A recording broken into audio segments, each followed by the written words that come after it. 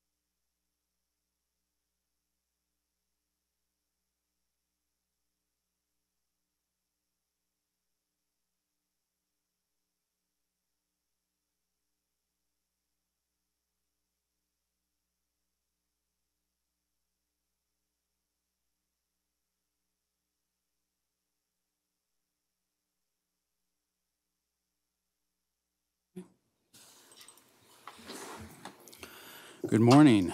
Um, County of Ventura Assessment Appeals Board Number Two meeting for February 12th, 2024 is called to order. Um, Brendan, could you do roll call, please? Yes, thank you. Board Member Little. Present. Board Member Wall. Present. Board Member Lunetta. Present. Thank you. Please stand for the Pledge of Allegiance.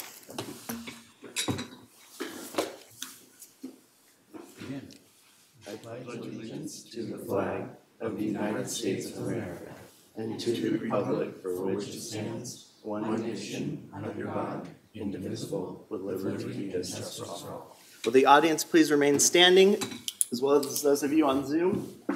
Everyone in the audience, as well as those of you on Zoom that will be addressing the board today, will now be placed under oath. Please raise your right arm. When I complete reading your oath, please state I do. You and each of you do solemnly affirm that the testimony you're about to give in the matters now pending before this board will be the truth, the whole truth, and nothing but the truth. Thank you. You may now be seated.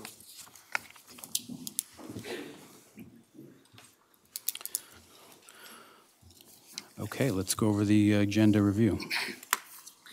Thank you, Chair Lunetta. This is a long agenda review, so please forgive me. For those of you um, in the audience or on Zoom, you should not hear your name called. I repeat, you should not hear your name called, but if you do hear your name called, Please make yourself known by pressing the raise hand button on Zoom. Participating by telephone, press star then nine on your telephone keypad. And if you're in person, come forward to the podium. Again, that's only if you hear your name called. You should not be hearing your name called. We're going to start with item 32. Application number 22-10214, applicant Eth Family Trust, continue to March 25th, 2024, pending receipt of an original stipulation. Item number 50 through 51. Again, we have someone raising your hand. Only raise your hand if you hear your name called. Thank you. Items 50 through 51. Please do not raise your hand unless your name is called.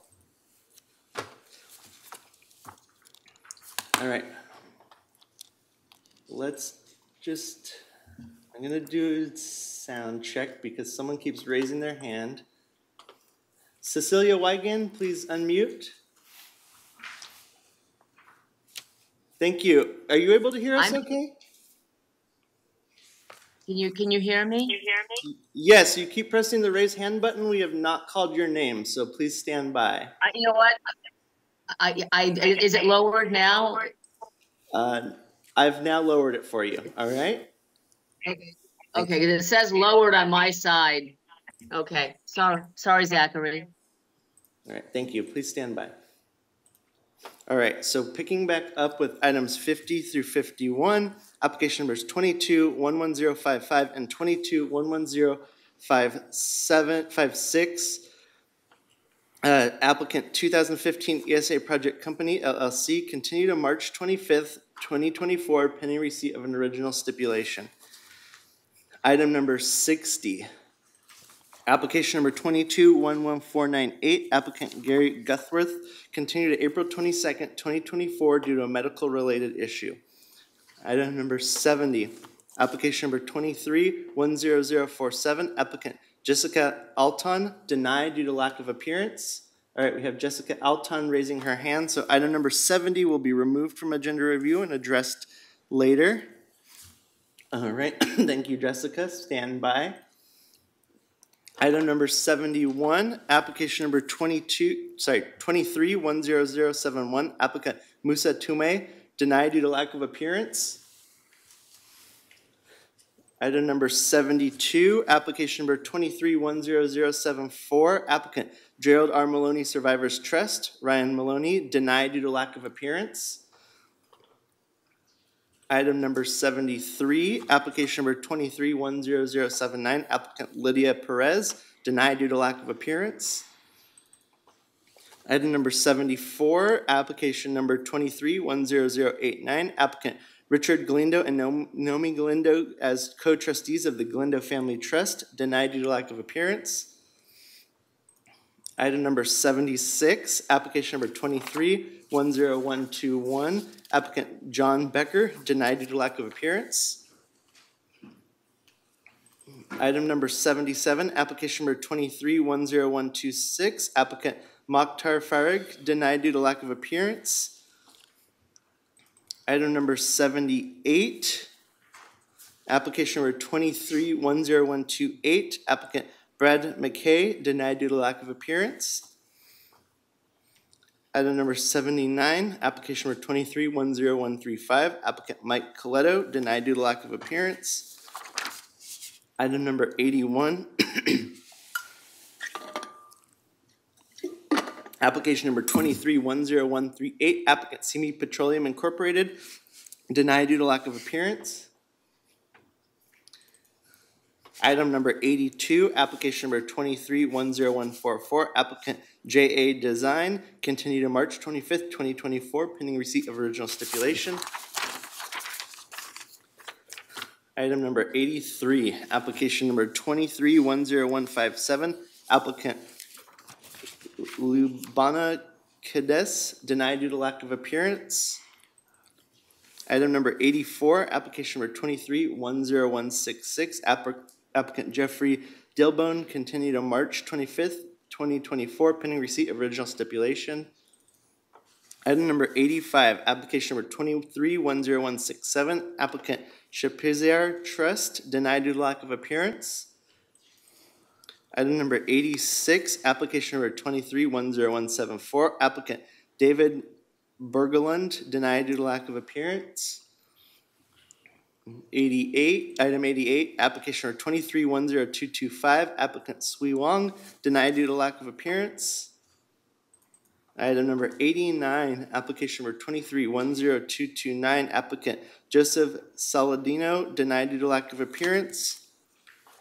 Okay, we have Joe Saladino raising his hand, so we're gonna remove, um, eighty-nine from the denial list.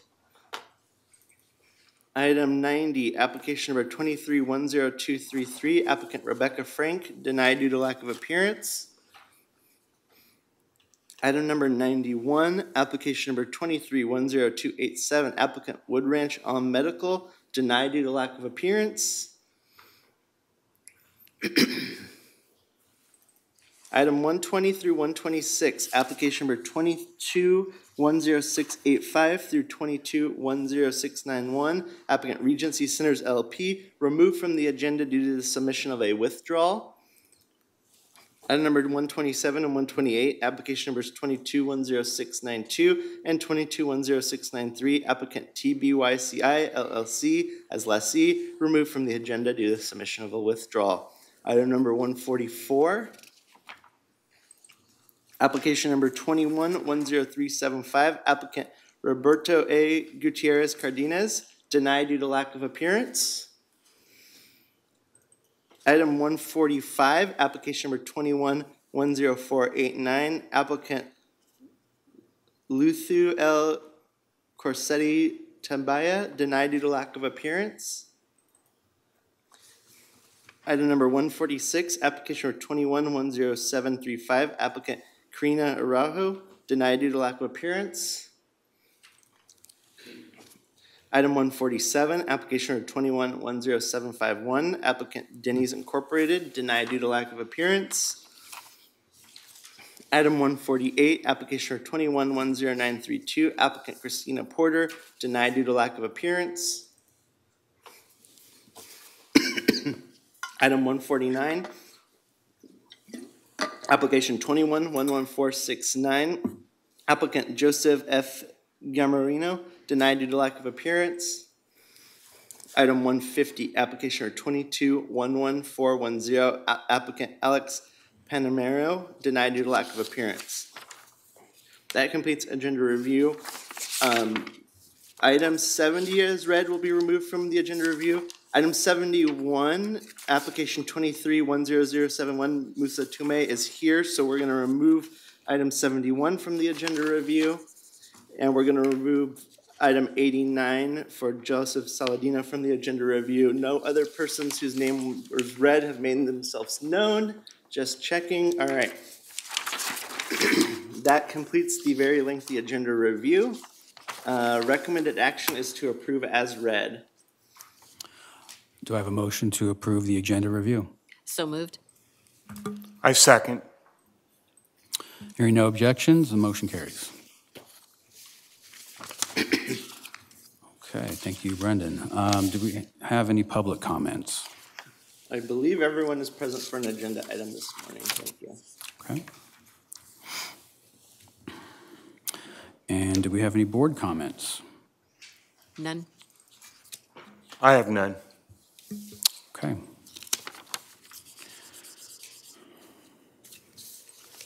Okay, let's get going. All right. Excuse me. Um, I'll just, as the board gets started, before we go through each case on the agenda, I just want to remind, the- since we have quite a number of people online, if you hear your name called, press the raise hand button when your name is called. If you are participating by telephone, press the star then nine on your telephone keypad, or if you're in person, come forward to the podium. Um, several people um, who had been um, denied due to lack of appearance and removed from the agenda review.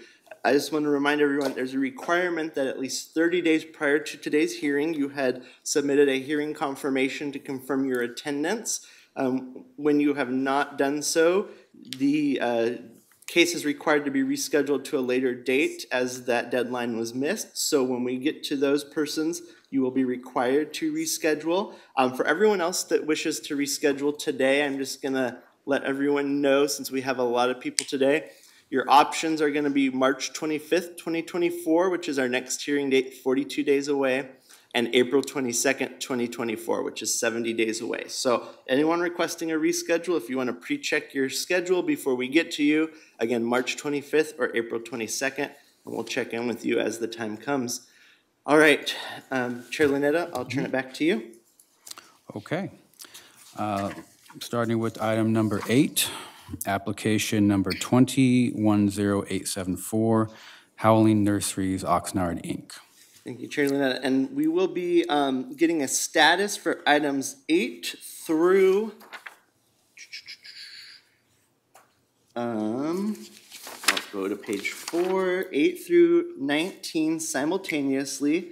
Um, We're going to have one discussion for all of those. Uh, We don't Okay. necessarily need to read the cases. And, uh, um, let's see, I have a, someone with 33813 uh, raising their hand. I don't have a name, but we'll go ahead and allow them to speak.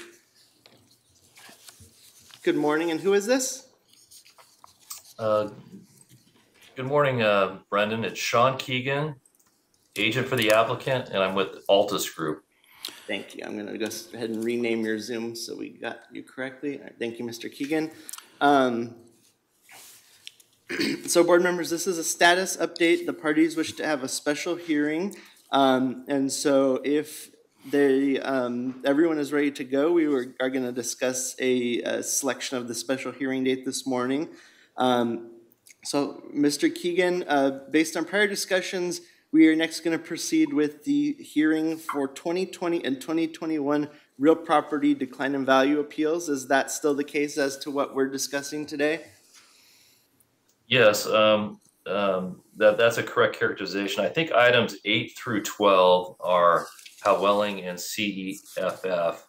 Uh, the applicant has exchanged, uh, documentation with both the business division and the real property division. And, um, I, maybe you have to clarify for me, I know we have a hearing date for March eighteenth. And I was wondering, is, is that the date that we are returning to the board? Or is March eighteenth a status hearing? So today, we, the next hearing scheduled after today's discussion will be when the parties present their cases in chief to the board. So, um, are you, you mentioned both dates, are you prepared to select dates for both the real property and the business property?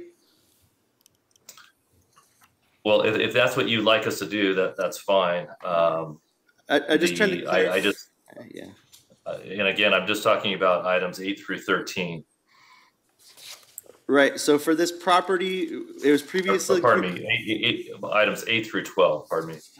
Right. So uh, for this property, I just want to clarify, as previously agreed that today we are going to be discussing scheduling of a special hearing for the 2020, uh, 2020 and 2021 Correct. real property market decline in value cases. I just want to confirm that's what you're still requesting to discuss today? Are you also requesting we discuss the business property? Well, we, some of those items, um, uh, sir, are items eight through twelve. We're prepared to, um, if we're set for hearing, uh, whether it's just real property or it's both, we're okay with those being scheduled, at least the applicant is, for March eighteenth. Uh, we believe that there may be a resolution on a couple of applications, but, um, we've exchanged documents with the real property division. Um, and March eighteenth is a date that's in place, right? That is up for this board to decide. The- Today's discussion is if all parties are prepared to proceed, then we will confirm March eighteenth. So just to clarify. Bren- you- Brendan, Yeah, can I chime in? yeah, uh, we're gonna go to you. I just want to Okay. clarify where Mr. Keegan's at with this, because it's not clear. So, Mr. Keegan, you're ready for both real property and business property for twenty twenty and twenty twenty-one. The, is it still the Yes, case? sir. Those should be heard on different dates, or uh, are you, we'll still check in with the assessor, but would you prefer to have those on two separate dates or one date for all issues? Uh, one date at this point. Okay, So I think we got everything we need from Mr. Keegan, so then, yes, Mr. Bates, clarify if, if you could what the assessor's prepared to discuss today. Okay, yeah, so uh, just in regards to the personal property, items 13 through 19, the assessor and the applicant or the agent, uh, we actually have had discussions. We've come to a resolution, and I believe a stipulation will be, if it hasn't been sent out this morning, it will be sent out today. Perfect, so those will be resolved and the board does not need to worry about scheduling those for hearing. Correct. That's items 13 through 19. In regards to the real property, items 8 through 12, the agent and the assessor have been in discussion. As far as we know, at this time, um, we have not received confirmation that we are definitely moving forward. It's just that the information has been exchanged. So I'm a little bit hesitant on setting a special hearing date without knowing that from the agent um, firsthand, because I don't want to schedule a special hearing and then for us to, to cancel. I don't know what you would recommend in that case. So to clarify, you've received, the assessor received all the data necessary for 2020 and 2021 real property decline in value, but you're not certain where the discussions stand, is that? Well, the assessor has completed the valuation. We've already uh, met with the agent and we provided them our evaluation. So this was as recent as Wednesday of last week. So I believe uh, we might be finding out more information this week as to whether or not. Unless the, unless the agent is certain that we are moving forward. I, I had not heard that up until right now.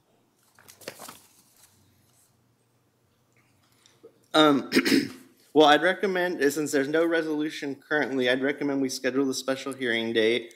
Um, Mr. Keegan indicated March 18th still works for him. Does that still work for the assessor?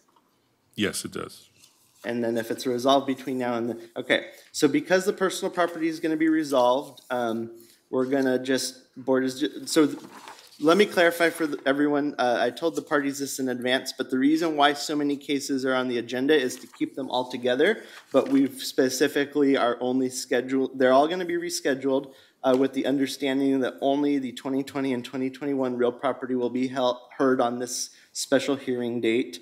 Um, and so it sounds like March 18th works for everybody. Um, and we had, had discussed with the parties an earlier start time of 8:30 a.m. due to the length of the case. Mr. Keegan, is 8:30 a.m. okay with you still?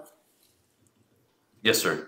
And to the assessor, is that still all right with you? Yes. All right, so if, um, board members, um, if it's all right with you, the request would be to continue all these cases to March eighteenth, twenty twenty-four, uh, at eight thirty AM, and that would be the only action necessary, And by unless you have any all- questions. And by all these cases, you're only talking about So, eight through 12. uh, eight through nineteen, Okay, so we'll we're go gonna ahead. reschedule all of them, and then if any that are resolved, Okay, um, once they are resolved and the signed agreements are submitted to us, those will be closed out and okay, removed. at that time. Um, if, um, if they are not resolved, there'll be an understanding with the parties that we're still only moving forward on real property and those others, then we'll have a subsequent status hearing as to what to do with the next part on, on March eighth. If, Okay. um, with, if there's non-resolved cases remaining.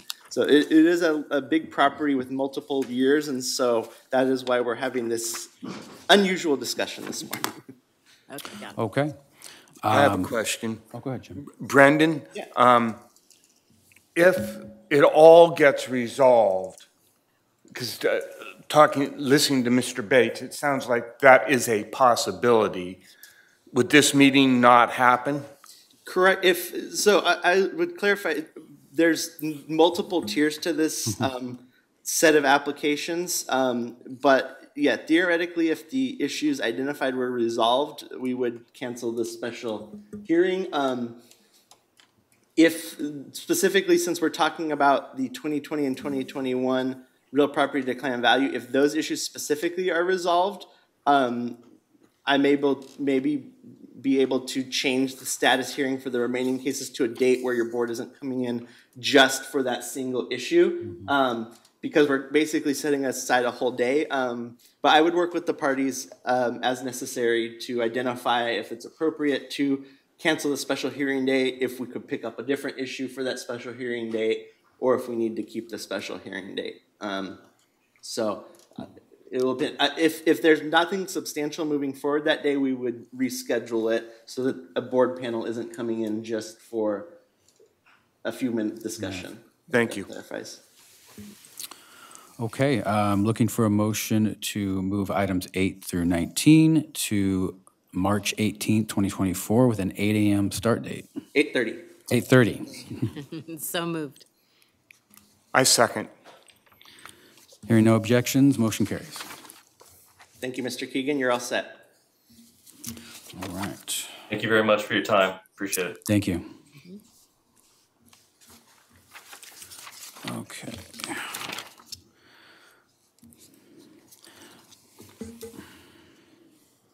Okay, that takes us to items 20 and 21. Application numbers 21-10536 and 21-10537, Chelsea GCA Realty.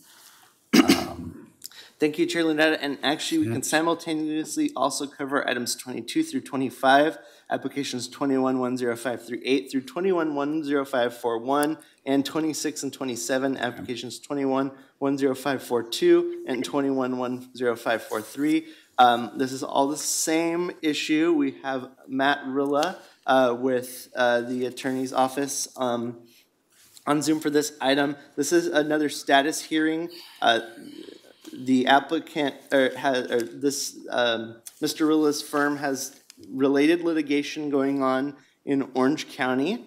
I had previously discussed the litigation with county counsel, and as it, um, while it's not in Ventura County, it uh, significantly relates to the issues before your board. And so today, we're just getting a status on that litigation from Mr. Rilla, and then the expectation is that your board would continue for a reasonable amount of time to allow that uh, litigation to make further steps forward. So with that, I'll turn it over to Mr. Rilla for an update on the status of the litigation. Uh, Good morning. Uh, My name is Matt Rilla, and I'm an attorney with the law firm of Vallejo, Antolin, Agarwal, and Kanter. Um, As the clerk mentioned, I'm here on behalf of two applicants, Chelsea GCA Realty Partnership and CPG Partners LP, which are lines 20 through 27 on the agenda. These appeals all concern the Camarillo Premium Outlets Mall property. Um, First, I'd like to thank the clerk and members of the board for setting the status hearing and for allowing me to appear over Zoom. Um, before I go on to any, status of the litigation, it might be helpful if I give you a bit of a summary of the background on these appeals and explain how we got here. So my law firm represents Simon Property Group, which owns malls throughout the state of California. And as I already mentioned, these appeals concern the Camarillo Premium, Premium Outlets Mall property here in Ventura County. Um, the applicants in these appeals are all various legal entities affiliated with Simon Property Group. The issues involved in these appeals are identical, so I can discuss both of the applicants and all eight appeal applications jointly. Um, back on March 1st of 2021, the applicants filed with the assessor several requests for calamity reassessment pursuant to Revenue and Taxation Code Section 170. In the requests, the applicants explained that the mall property was damaged as a result of the COVID 19 pandemic. And uh, we argued that this was because the property was closed to the public as a result of the pandemic and the corresponding state and local orders that started around March 19th, 2020. And the properties were ordered closed for many weeks. On March 4th of 2021, the assessor mailed notices to the applicants denying the calamity applications and in response to the assessor's denials, the applicants uh, filed these appeals with the Assessment Appeals Board back in September of 2021. As I've already informed the assessor and the clerk of this board, um, our client is already engaged in litigation in Orange County on the exact same legal issue that is the subject of these appeals. And that legal issue is whether a property owner can qualify for Section 170 calamity relief in response to the COVID 19 pandemic. Um, our client already had a hearing before the Orange County Assessment Appeals Board back in 2022. The board ruled in that case that the assessor's denial of the Section 170 claims was proper. We appealed that board's decision to the Superior Court, and this litigation, we believe, will eventually provide an answer to the legal que- question at the crux of these appeals. Um, it should eventually resolve the legal issue for the whole state of California because we expect that this case is going to end up going to the Court of Appeal, if not the California Supreme Court. Um, after we filed the lawsuit, I asked the clerk of this board to put these appeals on hold and place them in abeyance while the litigation proceeds through the courts. Um, it's my understanding that the clerk conferred with county counsel and he agreed to put these appeals on hold at that time and scheduled this hearing so I could provide an update to the board on the status of the litigation. So I can provide that update now.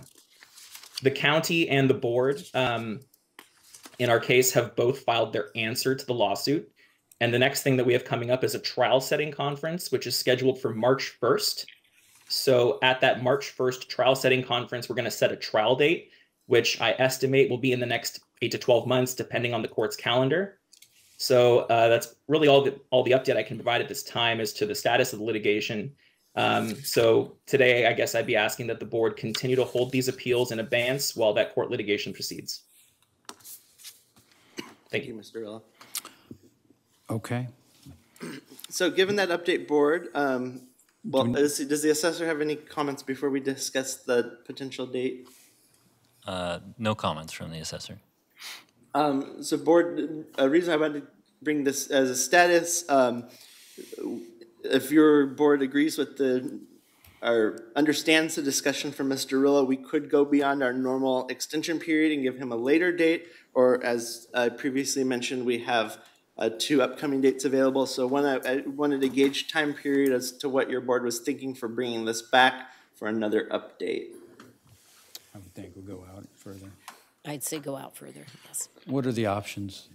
Uh, Brendan? And Brendan, I have a question. Is there a two-year waiver on file? There is, yes. Thank you. Um, so if, if, um, your board wants, you know, we could go six months out, we could go to the end of the calendar year twenty twenty-four.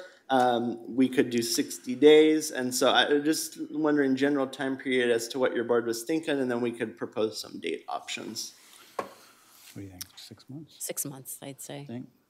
You have- Six months would be fine. I just understand that this process could take a while. Yeah. yeah. So it would yes. probably just be for another status update, maybe six months out, Brendan? All right, um, so these, we, because we are dark most of summer, that would put us at October twenty-eighth. Um, so a little more than six months, Mr. Rilla, would you be available on October twenty-eighth for a subsequent status update on the litigation? Yes, that should be fine. All right. Um, all right, board members, so we just need a, a continuance to October twenty-eighth, uh, for another status. Okay, do I have a motion to continue to October 28th, 2024 uh, for, a s- for a status update? So moved? I second. Hearing no objections, uh, motion carries. All right, Thank you, Mr. Rilla. You're Thank you, set. Mr. Rilla. Thank you. Have a great day. Okay. Okay, um, it looks like we've got two items, item 28 and item 29, applications 21-10871 and 22-10715, uh, Ventura Energy Storage. Yes, looks like we have uh, Debbie Lossell on Zoom for this item. Thank you, Ms. Lossell. Oh, thank you, thank you. Uh, this is Debbie Laisel. I'm with uh, Deloitte Tax LLP, uh, working with the taxpayer Ventura Energy Storage. Uh, this is a battery energy storage uh, facility that was operational for the 2022 lien date and was under construction for 21. There's also an open appeal for 23, uh, for which a hearing date has not been scheduled yet. Uh, the assessor handling the appeal on the side of the county uh, changed in January of this year. Uh, we've had two uh, meetings with the assessor and and uh, have exchanged some information for the 2021 appeal year, and there are some preliminary findings uh, for 22 and 23. Um, we're we're we're still uh, discussing the issues, but uh, given uh, the recent change in personnel, I, I, I, think both sides were amenable to continuing this and hopefully resolving 20 one very, very shortly, and then working to resolve 22 and 23 together. But uh, I guess I'll, if um, uh, Mr. Vernon from the county has any comments or if I've characterized anything incorrectly, uh, please, please, please go ahead.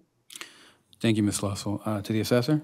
Uh, this is Steve with the assessor. Um, yeah, I agree with the agent. I think the only thing that I would like to add is for 22, it looks like we have not received any data um, But for 21, uh, yes, our appraiser, Joe Vernon, has been working with the agent and um,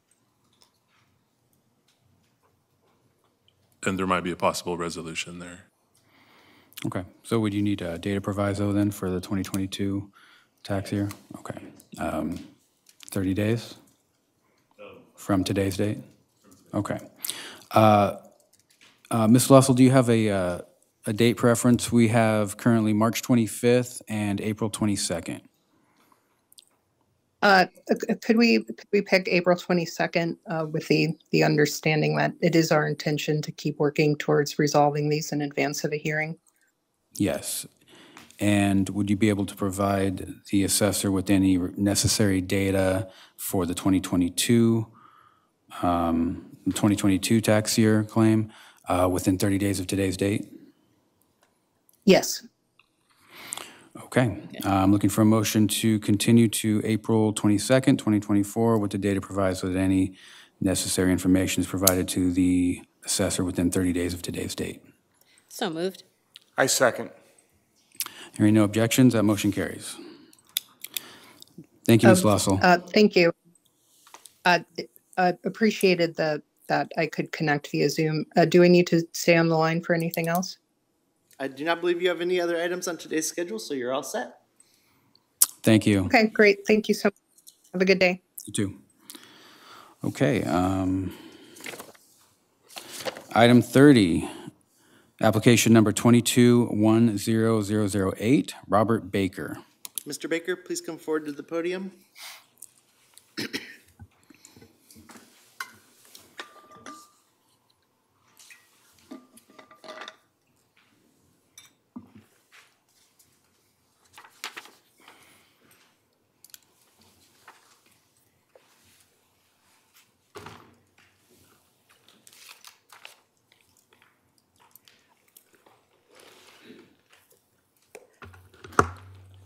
Uh, Mr. Baker, we don't need any documents at this point. We're just looking for a, a update from you. Good- Yes, good morning, Mr. Baker. Are we moving forward with your case today? Yes, you are.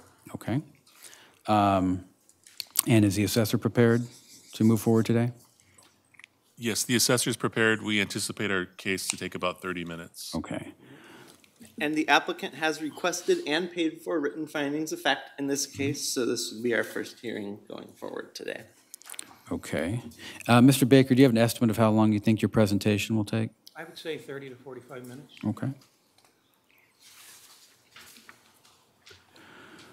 Okay, uh, we will come back to you after we review the other items. Thank you. Okay. Okay, item number 31, application number 22-10057, Erica M. Boyer. Yes, um, and if Michelle Veronese is on Zoom, please press the raise hand button or star then nine. I see Erica Boyer on Zoom. Ms. Boyer, um, if you want to, uh, address this, you can, go ahead. Yes, please. Uh, can you hear me? Uh, faintly, but yes, we can hear you. Can you hear me? All right, let me see if this works better. Uh, good morning. Yes, I am Michelle Veronese, attorney, rep, uh, representing applicant Erica M. Boyer in application 22-10057. Um, and I'd like to uh, provide the uh, appeals board uh, with this information that I've spoken with the assessor Joe Phillips. Big thank you to him for his good work and diligent work. And we have confirmed that this matter has been resolved and all actions needed to be taken by the assessor have been completed. And so, as such, we would like to uh, withdraw our appeal for application 22-10057. And also a big thank you to the clerk for his assistance in this as well. Okay, thank you. Thank you. Board members, as this has been withdrawn verbally by Ms. Veronese, uh, no further action is necessary by the board. Thank you, Ms. Veronese. Thank you, Ms. Veronese. Thank you kindly. Okay. That takes us to item number 33, application number 22-10376, Pocatomic. I do not believe anyone uh, checked in for this item. If you're present on Zoom, please press the raise hand button. All right, no one has checked in for this item. Recommendation is to deny due to lack of appearance. Um, Do I have a motion to deny due to lack of appearance? So moved? I second. Uh, No objections, that motion carries.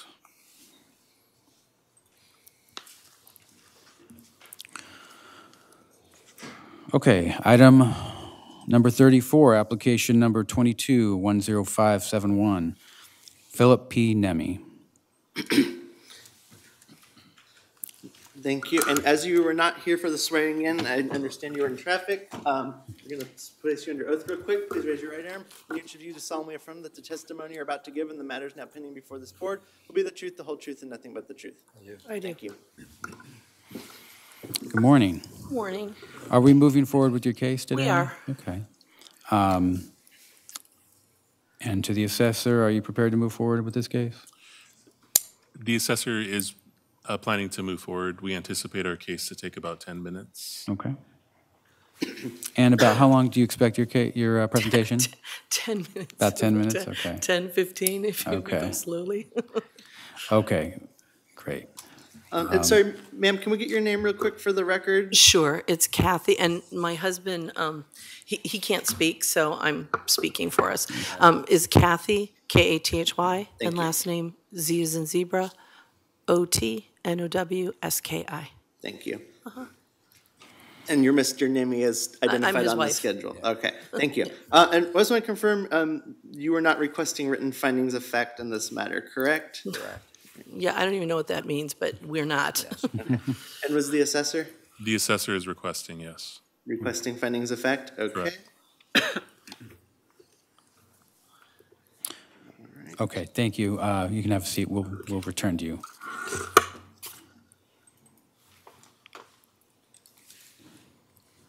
Okay. All right. Okay, um, item number 35, application number 22-10763, uh, Shanae D. Collar.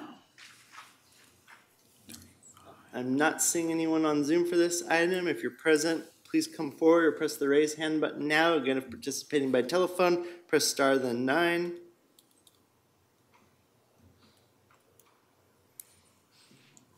Seeing no one come forward, recommended action is to deny due to lack of appearance.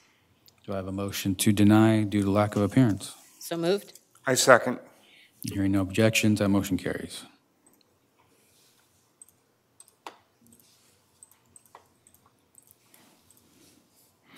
Okay, item number 36, application number 22-10872, Timothy Holder. Yes, we have Fabiola Carls on Zoom for this item. I've allowed her to unmute. Are you there, Miss Carls? Yes, good morning. Good morning. Are we moving forward with this case today? Uh, we would like to provide a status report. Uh, this is Fabiola Carls for Timothy Holder. Um, we have exchanged information with the assessor's office. There was information that was pending from the DMV that we received on Friday. We have forwarded the information to John Werner, the assessor's um, uh, office representative, and we would like a short continuance so the parties can uh, resolve the issues prior to the next hearing. Is this acceptable to the assessor? The assessor is in agreement with the continuance. Um, It looks like data has been exchanged and uh, just needs to be reviewed. Okay. Um, Ms. Carls, we have uh, dates available March 25th and April 22nd. Either one, uh, it works for us. I will defer to the assessor um, so that he can review the data. Uh, Since data is- has already been exchanged, I would prefer the March 25th date. Okay. Uh, March 25th. Is that, March 25th um, acceptable, Ms. Ca- Carls? Yes, it is. Okay, I'm looking for a motion to continue to March 25th, 2024. Um, So moved. I second. And hearing no objections, motion carries. Thank you, Ms. Carls. Thank you so much.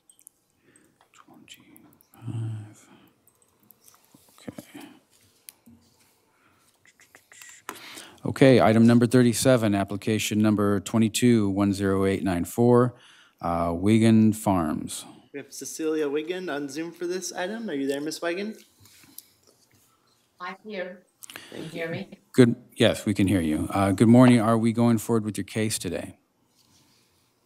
Uh, I'm, I'm, I'm moving forward to ask for a uh, continuance. I was working with Joe Vernon, the assessor.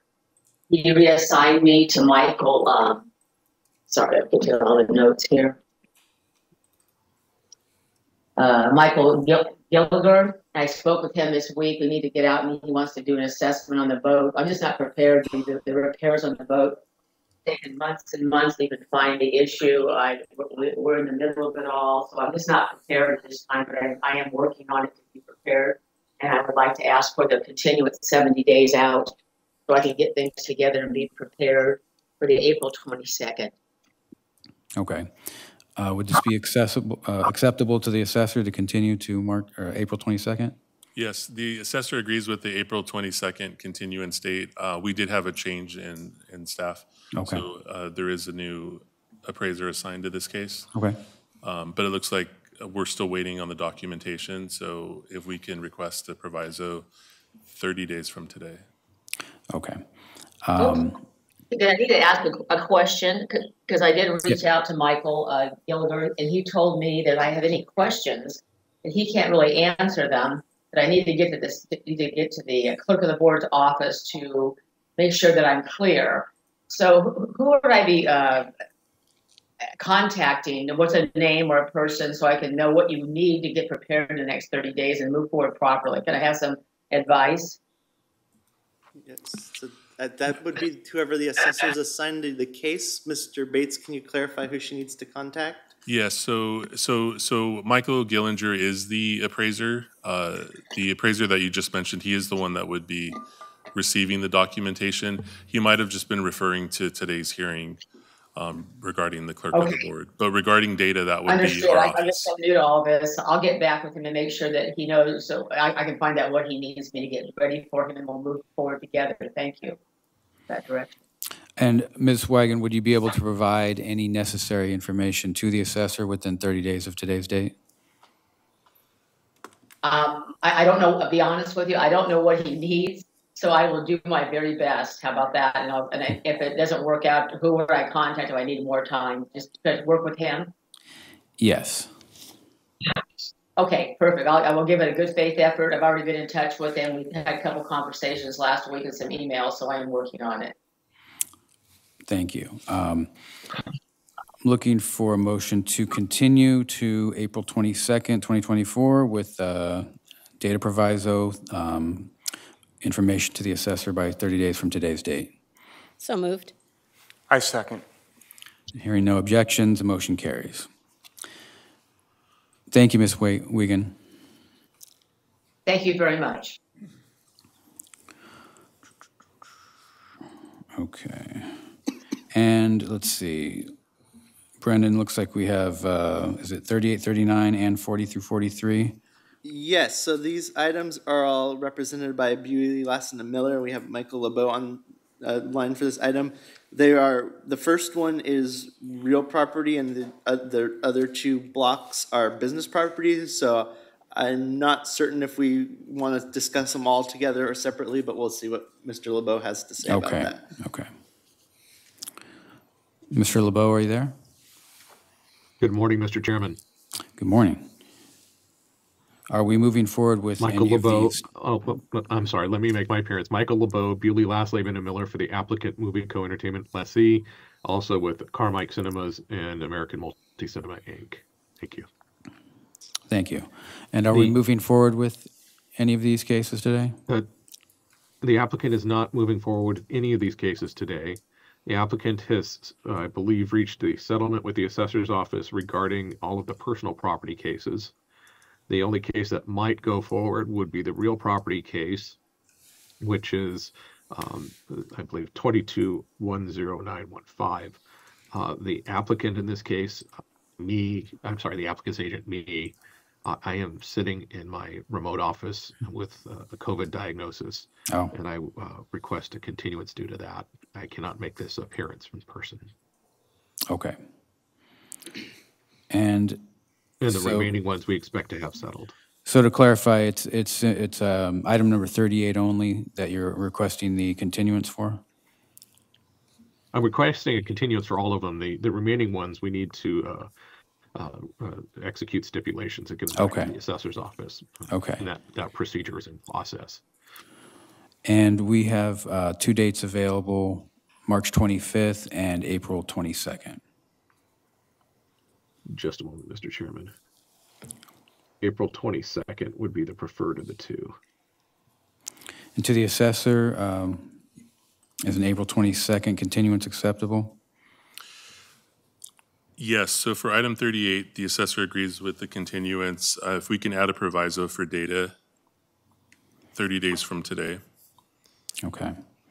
And then, um, The applicant hand, yeah.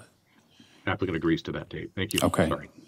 And, and for the personal property for items 39 uh, and then 40 through 43, uh, Carmike Cinemas, that, uh, um, we actually have stipulations in progress for this one. And Okay.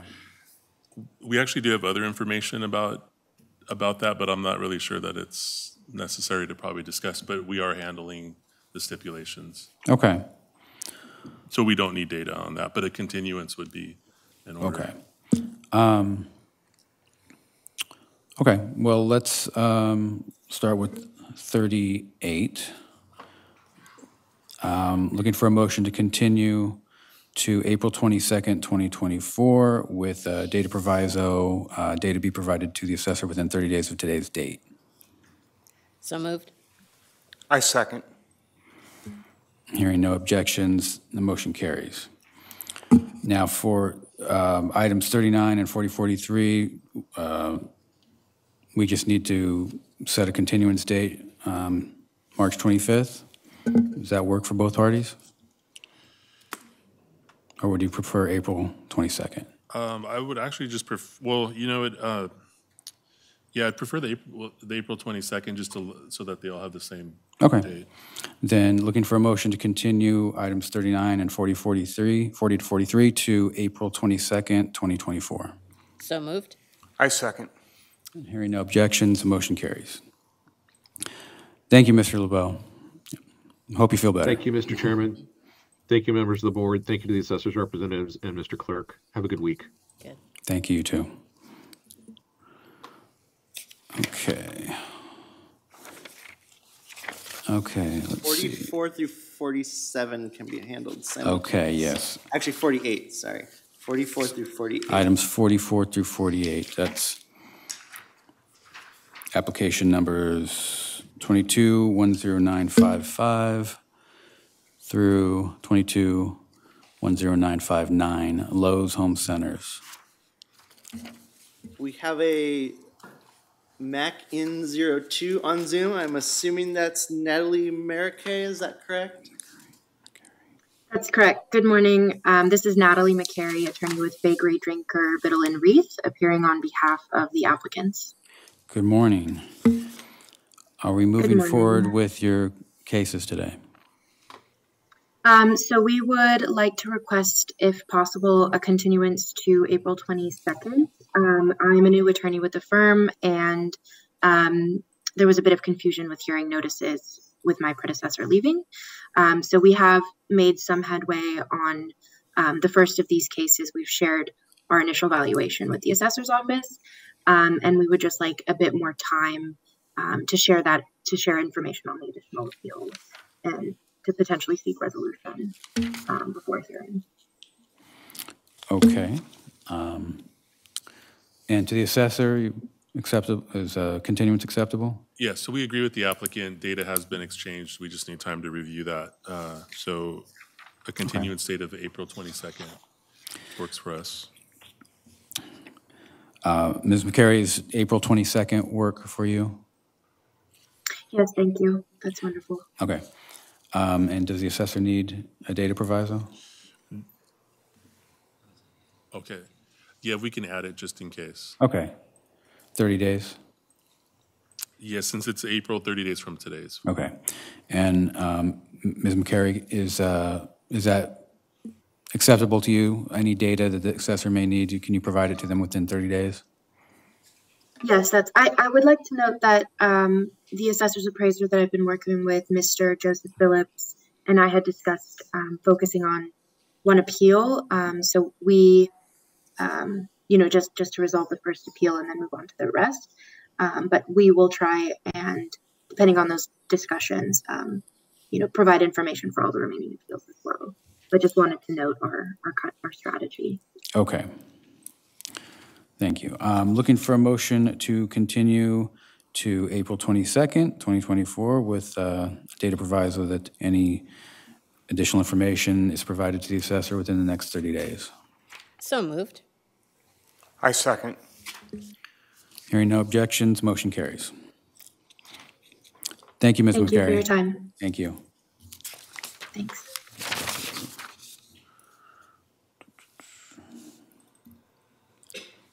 Is it too late for us to ask for items 45 through 48 to also be included? Or did we already That- include it? That applied to everything. Yeah, Okay. that applied to everything. Okay. Okay, um, item number 49, application number 22-11038, John and Kathleen Devon.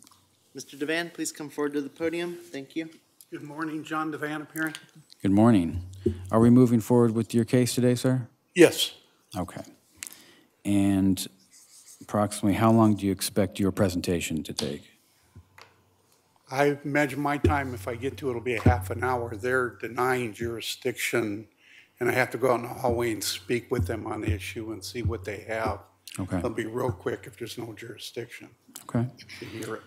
And um, to the assessor, are you prepared to move forward? Yes, the assessor is prepared to move forward. We anticipate our case to take about five minutes. Okay. And Mr. Devan has paid for written findings of fact and requested those, so those will be findings of fact. I, I did inform Mr. Devan, this will likely, uh, be- as we have two other cases moving forward, that we will probably get to this after lunch. So I let him know if, if he'd like, he can come back around one, one thirty. I can also give him a call when your board goes to lunch to inform him as to the exact, um, return time. Okay, perfect. Um, Okay, thank you, Mr. Devan. Thank you.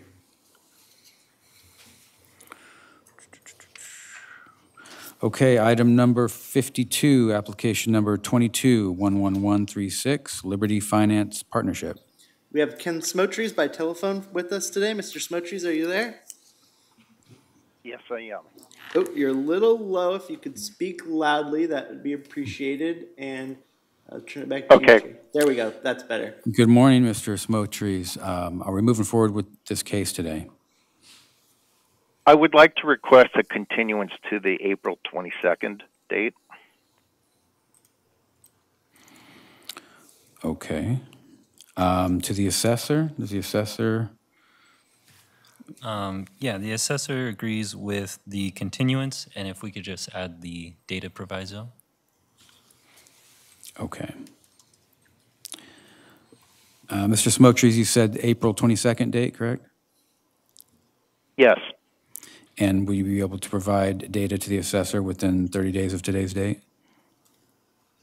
yes. I've provided some last week, and they came back with additional requests. So we're working on that to get that uh, get that information to them. Okay. I'm looking for a motion to continue to April 22nd, 2024, with the data proviso that any required information will be provided to the assessor within 30 days of today's date. So moved. I second. Hearing no objections, motion carries. Thank you, Mr. Smoketrees. Thank you very much. Have a good day. You too. Okay, item 53, application number 22-11329, North Shore Healthcare Holdings. Just a second. Good morning. All right. I believe, sorry, my computer crashed. Um, I think it's back up now. I believe we have Nathan Gangloff with Altus, is that correct? That's correct. Thank you. Good morning. Good morning. Are we moving forward with this case today? Uh, no, I believe that this is going to be a, a postponement request. Continuance request, please. Okay. Um, Is it assessor, um, is that acceptable to the assessor, uh, continuance? Uh, Yes, a continuance is acceptable and also a data proviso since um, our office has not received information from the applicant yet. Okay. Um, And to the applicant, um, the, we have March 25th and April 22nd, and the uh, assessor is requiring um, the, they be provided with data within 30 days. Okay, very good. Uh, would the April 22nd date uh, be available? Assessor? Yes. Okay. Great.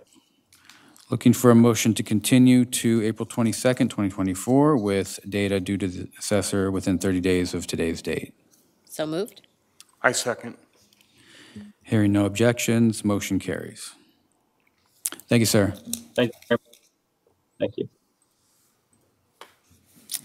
Okay.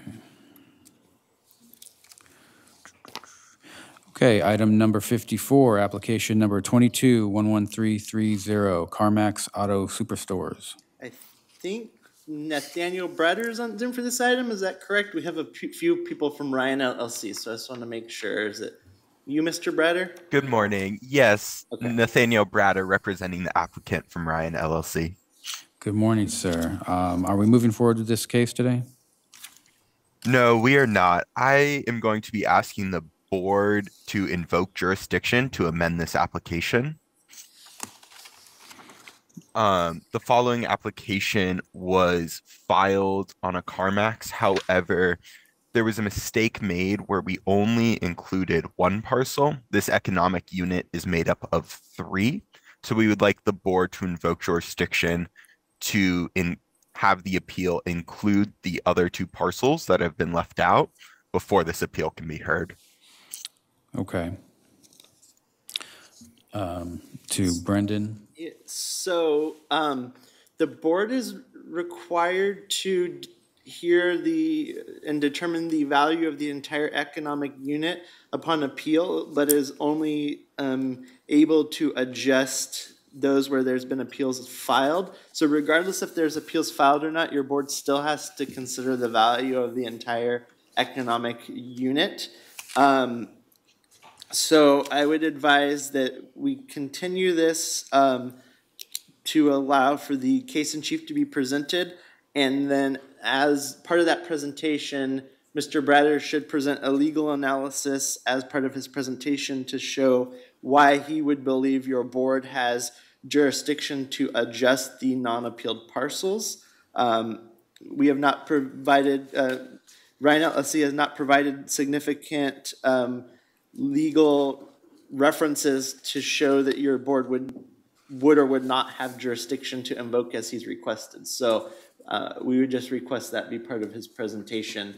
Uh, at current time, we believe your board is only allowed to, like I said, they have to um, hear the entire economic unit, but may only adjust those where appeals were filed. Um, and so without further legal citations uh, and then review by county counsel, we would say that the request is probably not valid. Um, So I, I- I just suggest we just set a hearing to discuss this in greater detail. Okay. Uh, Mr. Bratter, is, uh, is that acceptable to you to set a date for continuance um, where this can be discussed further? Yes, that that is acceptable. Okay. Um, I just have one question. So, as part of my presentation, I would provide that legal basis, and then would the board make a decision on the spot while hearing the value of the case? Most likely, because the board would take that under submission and decide as part of their Mhm. decision. It, um, if the entire economic unit can be adjusted or not, if applicable. Uh, it may not even be a question if the board, you know, sustains the assessor's position, then they don't have to weigh in on that second question as to if the additional parcels can be um, adjusted or not, because it wouldn't apply. But that's likely what would happen, is the board would not make a decision on the spot. They would take it under submission, and then when they come out with their decision, determine if it could apply to multiple parcels or the single parcel on which the appeal was filed. Understood. That makes sense. And just a follow up question. So that would make um, a stipulation difficult with the assessor's office. Is that correct? Because it would depend on. Okay. Yeah, we would sense. deny any Thank you very stipulation much. for the parcels that were not appealed. Okay. Um, Understood. Thank you. Then that is all. So if you, uh, if you'd like, we could, I guess we should probably check in with the assessor. We Mm-hmm. could set a hearing just for the board to determine jurisdiction, where Ryan LLC would come in and present their legal arguments as to why your board should take jurisdiction over the additional matters, um, if necessary. Um, so is that kind of what you're requesting, Mr. Bratter, is the board first determine jurisdiction? Yes, I think that would be the best case. Yeah, basically, to bifurcate the hearing, Hmm, Okay. split it apart. I think it would be wise to hear the juris, the uh, jurisdiction issue Ye- first. First, yeah. Yeah. Okay. Okay. And does the assessor have any comments? The assessor agrees with that. Okay. Yeah. Okay. So the, the jurisdiction hearing, if cited with the applicant, would allow for a stipulation to, okay. Okay. Um, Okay, so we would be, um, we would be bifurcating the hearing, hearing the, uh, the issue with um, jurisdiction first. And Mr. uh, Bratter, do you have a preference with the date? We have two dates available, The March 25th. April 22nd April would be 22nd? preferred. Okay. And is that acceptable to the, ex- to the assessor? Yes. Okay. I have a question. Is this April 22nd hearing just for the jurisdiction? Yes. Yes. And we will hear the valuation at some later date? Correct. Okay. Thank you.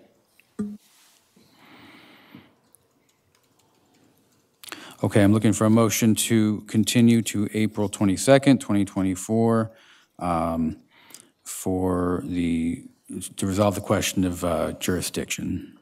So moved. I second. Hearing no objections, that motion carries. And I'll just note, Mr. Bratter, if, if you're able to send over your analysis to the clerk of the board to show that uh, the law says the board does have jurisdiction, if that's clear, we will confer with county counsel and we could um, review and discuss that with the uh, county counsel and the assessor beforehand and potentially weigh in in advance if it's abundantly clear that the board does have jurisdiction. Uh, It's just at this point, we have nothing in front of us to show the board has jurisdiction. Um, So if, if you want to send that to us in advance, we will review it. Understood. And you said to the clerk of the board. Correct. The clerk of the board is responsible for jurisdictional matters that have to do with application filing.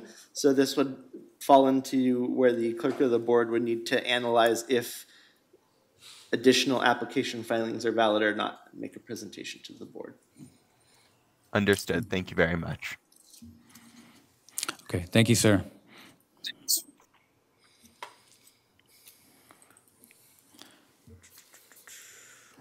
Okay, um, item number 55, application number 22-11337, Bright Peninsula Road.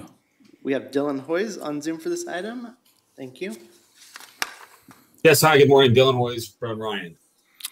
Good morning, sir. Are we moving forward with this case today? You know, we we're going to request a continuance on this. Um, it is our understanding that the owners are uh, looking to commission uh, an appraisal, a third party appraisal, completed.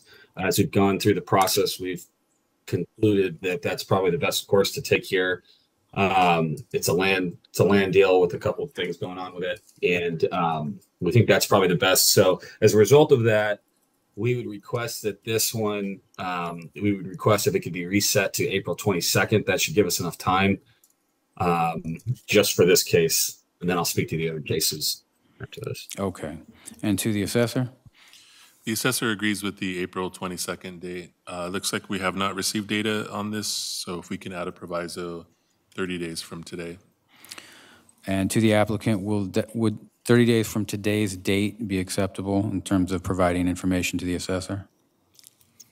Um, we can be we can facilitate some of the information by then. Uh, I hope to have the third party appraisal completed by then. It could be slightly after that, but I'll certainly uh, continue to keep um, the appraiser, Mr. Zach Clifford, uh, uh, apprised of, of the status of that. Okay. um, And we'll try to get it. We'll try to get it by then. If we did 30 days prior to the hearing date, would that be accessible or Yes. acceptable? Yes. Okay. That's- That'll give you an extra 10 days or so. Um, Okay, uh, looking for a motion to continue to April 22nd, 2024, uh, with data due to the assessor um, by 30 days prior to the hearing date. So moved. I second. Hearing no objections, that motion carries. Thank you, Mr. Hoyes. And Mr. Hoyes also has Thank some you. other items on the agenda. If we Oh. just want to jump to those while we have him on the line, that's going to be items sixty-one through sixty-six. Okay. Um, Application numbers 22-11575 through 22-11577, SHM Anacapa Isle. And 64 through 66. Okay.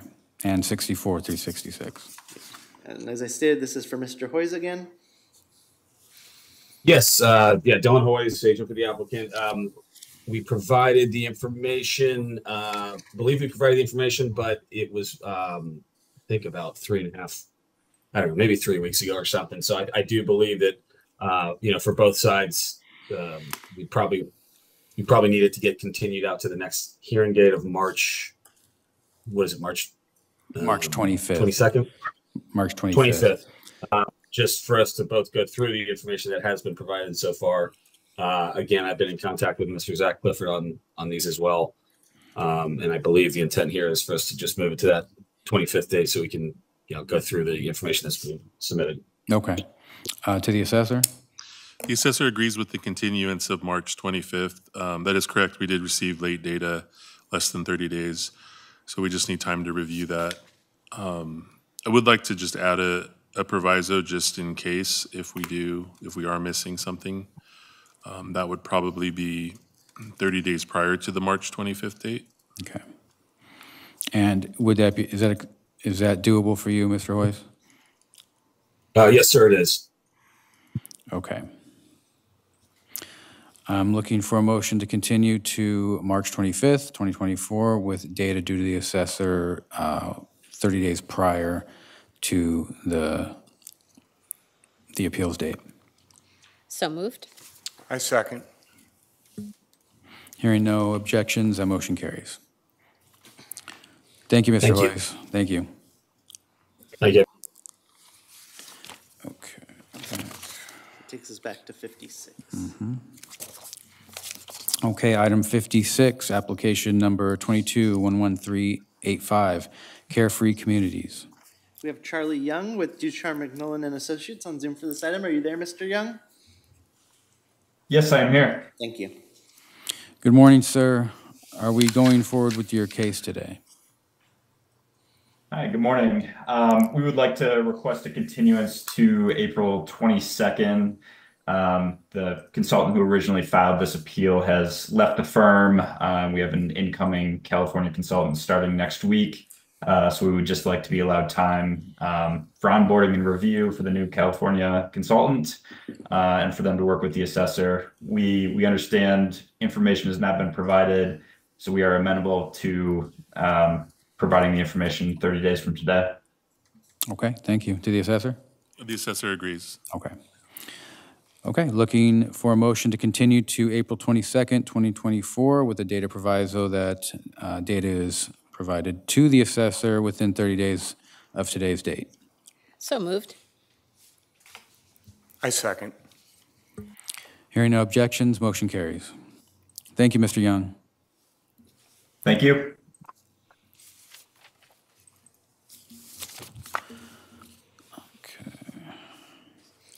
And it looks like we have, is- it says 57 through 59, Brendan? That is correct. Um, that hearing is gonna go forward, and since it's gonna be our fourth hearing the, the day, I did dismiss the applicant to come back Okay. uh, after lunch, and once your board, um, begins hearing Mr. Devan's case, I will let them know that their hearing will be coming up soon. They are requesting written findings of fact, and, and that hearing is expected to take about an hour. Um, I don't know if the assessor has any additional information, but, uh, yes, moving forward, fourth hearing of the day, findings of fact requested. Okay, and the- to the assessor? The assessor is prepared to move forward. We anticipate our case to take about 45 minutes. Okay. Okay, thank you.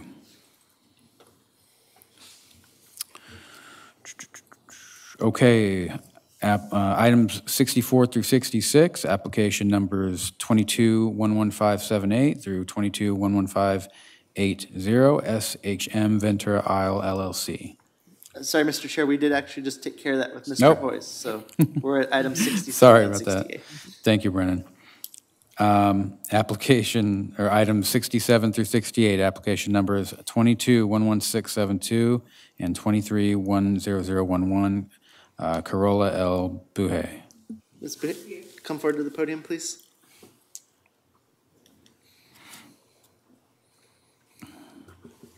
Good morning. Good morning, sir. Are we moving forward with your case today? Yeah, I'm looking for a reschedule a date because I have a bunch of documents I need to give to Joey this Thursday. I have a meeting with, to Okay. appointment with him, please. Okay. Um, To the assessor? Yes, we're in a agreement with the continuance, um, but the assessor feels perhaps a discussion with the board needs to happen on this one. uh, And it's because um, there's an, an owner on the deeds that we need information from. Um, And the applicant has shared with the assessor that there's no longer any contact with this Mhm. either, we're not sure if they're truly an owner or not. We need some information from them. Uh, The applicant said this other person is not going to interact with the applicant or the assessor's office in any regard. Uh, So we thought perhaps a um, subpoena may need to be issued in Right. order to force her cooperation Okay. in this process. Um, I do have the deeds here that might kind of clarify that for the board. Okay. Thank you, Joe. Um, To Brendan? Sorry, to clarify, so is the assessor prepared to discuss the request for subpoena today? Or do you want more time to go um, over the documents Ms. Buhay has and then come back to the board to discuss that further? Um, I would like both the subpoena as soon as possible, please. Yeah, perhaps we can have the subpoena discussion today. Um, Okay. I, I didn't prep the actual subpoena document, but uh, I thought we'd have more of an kind of informal discussion on how to move forward on it with the board. Uh, Whatever you Okay. guys think is best. Um, What do you think? Pat? Uh, Perhaps we can uh, look at the deed and make sure the person's name is on the deed that we would issue the subpoena for. Okay. But I think we can formalize the subpoena information quickly. Okay. You want to do that? All right, so we'll go ahead and Thank you, Brendan. Then that way it can move forward. Yeah. Thank you. Would the applicant like to tell us the person? Do you need a copy? Yes, please. Situation. Okay, Let me see what you have.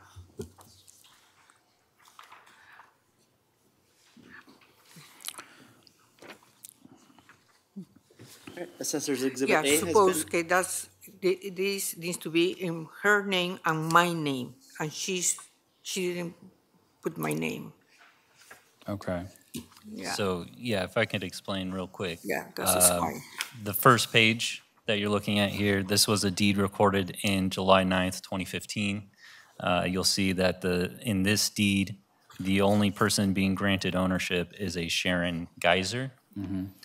Um, And then the second deed that you have is recorded on November 4th, 2021, and it's showing Sharon Geyser is granting to Carol Buhay, um, who is the applicant today. Right. Um, So uh, Carol has filed an appeal, um, basically saying she's always had ownership. Yes. And she has some supporting documents to show that, but we also need um, some information and a statement from Sharon Geyser regarding this recorded deed in 2015, why uh, Carol's name is not on this deed, and, um, you know, we basically need to ask her some questions about that, because the deed, under the law, the deeds are assumed to be correct unless there's a preponderance of evidence showing these aren't correct.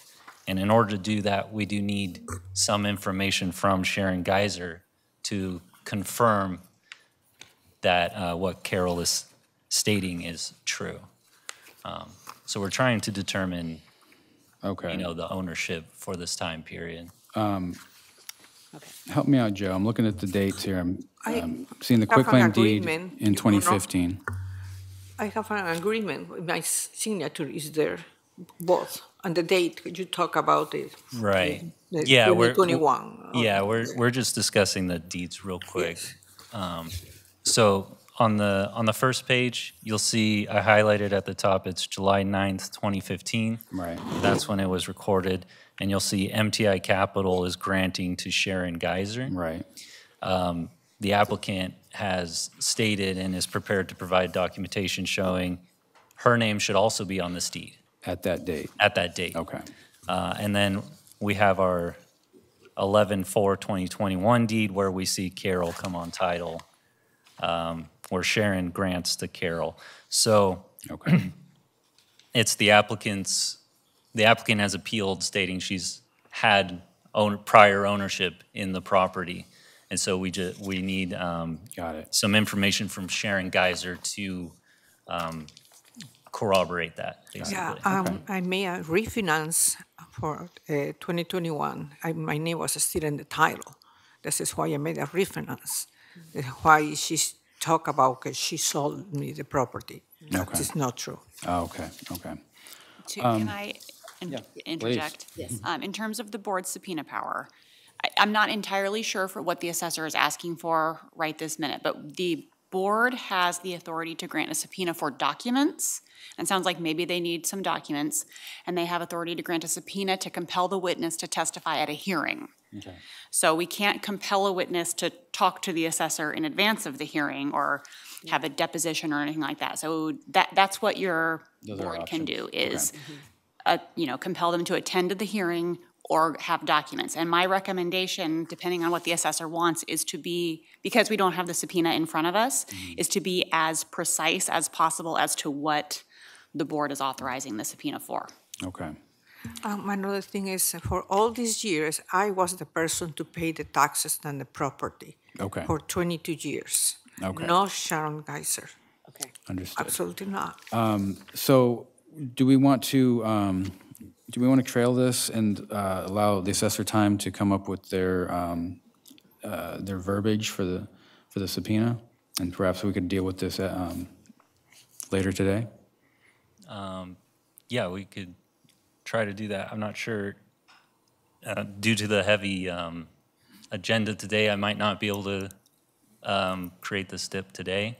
I mean, not the STIP, the uh, subpoena today. Right. Um, But yeah, there, there is one specific document we would be requesting of Sharon, and then potentially uh, attending a future hearing date, uh, requiring her attendance. Okay. Um, So those, those would be the two things we would be requesting on the subpoena. Okay. Tricia, do you have any comment? Okay. Um, Or Jim? I'm just, anything? I'm just thinking the best way to facilitate for the applicant, Mhm. um, for her to, you know, have to wait for us to trail it, uh, can we set the continuance date? And um, trail, uh, trail the, i- first set the continuance date Okay. and trail the item just for the assessor to come back with the verbiage on, on the subpoena. So that we can then do the it today applicant before doesn't we have would, to yeah, wait. okay. Um, So what we'll do is we'll set a date for a continuance. Uh, We'll, we'll allow the assessor time to come up with their, um, their wording for the subpoena. Uh, we- That way we can approve the subpoena today. Okay. Um, As far as the continuance, we have uh, upcoming dates of March 25th and April 22nd. You have- Either, either way, for me, it's fine. Okay, uh, to the assessor? Um, let's do April 22nd. Yeah, okay. Okay. Okay. Do I have a motion to continue to um, April 22nd, 2024? So moved. I second. Hearing no objections, that motion carries. However, this agenda item is still open Right, for the board's review of the subpoena. yes. So we'll come back to that aspect um, later today. But Brendan, is she, do we need anything further from um, Ms. I don't believe so, because it sounds like you're agreeable to whatever the assessor intends to subpoena from Ms. Gazer, correct? You're- Yes, Yes. no, you're now- Sean Geiser. Uh, I do have a question. Uh, Yes. The deed says your, the property is deeded to Carol. Your appeal says your name is Carola. Yes. What, is the deed incorrect? It's incorrect? the same. I can, Oh. yes, I'm the same person. But le- legally, should it have an A at the end? Is the deed I don't know why, because every, all my papers say Carola, in that document say Carol. I have no idea. Okay, so your legal name is Carola? Yes, sir. Thank you for clarifying. Okay. All right, so I think you're all set. Thank you so much. Thank you. I'm very, very grateful.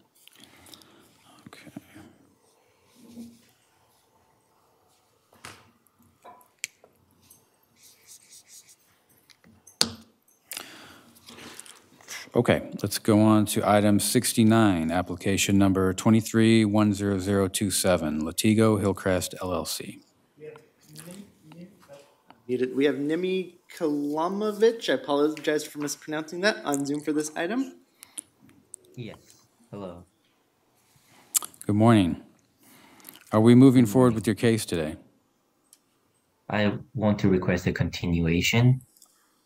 We are, we have exchanged documents with the appeals and Zachary Clifford, and we're waiting on the stipulation. So we're just requesting a, a continuance until we can settle on the value.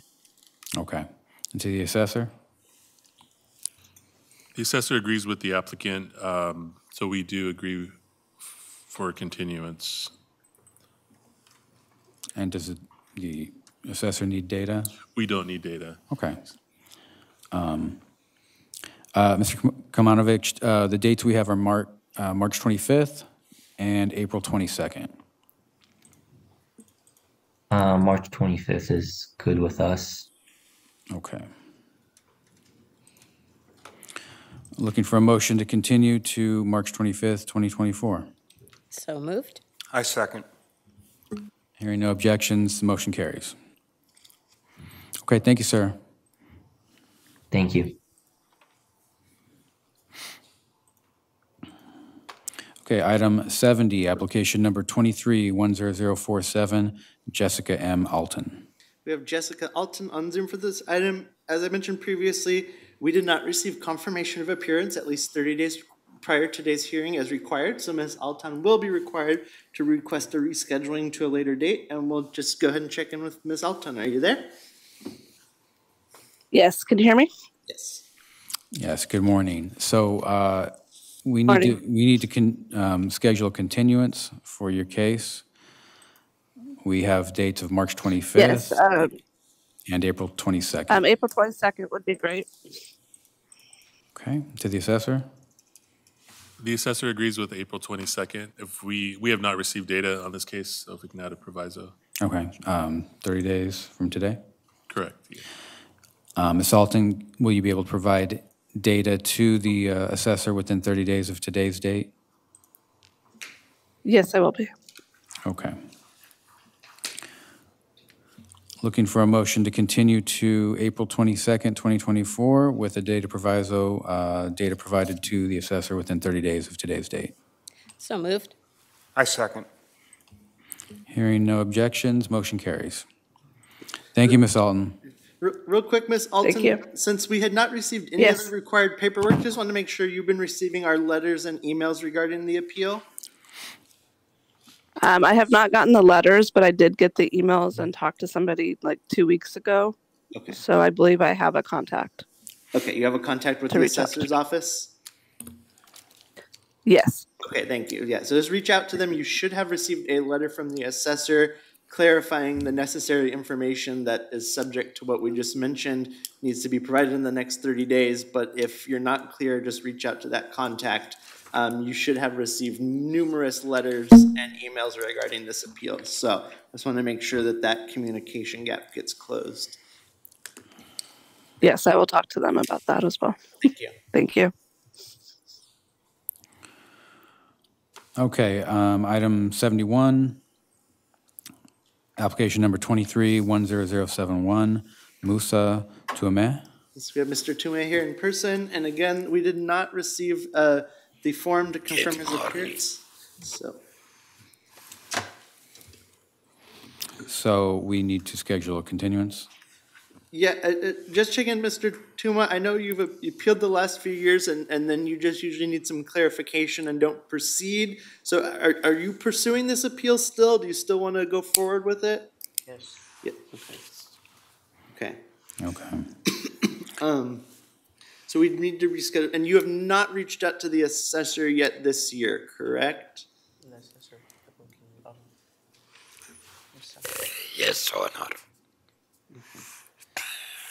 No, No, he hasn't. no translator. He hasn't, but for the mm,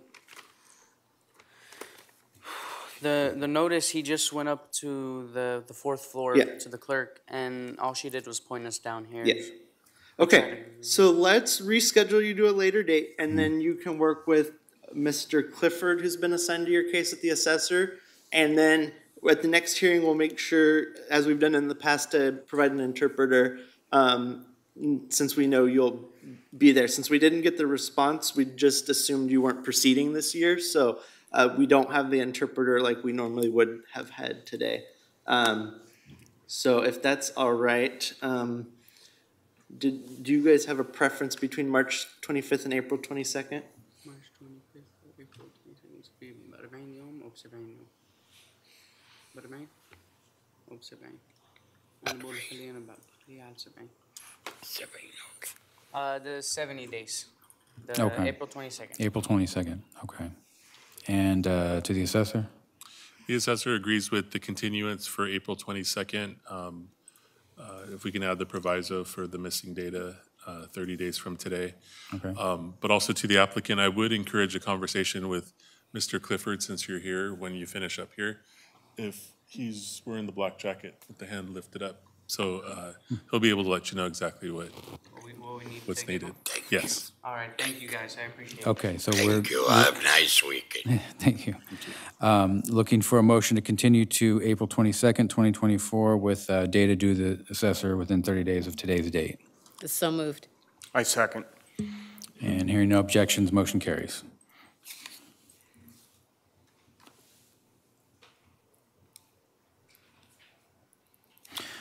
Okay, application, um, item number 75, application number 23-10106, uh, Javad Hatami Ramsha.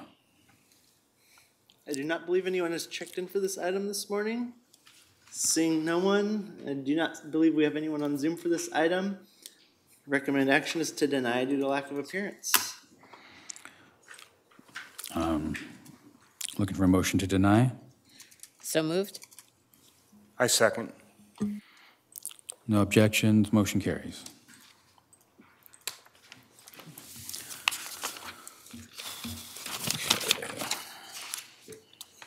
This is to eighty. Okay, item 80, application number 23-10136, La Flor de Mayo Market. A stipulation was received this morning and passed around to your board for review. Uh, If your board uh, agrees with that stipulation, recommend action is to go ahead and approve it today. Okay. Yes, I reviewed it. Reviewed it? I reviewed it as Okay, well. I reviewed it as well.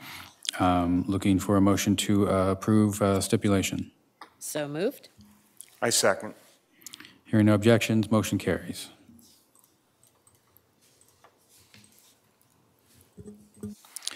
Takes us down to item 87, application number 2310196, Asma Furniturewala.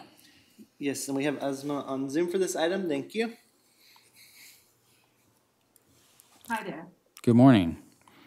Are we moving forward with your case today?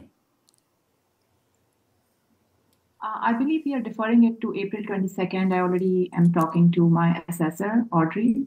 Mhm. Uh, The assessor?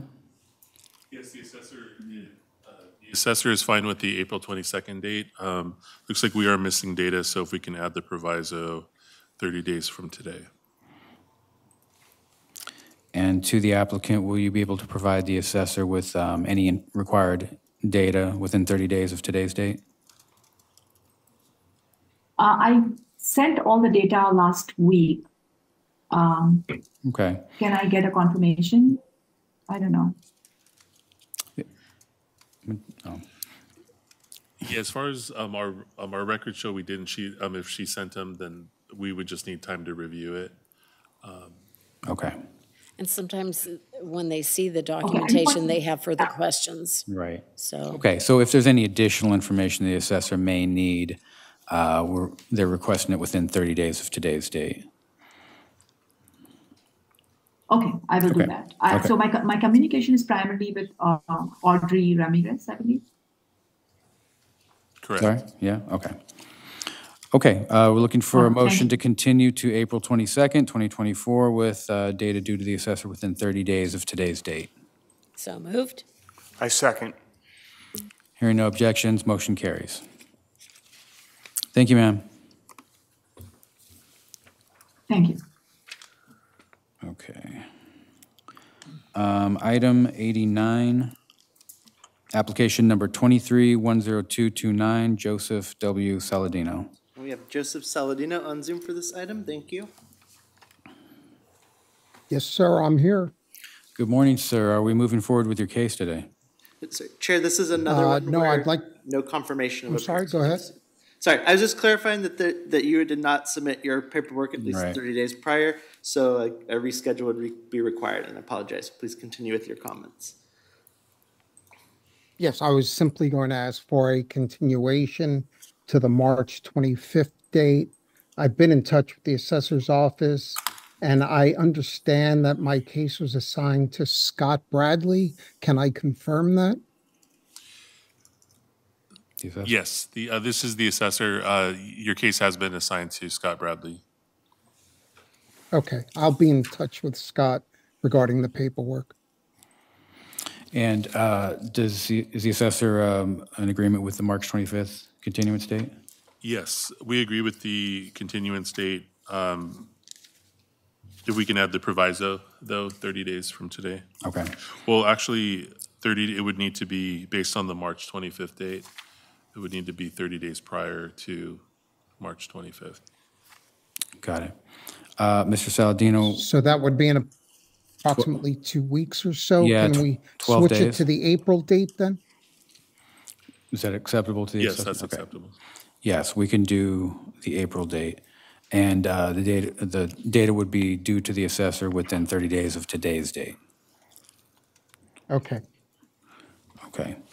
Looking for a motion to continue to April 22nd, 2024, with data due to the assessor within 30 days of today's date. So moved? I second. Hearing no objections, motion carries. Thank you, Mr. Saladino. Great, thank you, everybody. Yeah, and Mr. Saladino, I just want to clarify, um, it sounds like you've been in touch with the assessor's representative, Mr. Bradley, correct? No, I've not spoken directly with Mr. Bradley. I've spoken to the office, um, somebody by the name of Audrey. Okay. Um, so I just want to confirm, um, so you still need to reach out to Mr. Bradley to confirm what you owe the assessor. And then my office sent you several emails, uh, regarding today's hearing and, and the requirement that you submit paperwork at least 30 days prior. Uh, It sounds like you did not receive those, is that correct? Um, emails, I don't believe I received. I did receive some paperwork. And yes, so I, I did receive it. Okay, so you've received the assessor's request for information that they sent you by US mail, but you did not receive any of the emails that the clerk of the board sent you, correct?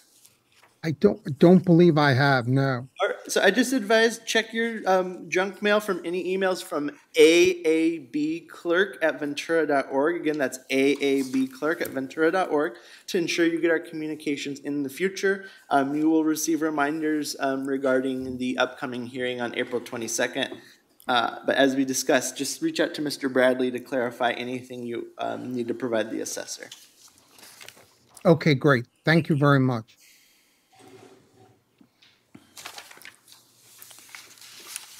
Okay, Brendan, what do, looks like we have um, And- several. Yes, so um, we're gonna, so item, next we're gonna address items 92, 93, 94, 95, um, 96 through 98, 99 through 103. We're gonna skip 104 and 105, that's gonna be handled by a different employee. Um, We're gonna discuss 106 through 113, uh, item 114, item 115, item 116, and item number 117.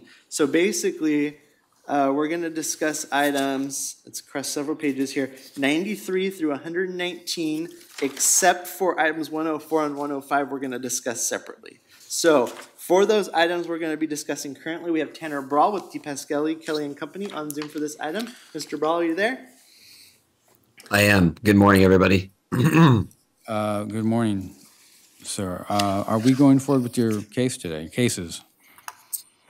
Um, we, we are uh, requesting a, um, a, a postponement and I have to apologize. Um, there was a kind of a miscommunication within, within our office and, um, Brendan had sent a email to us on Monday, uh, reminding us of the hearing that was scheduled, uh, for today. Um, we actually, there was a kind of a clerical hiccup on our side. We didn't have it calendared, uh, for that day and we kind of had anticipated that we were going to receive notice of hearing um, and so it wasn't actually on our calendar this it, it was it was our mistake um, and i have to apologize to the assessor's office the board and um, and brendan as well so um, due to that kind of clerical hiccup on our part not calendaring it we'd like to request a, a postponement um, to the april 22nd hearing um, i do know that we've sent um, information to the assessor's office on um, a number of the appeals that um, I'm appearing on this morning. Um, but I, I I would like to check in, and again with the with kind of that clerical hiccup, I haven't completed my discussion with the assessor's office, but I, I would like to check in with them at at um, in conversation to see kind of what else they they would need from us. I I do feel like we've sent over most of the information, if not all of the information on on various cases that we have scheduled this morning. So I, I would like to know kind of what else they would need um, for for the various cases. We've got various properties, of course, scheduled um, in front of you today: a hotel, some shopping centers, um, and there's also a golf course as well. So there, there's a there's a mix of of property. So if the assessor's office needs further information on any of them, you know, if they can let us know what specifically they need, that would be great. And and to the assessor? So I would like to mention that out of all these cases, uh, there are two appraisers. There's one assigned to some, then another appraiser assigned to the other ones. Um, It looks like we also have a mix where the majority have no data, but some of them have minimal data that have been, re- where we've been, where we've received. Um, We would like to go with the April 22nd date with data due 30 days from today. Um, I would like to encourage the agent to reach out to to the appraiser. I'm not sure if they're aware of, well, we, um, I know we've reached out, so they probably should be aware of which one is Joe Phillips and which one is Zachary Clifford. But if there are any Okay, questions. so so I don't know if So Joe Phillips, I, I've I've spoken with in, in in the past, but Zachary Clifford, I, I don't think we've we've made a um, Okay. we've connected with him. So I can I can take both of their uh, Joe Phillips I, I've spoken to prior, but um, I can get Zachary's information as well. And we we actually brought on a new uh, consultant to our company as well. So he recently came on, so I I can connect. He'll be handling some of the cases as well, so I can connect him with both the appraisers as well. Okay, sounds good. Before your board takes action, I apologize, there was another page with cases, items one twenty-nine through one thirty-two and one thirty-three through one thirty-four are also gonna be part of the board action that you approve right now, so apologize, I missed that. Um, and then one thing I just note, um, you know, this will be, I think it's the ninth continuance on the twenty twenty-one cases. Your board had previously added the, um, you know, caveat that any further continuances will be discouraged. So I just want to confirm that it, if your board grants the request to continue to April twenty-second, with the data be provided with the assessor in the next thirty days, if for the twenty twenty-one year appeals, you'd also like to include that caveat that any further continuances will be discouraged, and that's all I have to say. Okay, Mr. Chair. Yeah, please. Thank you, Brendan. Um, It looks to me like, to the assessor, that substantial data exchange has not occurred. Is that correct? Correct. Um, So, Okay, my so next, that, my, that, sorry, Madam Chair, or that, that same, that seems, so that's kind of, that's interesting to us because I feel like that, that maybe that, that's where the disconnect is because I, I know we've sent over large amounts of information, so I don't know if the appraisers have changed and, you know, the, the information needed to get to somebody else because we've sent over, I, I, I've seen and I've personally sent over um, financial data, valuations, or internal valuations for certain properties. So I know that information has been sent. Maybe there's a disconnect on who is reviewing the information. Um, and because because on our side, I, I feel like there has been i- i- more data shared than than minimal. That's just kind of our position. okay, thank you. Okay, uh, Mr. Chair, I'm looking at the, the volume of Yeah. cases here, and I'm wondering if uh, this applicant should be looking at a special hearing date. Mm. I can see all of these cases taking up an entire hearing. Yeah, there's quite a few. So, um, We wouldn't be that- uh, opposed to that as well. I think that that actually would be a, a good idea. It is it is it is a big um, load of cases, and, and it's a mix uh, as far as the cases. I think the hotel case um, would would take um, you know um, a- I don't know exactly how long that would take if we put it forward, but um, it would take a little longer. Okay, um, so, Mr. Chair, I'm, may I ask uh, Brendan let's what our consult with next Brendan. special hearing date is? The, the, and I hesitate because one of the reasons we're here today is, like, the assessor indicates they haven't received a lot of data, so we don't know if all these cases are gonna move forward, if any, until the assessors receive the data they requested under four four one D. Um, and so I hesitate if we set a special hearing to date today, but then the data issue is clarified, we might not have quite so many cases. So maybe a better solution would be to set a, not put the proviso that any further continuances be discouraged, do a shorter continuance and allow the parties to clarify the missing data between each other and then set a special hearing date at the next hearing when everybody is more concrete on on the data, right? Because Okay, I'm. that's I'm- something I'd hesitate is once the data issue is clarified, we might not need special hearings. Um, Okay, I don't, I don't know, and I don't think. Yeah, okay, I understand. Um, my, I'm trying to close. I feel the like we should be able to. Yeah, I feel like we should be able to come to a resolution. I mean, I'm hopeful we should be able to come to a resolution on on some of the the appeals. Okay. Okay, um, so then I would, I would encourage the March twenty-fifth And just as the con- status only. As status only, and at that point, we will, if necessary, we will set a date for a hearing certain, period, with no further continuances. Is that agreeable? Is that agreeable, Mr. Brawl, That's, that's agreeable with us. To the assessor? Assessor? Yes, the assessor agrees. Okay, Okay. okay. So uh, we're looking to continue uh, to March 25th, 2024, uh, for a status update only. And and I think with still the proviso that requested data be provided in, in the next thirty days. Ah. So that way, at March twenty-fifth, if there's still anything outstanding, we can discuss it then. Got it. So looking for a motion to continue to March 25th, 2024, with the data proviso that data be provided to uh, the assessor Next thirty days. within the next 30 days? Yes. Okay. Yeah, because the expect, to clarify, the reason for that is it's, uh, the parties aren't expected to address the, their cases in chief on the twenty-fifth, so that's, I think, why we'd be okay, the assessor getting the data closer to that, Yeah. that time. I under- Understood. Also, um, I know we're pressed for time, uh, but would it, just to help with communication with the assessor and the agent, would I be able to just quickly go through these items and just state who the appraiser is and what the status is on that? Would that? That. It, it, Um, I can just go through that really quick. Sure. Let's just do it real quick. Yeah, I would say um, item 92, the appraiser is Zachary Clifford, and that we do not have data. Item 93, the appraiser is Joe Phillips, and we have minimal data. Um, Items 94 through 95, the appraiser is Joe Phillips, and we have minimal data.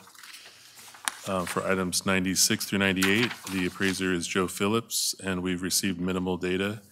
Uh, Items 99 through 103, the appraiser is Joe Phillips, and we have received no data.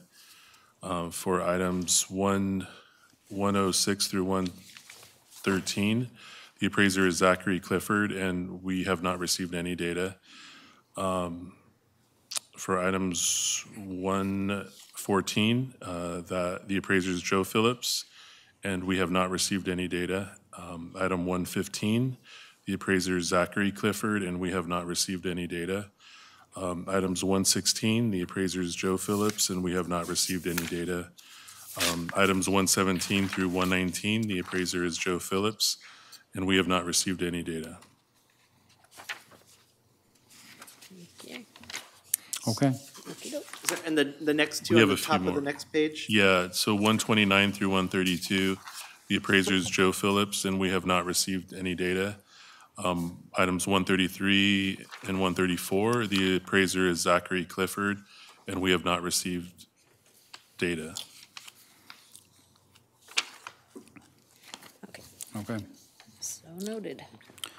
Okay. well, Uh, thank, thank you for, yeah, I'll definitely, um, because I'm looking through the list here. I'm glad, I'm, thank you for pointing out the appraisers, because that, that'll help. As far as, I'm looking through the list, and I know we've sent over information for, for a majority of these, so I'll, I'll, I'll bridge the gap and see kind of where the disconnect is. And what I'll probably do is just send over what we sent prior, um, to both appraisers, and then just kind of go from there. And and if they need more information, um, we can do information exchange prior to the March uh, 25th date. Also, uh, this is Joe Phillips with the Assessor's Office. Um, So we were in communication back in April of 2023. So I would encourage you to review the emails from back then. Um, In my emails, I clearly state the additional information that we need. So, um, you know, I would encourage you to go back to that time frame and look at the emails that were sent at that time. Thank you. Okay. No, thank you. Okay, So I believe, Chair, you stated the motion, but I did not record a mover and seconder to continue to March twenty-fifth for a status hearing with the proviso that data be provided in the next thirty days, so I don't know. if we- okay. So moved. I second. And hearing no objections, motion carries. Thank you, Mr. Ball, you're all set. Thank you. Okay, and do we have Mr. Brawl for, Were there two other items Yes. that you said, Brendan, that you were Yes, gonna, uh, gonna handle separately? Yeah, I spoke with Richard Ramirez of DePasquale Kelly and Company. He's on Zoom for items 104 and Okay. 105. And uh, so, as I discussed with Mr. Ramirez, we are going to discuss these two separately. Uh, so, either Mr. Brawl or Mr. Ramirez can address uh, these items 104 and 105. Um, turn it to you, Mr. Great, he Chair. can, he, he- if he's on, he can, he can, uh, advise the board. I'm present. Great. Good morning. Good morning. I'm Richard Ramirez with DePasquale Kelly and Company, and as uh, maybe Tanner uh, had indicated, uh, I am the new uh, newer consultant that's come on board. Uh, we're requesting a, a, a continuance to the April 22nd, uh, 2024 date. These are the California State Teachers Retirement System properties, and they've been we've had two separate uh, litigation issues, and that's why um, their portfolio throughout the state has been uh, put on hold and requested previous postponements. Those two uh, litigation uh, issues uh, have been now have been resolved. Uh, Payne and at the last at the last hearing, uh, I was unaware that uh, we were to provide a brief uh, for the uh, issue here before us on on the CSHV Moorpark LLC. I was just informed that by uh, the board clerk uh, that we were going to provide that brief. So uh, I will provide that brief uh, as to the issue uh, beforehand. There's uh, maybe some confusion uh, whether or not the board has jurisdiction to hear our legal argument. And I will provide a brief as to uh, why the board does uh, have jurisdiction uh, to hear the argument uh, uh, before. We have also uh, uh, filed under a couple different issues, so we would also then request uh, that for application uh, 21-10925, uh, that that application be uh, bifurcated until uh, our legal argument uh, uh, is heard, uh, which is uh, item I uh, on the uh, application. Uh, and so that that's the basis for. And I do apologize. Um, uh, you know, I just wasn't aware uh, from the previous hearing that we had uh, agreed to um, submit that brief uh, with, I think, within uh, 30 days is what I I was informed. Okay, thank you. And just before we go, uh, to clarify for the board, yes, first, um, as Mr. uh, Ramirez indicated, potential bifurcation. First, your board would be determining whether or not they have jurisdiction, so that'd be hearing one. Again, um, they're gonna provide a brief, and in the event it clarifies the issues, um, all parties could agree if a jurisdiction hearing is not necessary, but as he mentioned, there's just clarification needed on their position. Um, so first we would resolve the jurisdiction issue, then um, we would resolve, um, if your board determines they have jurisdiction over um, what they requested in item I on the application, um, which is a sort of an exemption, then your board would hear that as a second hearing, and then the third hearing would be to determine the actual value if necessary. So it would be bifurcated into three. So for today, we're just talking about setting the first of those three hearings, which is the jurisdiction clarification. Okay.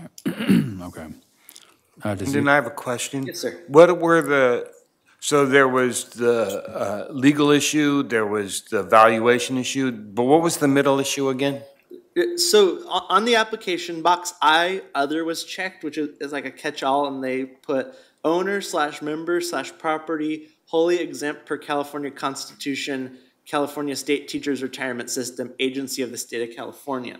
And that's where the jurisdictional issue comes in, is under that type of exemption, does your board have jurisdiction to hear that type of exemption, yes or no? If, uh, so first we'll determine exemption. If your board determines they do have jurisdiction over that, then we would hear their case as to why they believe the California State Teachers Association is exempt from reassessment.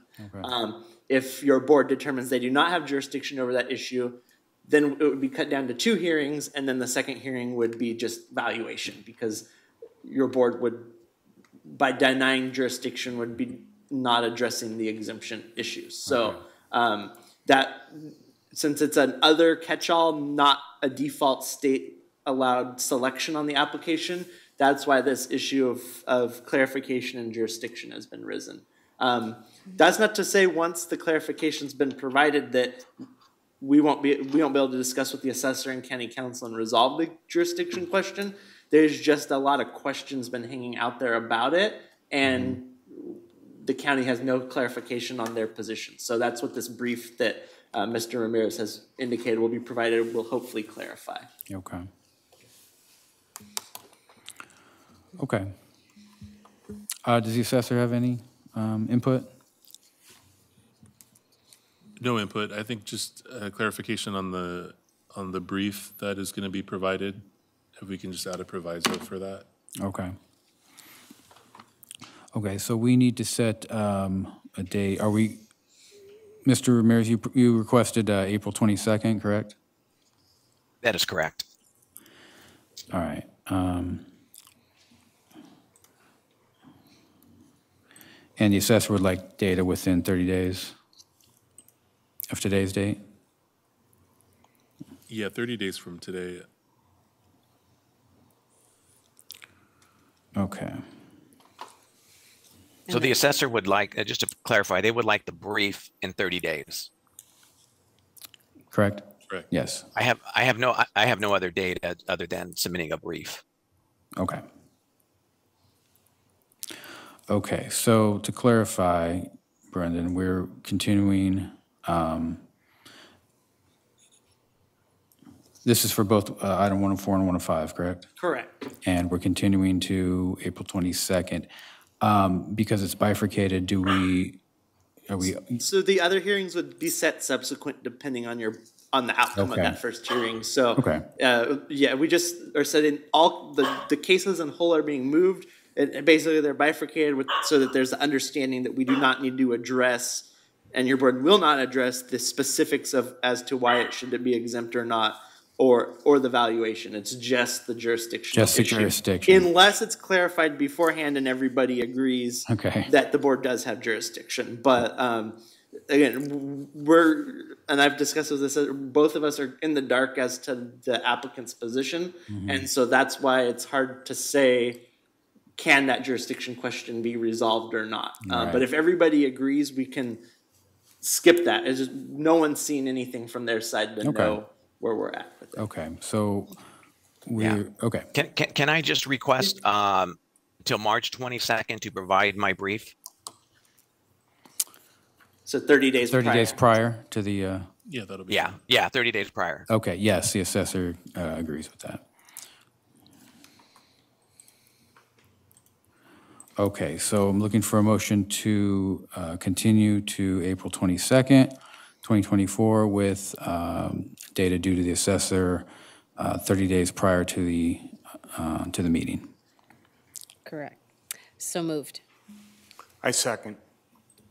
Hearing no objection, the mo- motion carries. Thank you. Okay, thank you, Mr. Ramirez. Thank you.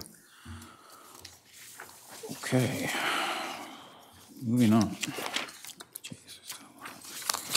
Okay, um, that takes us to item 135, application number 23-10258, Charles and Patricia Rasmussen. Yeah, and actually, Chair, uh, we can handle items one thirty-five through, uh, one forty-three, so the remainder of this agenda page all together. This is all represented by Protax LLC. We have Thomas Payne of Protax LLC on Zoom for this item. Thank you. Thomas Payne speaking. Thank Good morning, Thomas Payne sir. is the, um, good morning, uh, Mr. Chairman and members of the board, clerk, and county counsel. Uh, I'm requesting, um, a one-time, uh, continuance on these in order to exchange information with the assessors whom I, uh, have their names and emails. Uh, shall I read the applications in question? Uh, No, uh, you um, you have a copy of the agenda, correct? I, I do, and the date I'm requesting is four twenty-two twenty-four, if it's acceptable. With a thirty-day proviso. revise. Okay, and this is for items um, 135 through 143? Um, All your cases on today's schedule, correct? uh, yes, I mean, I've got them all in, uh, numerical order, but, uh, yes, all the cases, there's nine in total. Okay. And to the assessor? Yes, uh, uh, up to this day, up to today, we have not received any data for any of these cases. We do have uh, these assigned to two different appraisers. Okay. Um, So I can do what I did on the other one and just brief, like. Yeah, let's through do it that real quick. So for, um, just want to make sure the applicant is prepared to, Are you talking about who's assigned? Yes. He- Yeah. He already has received the list Oh, of he who's has. assigned. He- Okay. That's what he confirmed, yeah. perfect, okay. Yes. Good. Yeah, so because we haven't received any data, if we can just add a proviso. uh, Yeah. I missed the actual date, is that the April? Uh, April 22nd. Okay. Yeah, yeah, we can, just due to, the- due to the amount of cases, we can do 30 days prior to the Okay. hearing. Okay. Okay, um, looking for a motion to continue to April 22nd, 2024 with data due to the assessor uh, 30 days prior to the hearing date. So moved. I second. Hearing no objections, motion carries. Thank you again. Thank you, Mr. Payne. Thank you. Okay. Wow. That's it, You right? did it. You did it. Little, I I estimated two hours, we're at two hours and five minutes. Nice, all right. Uh, would your like, board like to quickly take care of the administrative matters on the agenda? Yes. Starting with, uh, if we go to the last page, there's item one fifty-one.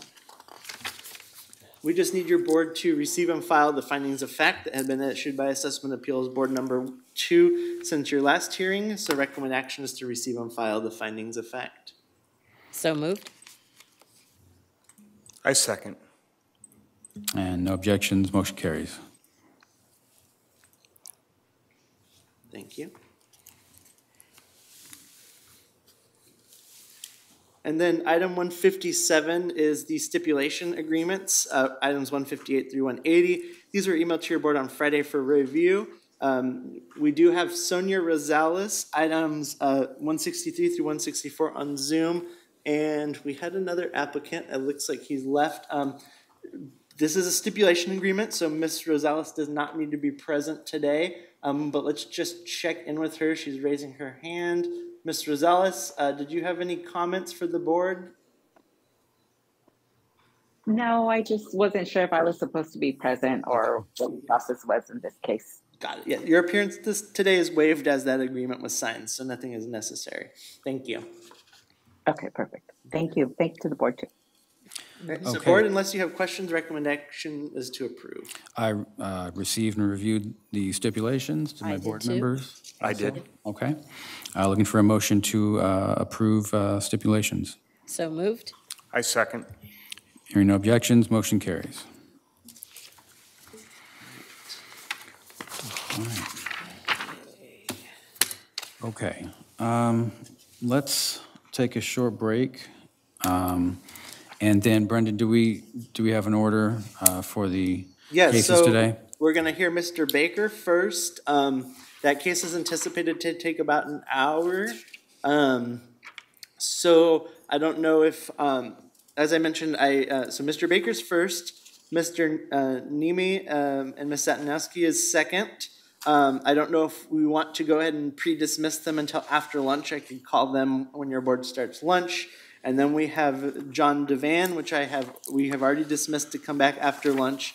And then last, we have Andrea Salant. Uh, again, I, I told them they can come back this Okay. afternoon. Uh, and I will follow up when we have a better idea as to when those cases will start. So I don't, I don't know, does your board want to dismiss um, the case for Philip and Nemi and ask them to come back after lunch? Uh, Yes, please.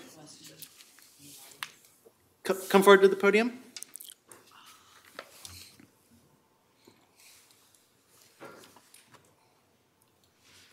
Since our case is about 10 minutes, could we flip with Mr. Baker? Mr. Baker, I'll buy you a coffee if you'll trade with me so that, you know I'm saying? So that we, I mean, it'll, it's going to be fast. A, a case typically, uh, like yours would take a minimum of forty-five minutes, but if the board uh, wishes, we can change the order.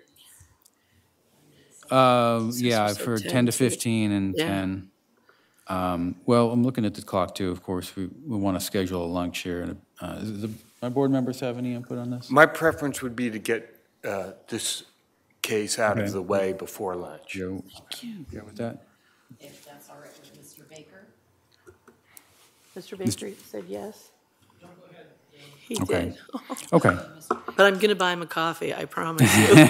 Okay, we'll take a short break, uh, just five minutes, um, and then we'll, we'll return and you'll go first. Okay. So we're gonna do uh, the case for Philip Nimmie first, and then Mr. Baker will be first after lunch. Is that kind of where we're? I think that seems prudent, yes. Okay, thank you. So, Mr. Baker, if you'd like to leave, I'll give you a call up on the phone number on file when the board goes to lunch, but you're more than welcome to stay as well. All right. Okay, so let's return, 11:45.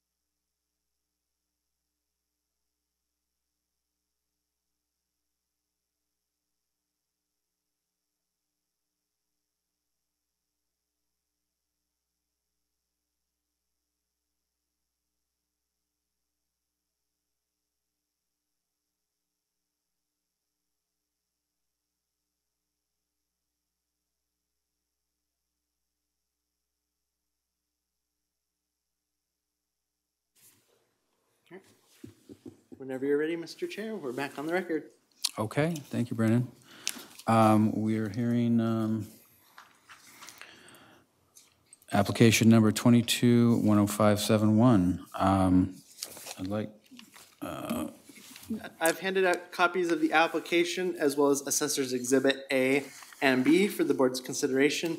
The assessor is requesting written findings of fact in this matter.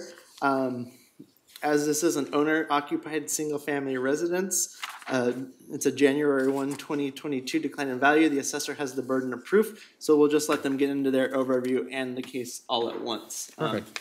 and So that's it. okay, to the assessor.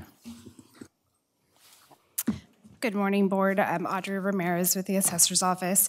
Um, As Brendan stated, this is a uh, Prop 8 decline in value appeal as of January 1st, 2022, of an owner-occupied residence. Um, The address is 706 North Signal Street in Ojai. Uh, The subject property is a custom SFR in downtown Ojai um, of the neighborhood excuse me, the downtown Ojai neighborhood, um, or what it's also referred to as Ojai proper, um, in the Ojai, uh, that was originally purchased in 11/11/2005 for uh, 982.5. It was um, accepted as fair market value and enrolled pursuant to Revenue and Taxation Code Section 75.10A. Um, As uh, the Revenue and Taxation Code, Section 51 states, um, we're to enroll either the lesser of the property's factored base year value or its full cash value as of the lien date. Um, The 2022 factored base year value is $1,265,212. A Prop 8 valuation was conducted and determined that the estimated fair market value of the subject was $1,453,000 as of January 1st, 2022. Therefore, the Prop 13 value was enrolled as it was a a lower of the two value indicators. Uh, So for our um, valuation, uh, the valuation itself, the breakdown um, is on uh, page three and four of Assessor's Exhibit A. Um, It did include four custom SFRs. Three of the homes are located in the same downtown Ojai neighborhood as the subject and are less than a quarter mile away. Uh, The fourth home was provided by the applicant um, as it is comparable in age and size to the subject, but is in a different market area than the subject in Meiners Oaks, which is located approximately 1.4 miles away from the subject. Uh, The assessor is using this comparable to the age and size of the property, but would not typically use this as a comparable due to the location and lot size. Um, The subject is estimated to be in average condition and is appraised accordingly. Uh, Per conversations with the applicant, condition is not an issue um, with the home. Uh, Comparables one through three um, are adjusted for their inferior living area. Comps number two and three are adjusted for their inferior year built and age, and also are adjusted um, for being in superior condition. Comps one, three, and four are adjusted for their superior lot sizes. Comp number two is adjusted for having a pool, and comp number three is adjusted for having a guest house. Um, Additional adjustments were made to the four comparables that included for inter- inferior or su- superior bath counts, inferior or superior garage sizes, and other exterior improvements such as decks, patios, and storage areas. Uh, The estimated fair market value of the subject um, is the one million four fifty-three based on the comparables used. The subject's 2022 Prop 13 value is $1,265,212 and falls within the range of the adjusted sales prices of these comps used and is lower than the estimated fair market value. Uh, So based on that information, a Prop 8 reduction is not warranted for the 122 lien date. Um, As our appraisal indicated, uh, that the estimated fair market value of the property is higher than the factored base year, uh, the assessor um, requests that you sustain the Prop 13 value enrolled of 1,265,212 as of the January 1st, 2022, excuse me, January 1st, 2022 lien date. Um, Again, uh, page three and four is just a breakdown um, of the differences and the adjustments made um, to the comparables. I just wanted to reiterate the comps one and uh, through three were comps that the assessor um, considered to be comparable, and comp number four is the comp that was provided by the applicant. Uh, So pages five and six are just a few um, photos of the subject. Uh, So the uh, one on page five is just an exterior shot of, from Google Street View in November of 2022. Um, And then on page six is some interior um, photos of the subject. Um, Again, condition was not something that the applicant was considering to be um, why they were disputing the, the value enrolled. Um, So seven, page seven through 25 are just the photos of um, all the comparables that we are considering.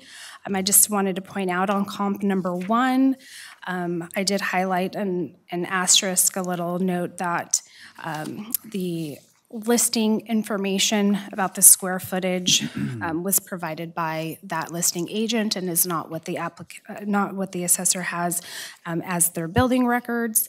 Um, So if you refer to comp number one on the grid, we actually have the square footage to be uh, 2,302 square feet, where in the um, listing, it, it says it's almost 2,600 square feet. So just wanted to let you know that that was based on what the agent listed and not um, building records. Um, Again, comp number one, we considered it to be in, um, you know, similar um, in, in characteristics, it's just slightly smaller, um, similar condition, uh, not really updated, just well-maintained. You can tell that, you know, the bathroom is still um, outdated.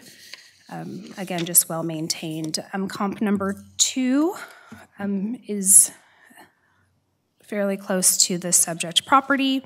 Um, It was recently remodeled, um, therefore we did consider it to be in superior condition. It is considerably smaller.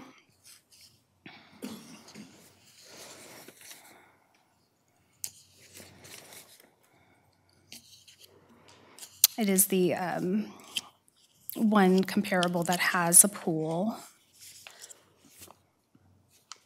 Some made adjustments there. Um, Comp number three, again, it's from the same area, um, market area as the subject. It has some updating um, that had been done, so therefore we considered it to be in superior condition and adjustments um, were made accordingly. It is the smallest of the um, comparables that we are considering. But it does have a guest house that we're accounting for as well.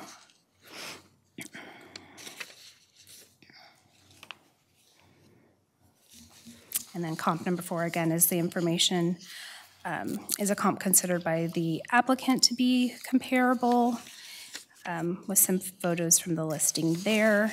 And again, on the very last page, um, you can see um, a map of where the subject lies, the map uh, of comps one through three, which the, the assessor are using as comparables, and um, where comp number four um, lies in comparison. And with that, if you have any questions.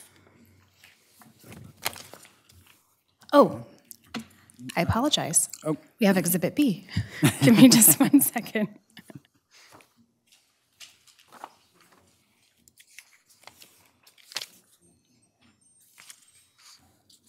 Okay. So um, Joe Phillips with the Assessor's Office. I'll talk about Exhibit B just a little bit. Um, So we wanted to provide a list of the comparable properties that the applicant provided to us that the assessor chose not to use. Um, So you'll see, we have kind of this table with various descriptions as to why we chose not to use these comparables, why we deem them not comparable to the subject property. Um, So those are listed in detail. I won't go into detail about every single one, but what I did want to talk about was on the last page of Exhibit B, you'll see the map. Um, Ojai is a very unique area, and it has very unique location issues whenever we're appraising these types of properties. And it's important as an appraiser to be familiar with all the different location issues and how the market treats various locations. Um, So with that said, right now what you're looking at is the north section of downtown Ojai. Um, First of all, downtown Ojai is considered a highly desirable neighborhood. Um, Many people want to live downtown within walking distance of the shops and that sort of thing. So that right there, if you're choosing any comps outside of downtown Ojai, there's going to be considerable location adjustment needed there. Uh, The next thing I wanted to demonstrate was our subject is, I highlighted there, is along that North Signal Street. Um, This is a street that the market places a lot of value on. It's a higher end street and neighborhood. You'll, if you look at the lot sizes along that street, you'll notice all the lot sizes vary considerably. Some have large lots, some have small lots, and a lot of these houses are higher end houses. Um, and that's where the subject is. It's kind of towards the bottom um, of the of that street, but it's on that north signal, more desirable street. Um, the other yellow highlight there is Grand Avenue. This is a big dividing line for market value. If you're below Grand Avenue, in general, these properties are going to sell in the marketplace lower than if you're above Grand Avenue. Grand Avenue is seen as, by the marketplace, uh, or above Grand Avenue is seen by the marketplace as more desirable. And you can kind of tell from the all the different lot sizes being various. They have a lot of different um, types of houses. They're all custom built houses. Um, and then the blue highlights are many of the comparables that you'll see listed um, on, in our exhibit are located along these streets. And I just wanted to point out, if you look at these streets and look at these lot sizes, you'll notice they're extremely track-like. Um, many of the suggested comps, the applicant said, are along these very tract-like neighborhoods. Even though these may be classified as custom-built single-family homes, they're extremely um, similar along these roads to each other. The lot sizes are all, they uh, all appear as very track-like properties, which is not the case for the neighborhood the applicant is located in. Um, So these are kind of the general reasons we kind of wanted to touch on as to why we didn't consider some of the comps provided by the applicant. Um, As we know, location, location, location, that's extremely important. And for Ojai, this is doubly important because the market actually does treat individual streets differently based on location. Um, and so it's very important that you capture that when you're doing an appraisal. You can't just pick any comp located anywhere in the Ojai Valley and say it's comparable to your property because the market can treat it vastly different based even on what street you live on. So that's just what we wanted to highlight and our reasoning for not using some of these comps.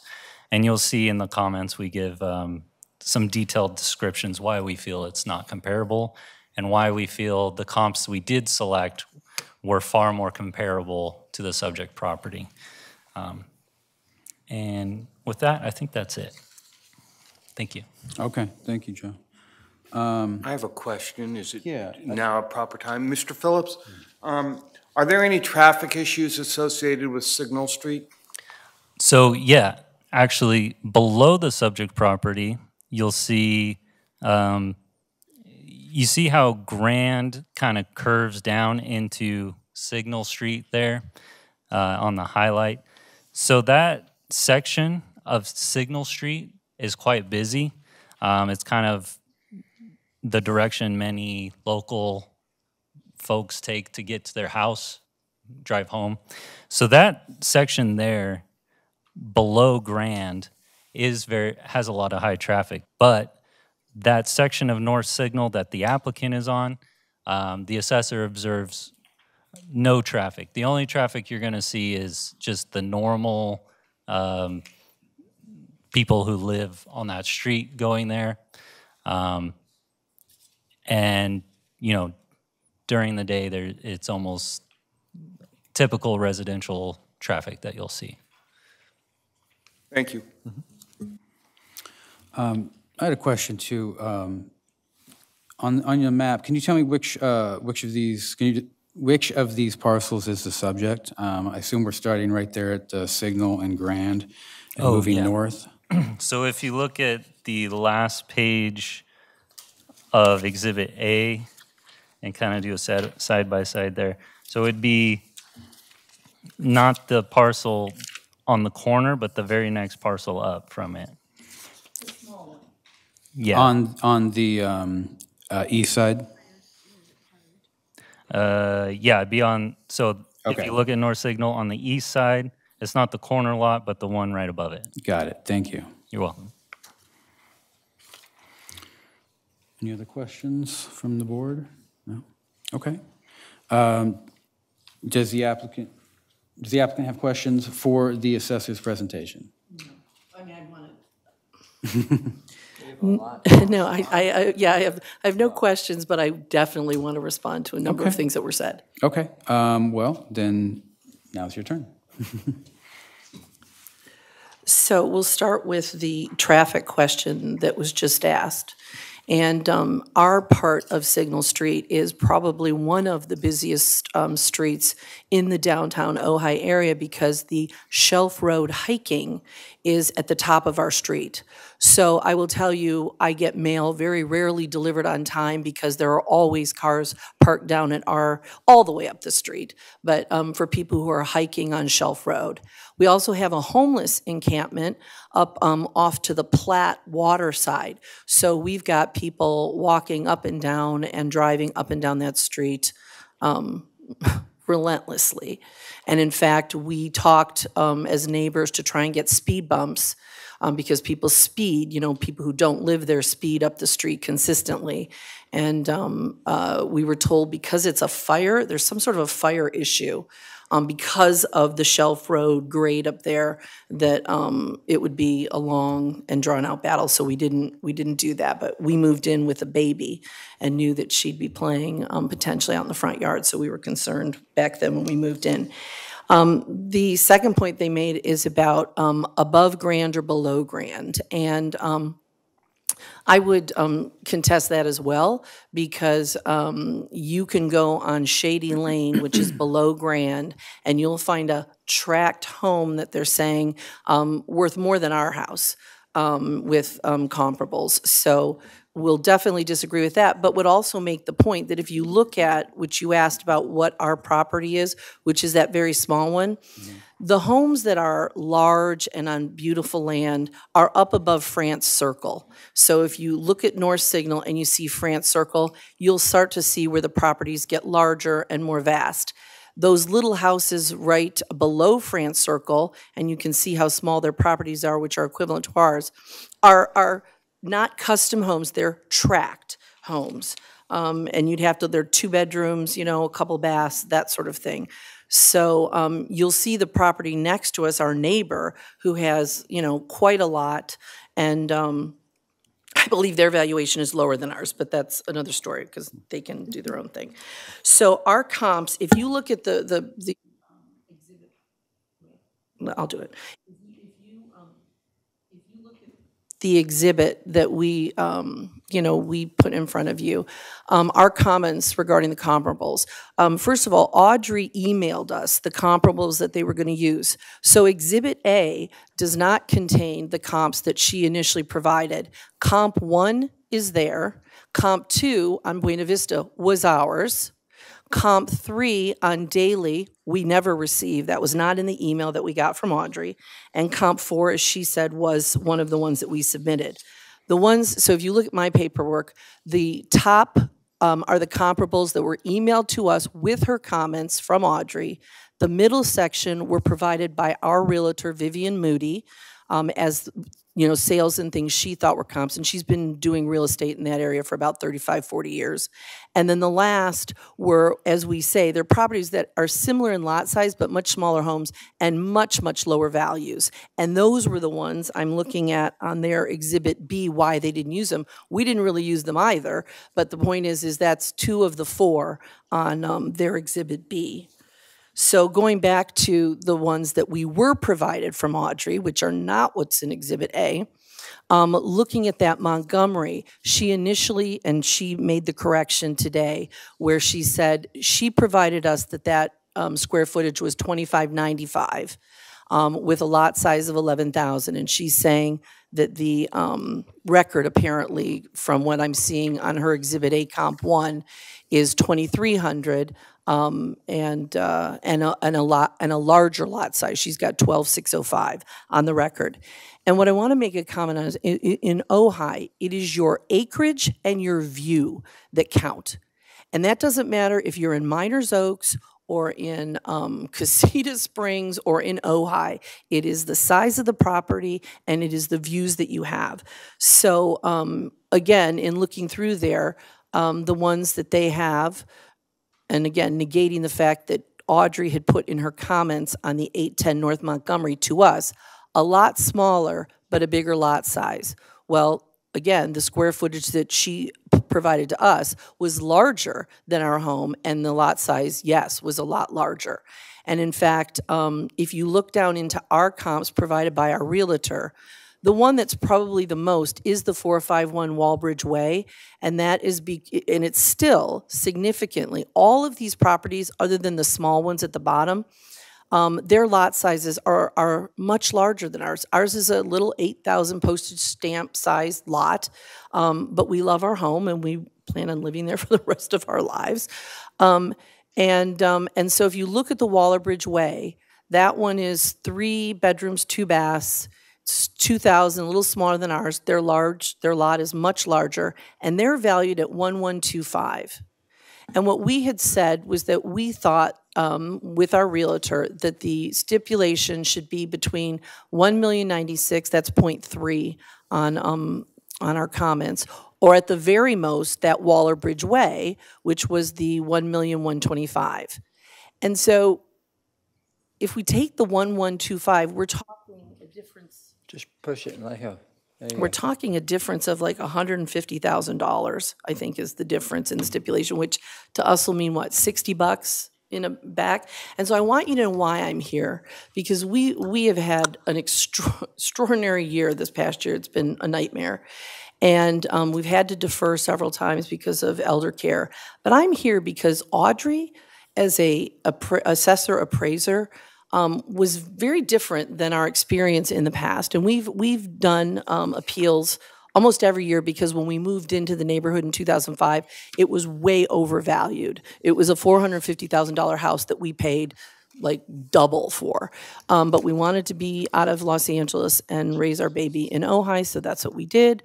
And so we've appealed every year, and every year we've got a stipulation. The last one was Joe, um, back in, I think, he said 2019, but it was a 2020 stipulation. But it's always stipulated. So this is the first time we're seeing you like this and going through this experience.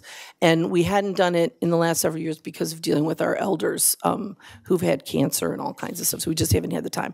But the point is, Joe stipulated, and I think it was for more, like the difference was more than what we're talking here. And Audrey's attitude right from the get-go when I when we first spoke was She knew Ojai, she knew what it was, and she was not really interested in having a conversation. And it was a really unappealing um, experience. And so I'm, I'm honestly, for the for the 150,000, which like I said, will yield what, uh, we'll get back 60, 70 bucks or something like that.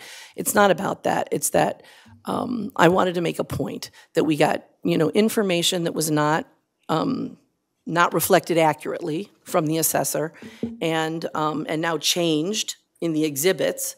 And, um, you know, and we had a realtor who we trust and value who went through and looked at it and gave us the information that we had. I'd like to add one thing. You'll have to forgive me. I have trouble speaking. I was hit by a drunk driver, and I'm dealing with my speech problem. No problem. Um, something that was not mentioned is that corner property you Oh, see on the map is a low-income housing property, and we have had to battle on a number of instances tenants living there dealing drugs in the parking lot.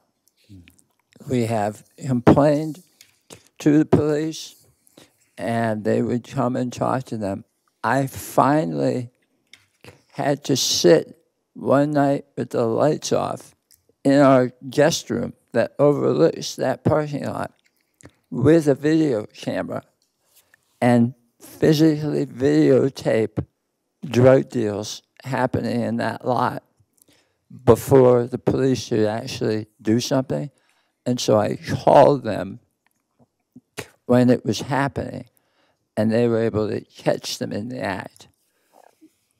No disrespect meant to people who have a low income situation. The, the apartment complex provides for them, but it, because of the clientele, it lowers the value of the properties in the area. I don't think if you know Ojai, you would disregard that. And if you know Ojai, you would know that above Grand on our street, the traffic is horrible. You might have been there one day when there was nobody driving. I guarantee you, the curb in front of our house is often lined with vehicles of people who park at the bottom and want to hike to the top. Thank you. Thank you. Okay. um, Does the board have any questions for, about the presentation of the applicant? No? Are they complete? Are they? Is that, is that complete your presentation? That does. Thank you. Did you say no, Jim? Cor- Correct. I d- have no questions for the I have no applicant. questions. Okay. um, Let's see. Um, Okay, to the assessor then. Does the assessor have questions for the applicant? Yeah, can we have a brief five, five to 10 minutes, um, just to review real quick? Yeah, yeah, we can do that, sure. Okay, sorry about that. So we'll take a short break. um, 10 minutes enough? I believe that should be good. Okay, we'll take a quick 10-minute break, um, come back here at uh, 12:30.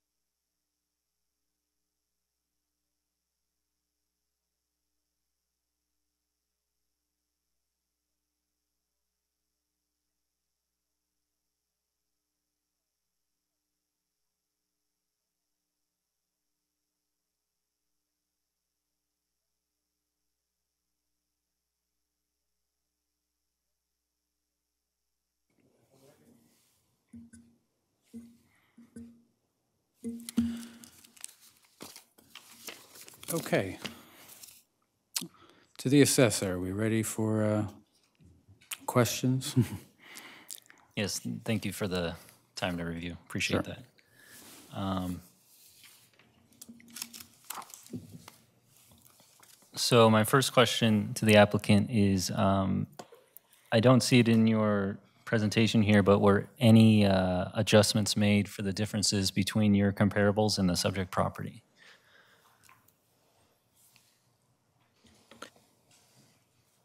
Yeah, the point of the comparables, um, the, the point of our comparables from the, um, from the, uh, Realtor is that they are all, um, valued lower than ours and yet have much larger lot sizes.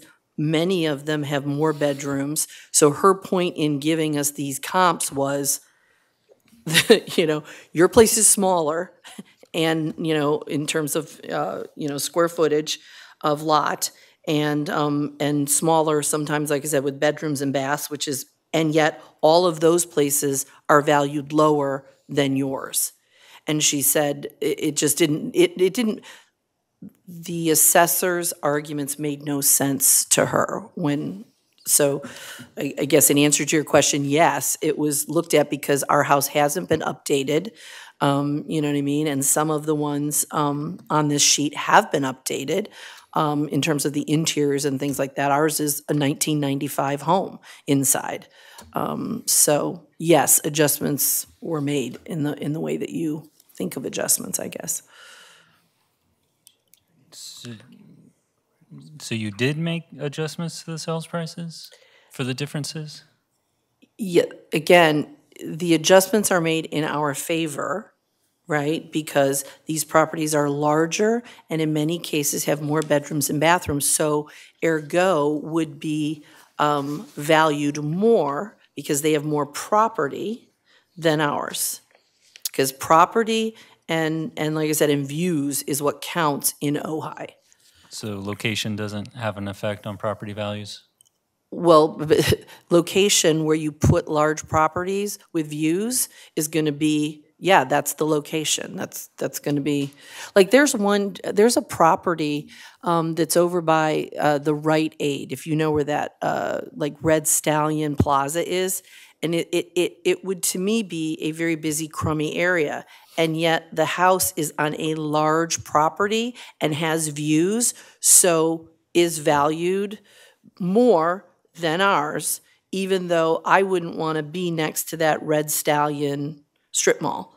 So, and in Meiners Oaks, that's another one. I mean, I know a number of women from the Ojai Women's Foundation who live in that area, and they have ginormous properties.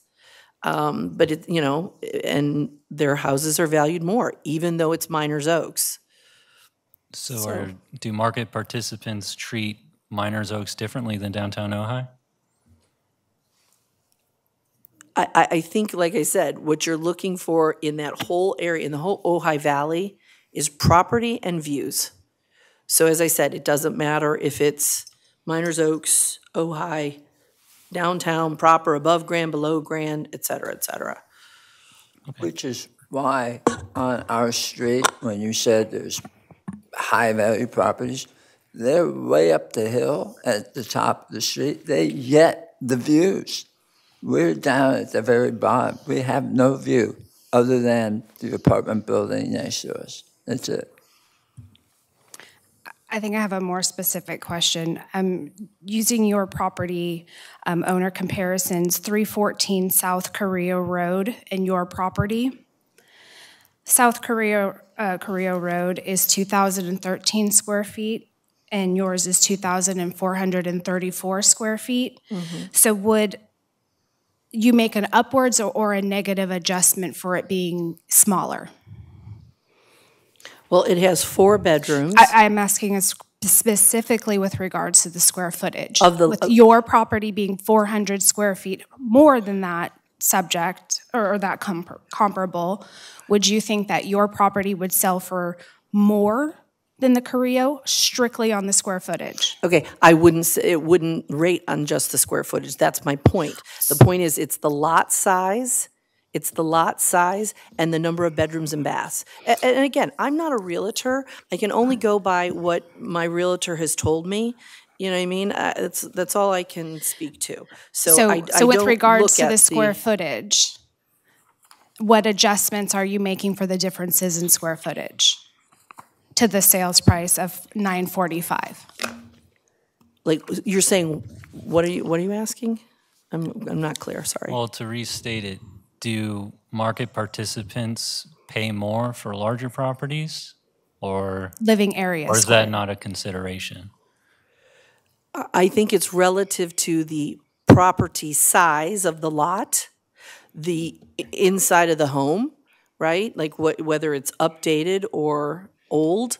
I think there's a lot of considerations and, and things are emotional. I mean, I, I can't speak to what people do or don't do. I can only tell you again, what, what her years of experience, because she's been there a lot longer than I have, is that people come to Ojai and they choose their properties for a lot of reasons, but they pay for property and views. I say a potential buyer takes into considerations a number of things the lot size, square footage of the house, but there could be houses that are smaller than ours that have just been renovated.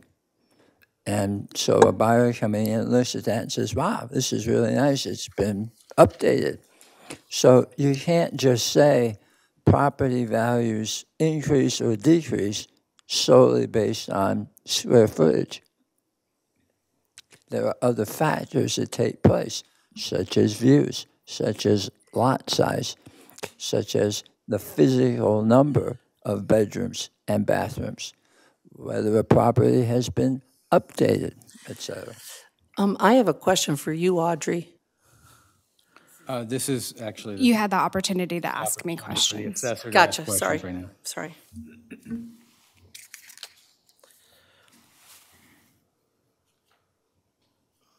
We have no further questions. Okay, thank you. I believe at this time we'll take um, all the testimony in consideration, and we will deliver. We still have our closing arguments. Oh, well, before we do that, closing arguments uh, to the assessor, yes? The, um, yes, the, uh, the applicant would go first, and then as the assessor has the burden of proof, they would make the final Okay, closing arguments. so this is your opportunity for your closing arguments. I, I, think I've really said everything that I came to say, which is that um, the surprise in this for us was that um, there was no um, attempt at conversation and stipulation when we were actually fairly close in what we thought our valuation was lower, you know, by $150,000. Um, but needless to say, um, I think I've said everything we need to say. Thank you. To the assessor? Thank you. Um, I do want to um, point out a few facts that I think were misconstrued um, during the conversation and testimony today. Um, 2022 was not the first time that we had had a conversation with regards to this particular property. Um, we actually stipulated in 2021 to reduce prop, uh, value, Prop 8 value, um, in 2021. Um, so we did have several different conversations, and wasn't uh, 2022 was not the first time that we actually had corresponded and worked together. Um, so um, I actually have an email um, that uh, we stipulated to your appeal 21-10613. Um, that was scheduled for the March 7th, 2022 hearing uh, on March 1st, 2022. Uh, it's public record, but um, we actually stipulated to a, a reduced value in 2022. Um, with regards to the um, comparables that um, I have on my exhibit and what the applicant is stating um, was the first time that they had heard of some of them and um, in other properties that was stated that um, they were given with regards to um, the appeal. um, I wanted to reiterate that in an email that I had mailed, or emailed to them on uh, April 20th of 2023, that I had reached out to them with regards to their appeal. Um, and I provided the four comparables that our valuation department had used in their annual Prop 8 evaluation that determined what they had um, determined to be the estimated fair market value and therefore reinstated their Prop 13 values. And those were the two properties on Los Alamos and um, one on Cuyama and, and one on Montgomery. So those were not the ones that I had personally used in my evaluation. Um, so they were aware whether or not they read the email and where they came from. That that is beyond the scope of this. But I did want to, uh, you know, reiterate that I did not um, change my comps. Um, what I had provided in that April um, email was what the valuation department had used um, with regards to their annual Prop 8 evaluation. Um, so those were the, the two little things that I, I, I just definitely wanted to point out that um, I very much looked into this um, property. I very much um, cared about the, the valuation at hand. Um, the previous year in 2021, we did feel that the market substantiated that a reduction was warranted, and therefore we stipulated to that value. Um, we had a you know a second appeal for the next year that the market did not have that supporting evidence that a reduction was warranted. Um, their Prop 13 did fall within the range. Um, again, without actually having the property on the market with market participants, we can only estimate what the, the home would be. Um, it is the assessor's opinion that location very much comes into play with regards to value. Uh, square footage comes into play with regards um, to value. Um, so there are a lot of aspects to a home, not just the lot size um, and not just um, whether or not a property has a view. In our evaluation, the three comps that I used do not um, have a view. And therefore, you know, they they still sold for what they sold. Um, the usable lot sizes were either comparable or larger, and we made adjustments for that. Um, we just very much feel because of the uniqueness of this neighborhood, it, it is important to stay within um, this neighborhood and, and the guidelines we did go out to the property and um, you know sit in the street and, and view the traffic. And whereas the the trail um, you know hiking trail maybe up the street um, you know there's just there's no way to to to know what the traffic would really be like. Um, and when we were there um, it was a typical residential um, type traffic. Um, I, we would assume that on the weekends it may be higher, but again, um, the trail didn't come after the, the home was built. It was always there. Uh, with regards to the multi-res um, uh, right next door, that was always built. Um, it, it didn't come up after they transferred. These weren't new things. These were things that they were aware of when they purchased the home. Whether or not things occurred after the fact, you know, is is just something that uh, we as homeowners have to to deal with. But um, with regards to our valuation, we very much feel it is important to make the differences in square footage, room count, condition, age, all those different uniqueness um, characteristics that somebody is considering when they are purchasing a home. Um, and therefore, when we do that to these um, properties that are in this neighborhood, their Prop 13 base year value is within the adjusted value range, and therefore, um, you know, we believe that that is potentially the lowest value indicator and the best uh, value to be assessed at, um, because there are potentials that it could have been higher. Um, And um, as the assessor, we have to enroll the lower of the two value indicators, and, and we definitely believe that um, the uh, Prop 13 value is that.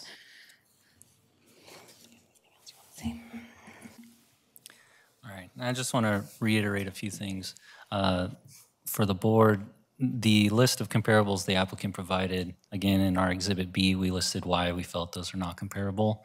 Um, In your deliberations, I do suggest looking those over to see the assessor's position on that. Um, The main thing really is location. Uh, Downtown Ojai, above Grand, these are very um, definitive market boundaries that the market observes all the time. Um, Both Audrey and I have had the Ojai assignment for some time now. I've had it prior to appeals and during appeals. We frequent this area often, and I actually, I reside in Ojai. So I'm familiar with how the market treats these areas. I'm familiar with the traffic influence on the subject property. In the assessor's opinion, there's no observed traffic influence other than typical neighborhood traffic. Um, And, you know, the biggest thing is location. You can't go outside of downtown Ojai at all. Um, Our suggestion is staying above Grand. That's how the market treats these areas. Um, You'll see all of our comps are very close proximity to the subject, all above Grand. Uh, None of them, we didn't use any comparables further north of North Signal. Those would likely be superior to the subject. But where you are, your location has a considerable impact on how the market will treat your property. Um, The last note I wanted to say is the adjacent multi-res property. um, There are many, many multi-res properties scattered throughout downtown Ojai. It is the assessor's pos- position, there's no observed um, market evidence to show that anyone in the marketplace treats them differently if you're adjacent to a multi-res property. Um, I haven't, in all the years I've worked Ojai, I've never seen market participants factor that in when they're purchasing properties in Ojai, because they're just frequently scattered throughout. I, I could go through and point them out all throughout here, but um, I think that would be a waste of time. But that's the assessor's opinion on that. So um, with that, I believe that is all we have to say. Thank you. Okay, thank you. Um, And thank you to the applicant. Uh, We will take all the testimony and uh, evidence presented into consideration, and we um, will make our decision later in closed session. Um, Brendan will inform you of the decision at some point. Um, it, it depends on how quickly your board is able to reach a decision, but, um, I'll just go with the legal deadline of no later than hundred and twenty days from today. But hopefully this week. Okay. I Thank Mr. you. Chair, I think we needed to uh, say this was exhibit. one. Oh, good, thank you. Oh, yeah, the applicant's exhibit was submitted and it's labeled exhibit one, thank you. One, okay. Exhibit one. Okay. Okay, thank you.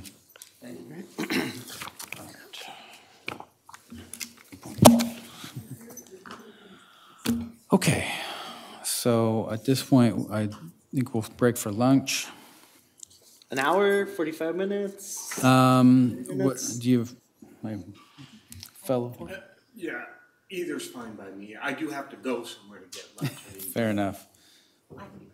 Okay, and 45 is, Um, how about we do, um, I might need a little bit longer. How about we just do one forty-five? It's about Turn at one fifty-five. forty-five, all right. I'll, um, alert the, well, we have Mr. Baker who will be next at one forty-five and I'll let the parties following him know their approximate return times. Thank you.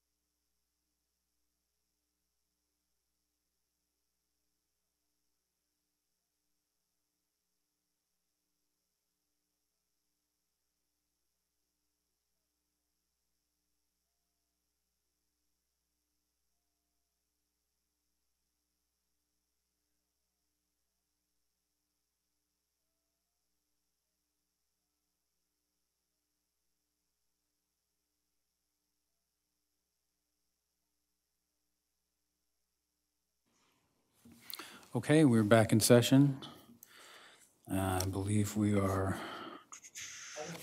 Item 30. um, uh, Mr. Baker, okay. I've handed out copies of the applicant's application. Um, This is an owner-occupied single-family residence in Oxnard. Um, Today, your board is hearing the um, change in ownership as of December 1st, 2020, and uh, December 19th, 2021. It's unclear who has the burden of proof in this circumstance, so I'd say let's get an overview from the assessor, and hopefully that clarifies the issues and who has the burden of proof. Okay, sounds good. And so to the assessor, could you please provide an overview of the case? Unless, if you're accepting the burden of proof, I can hand out your case now. We're just not clear on who has the burden of proof, so.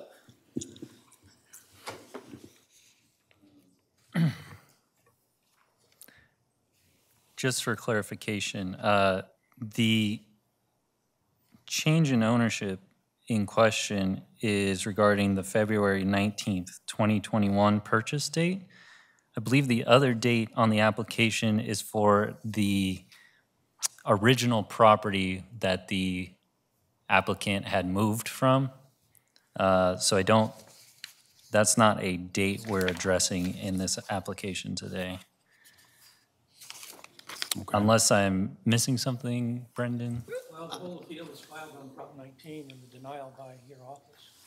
Hold on, can you turn your microphone on real quick, Mr. Baker? Um, yeah, I'm not certain either, so I'm looking at the appeal.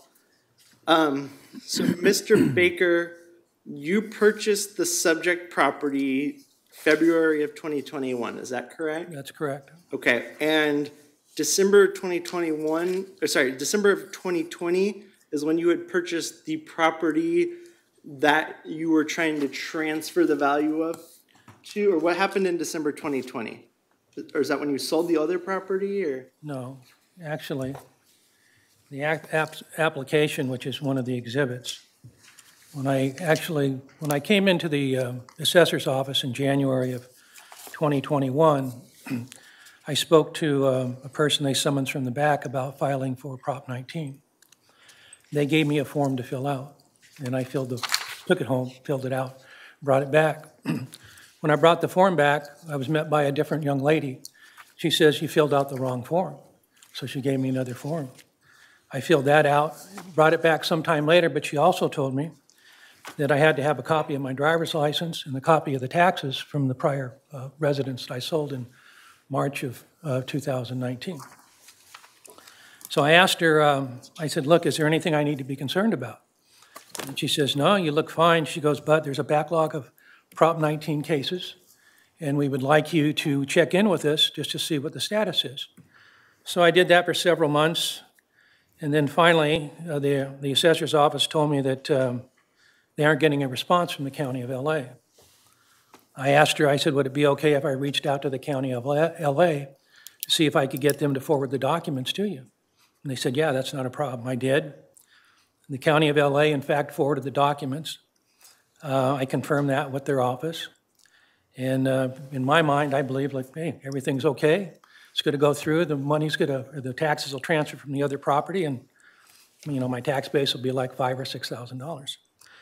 I get a letter in the mail from the assessor's office. Um, it's actually an exhibit uh, stating that um, it was it was denied, and they uh, they cite taxation code 69.5, which isn't Prop 19. That's Prop 60. I didn't file for Prop 60. Um, so I went back and pulled down the forms from the uh, assessor's office and finding out that forms hadn't been revised until uh, it looked like sometime May of 2022. So my belief is, I go to my first exhibit. Do we have, yeah. Yeah, they're all in the the No, exhibits. No.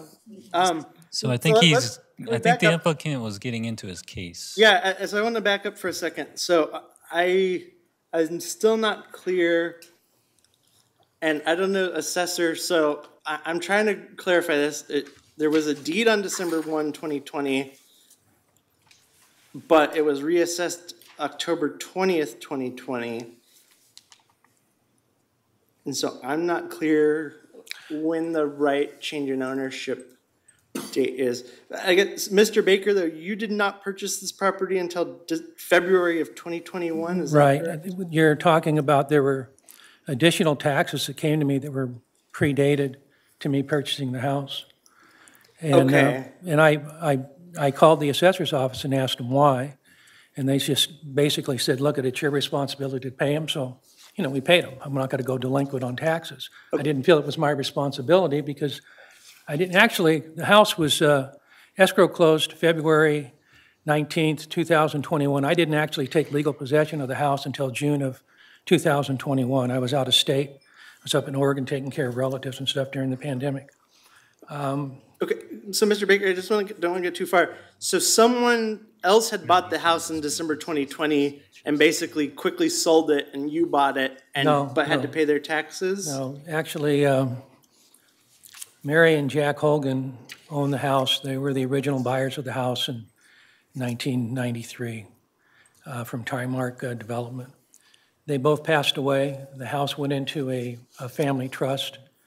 Um, Their nephew, who lives in Washington, is the one that put the house on the market and um, had uh, Rick Wilson list the house through um, um, Okay. Hathaway, I believe. uh, So maybe we can clarify with the assessor. I think I'm figuring this out. Maybe it was October 2020 when they passed away and October 1st, 2020 when it, the title got transferred to the trust? I, I believe so, somewhere around there, I would imagine. I don't have the exact dates, though. And if the assessor can hopefully quickly verify it, but Mr. Baker, the only reason you're appealing that is because you became responsible for their tax bills. Right, that's, yeah. Okay.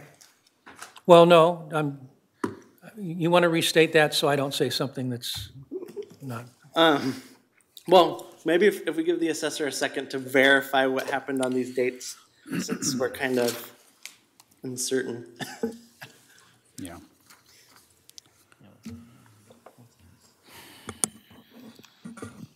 Zachary Clifford with the Assessor's Office. It appears that there is an October 2020 transfer and then the subsequent transfer uh, to the applicant on uh, February of 2021. But the 2020 transfer was not to Mr. Baker, correct? He just became responsible for the taxes for that transfer? I mean, you wouldn't know that part, because that would be private between him and the seller. But I was trying to just confirm October 20th, 2020 was not a transfer to Mr. Baker.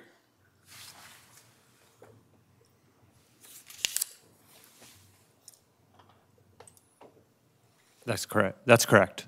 Okay. It- it- That transfer did not involve Mr. Baker. Okay. I have a question right now. Uh, On the application that I have here, I see a date of December 1st, 2020. Is that, what's that date? That's not a date that we have. It's on For your any- website as a deed being recorded that day, so maybe that's when the trust changed title after the, I, I'm shooting in the dark here, just trying to help us put the pieces together, but based on what Mr. Baker said, could that deed just be changing an ownership for a non-reassessable event? Not according to our records. We're not familiar with that date in terms of this property. Uh, We can check with the recorder's office to confirm, but based on our uh, chain of title history, uh, there is no transfer on that date, Okay. unless the applicant uh, can point to some other documentation that shows differently.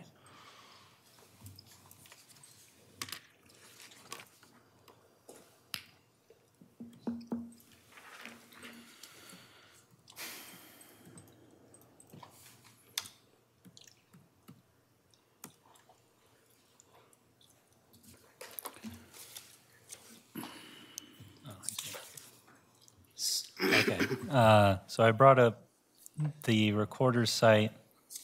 So on 12/1/2020, there was an affidavit of death recorded. Um, And let- let me double check here. Okay, and the death was October 20th of 2020. So, Okay. yeah, So so what I clears it up. So December 1st, 2020 is when the deed affidavit of death was recorded, but it was effective 10/20/2020. Uh, Sorry, our, our system doesn't reflect the recording date Got of that. okay. Yeah. And that's why Mr. Baker got something is because a supplemental assessment was issued for that and him as the owner had to pay the taxes for that, but that's just between him and the seller, so this board wouldn't. Well, Actually, I don't. Yeah. I, I don't really think it was between sellers. I actually asked the assessor's office to go back to the original owner. They said no. So I ended up paying the taxes. Right, so That's that not, would- that that's would- not the, that's not the crux of the reason I'm here today, but I'm just, Yeah, so we're just trying to clarify why that was on your appeal. This board, um,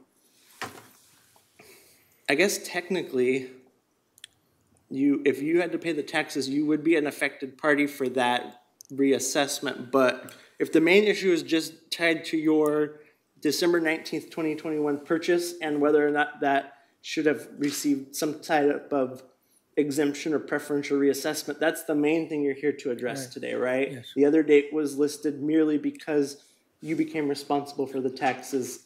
I didn't put that date on there. They- Their office called me about my application. And what they told me is they wanted me to appeal the Prop 19 and also the evaluation on the property. Okay. So I said, okay, fine. They amended the document. I didn't amend it myself. Uh, Uh, so I, I believe we have all the necessary dates clarified. And really, the only concern for the board today would be the February nineteenth, twenty twenty-one change in ownership. Okay. Okay, so we're only addressing that issue. And that's the assessor's understanding, right? That was your original statement? Yeah, that, that was our understanding in communication with the applicant and based on the appeal and the issues in the appeal. The only issue is the, uh, when he purchased the property, February 19th, 2021. Okay. That was our understanding. Okay. So back with to, for that- that issue, who has the burden of proof on Right. that issue? Okay, so uh, I guess I'll do my quick uh, overview and then we'll go from there. Okay. Uh, So the subject property is located at 2310 Pebble Pe- Beach Trail in Oxnard. This is a single-family uh, residence.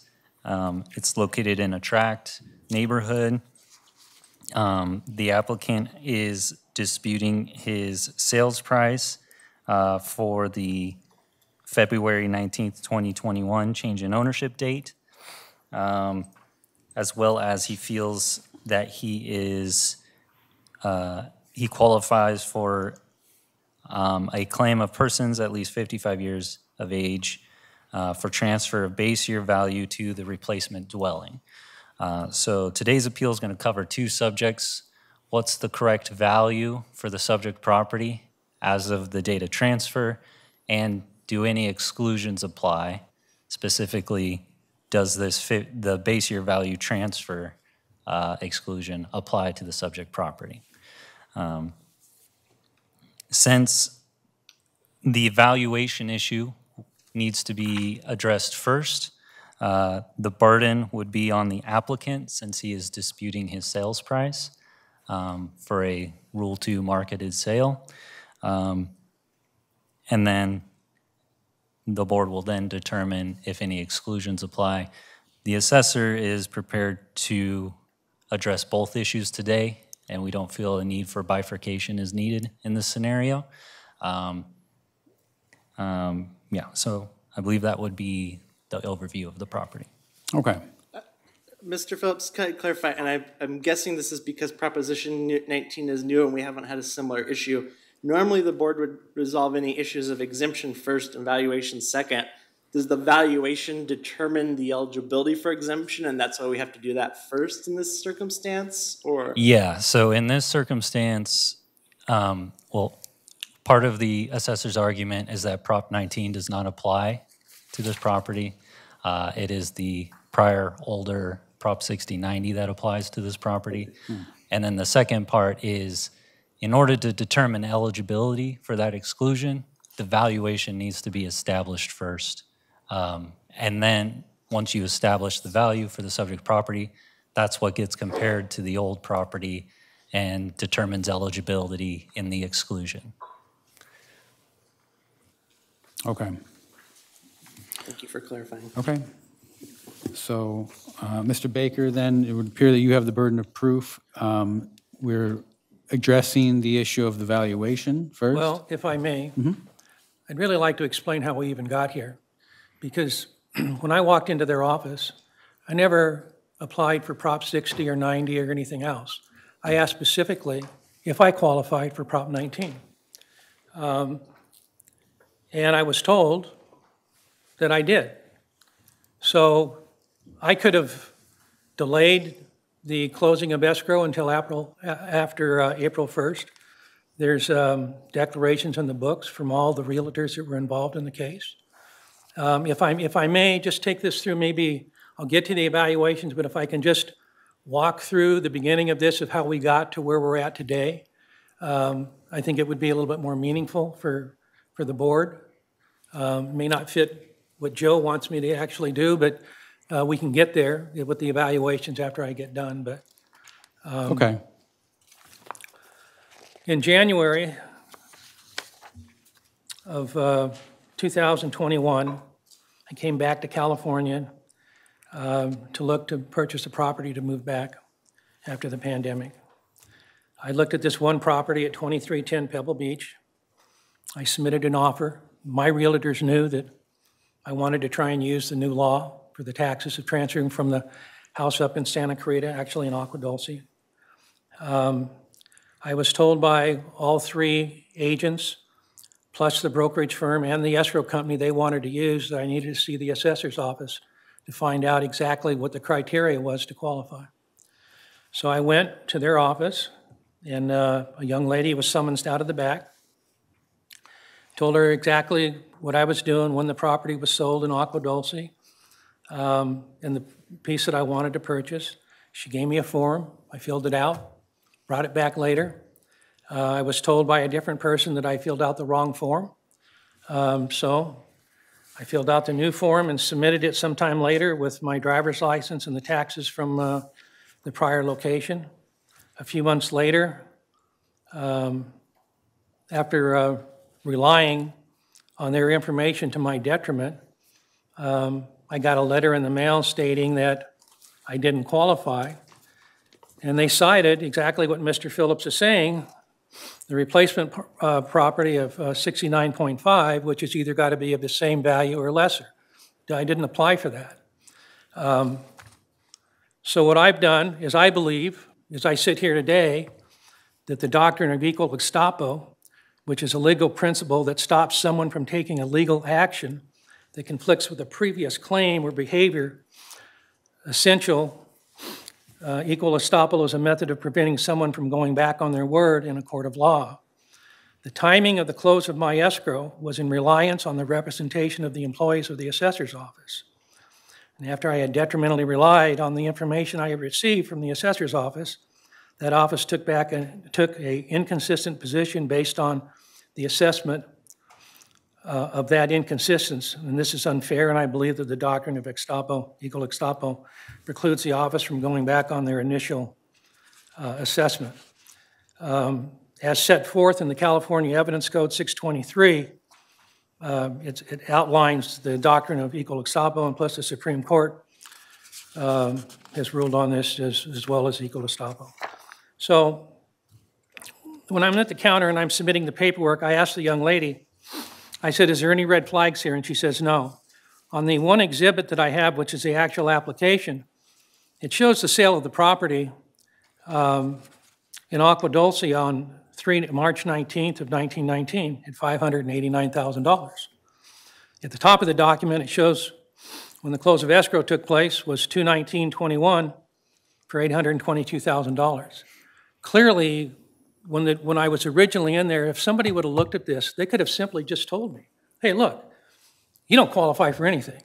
You don't qualify for Prop 60, 90, or 19. It would allowed me, um, as the purchaser of the property, to say, you know what? I'm not going to buy it. I'm a man that's retired on a fixed income. I'm certainly not going to take on a piece of property where my property taxes are ten, eleven, twelve thousand dollars.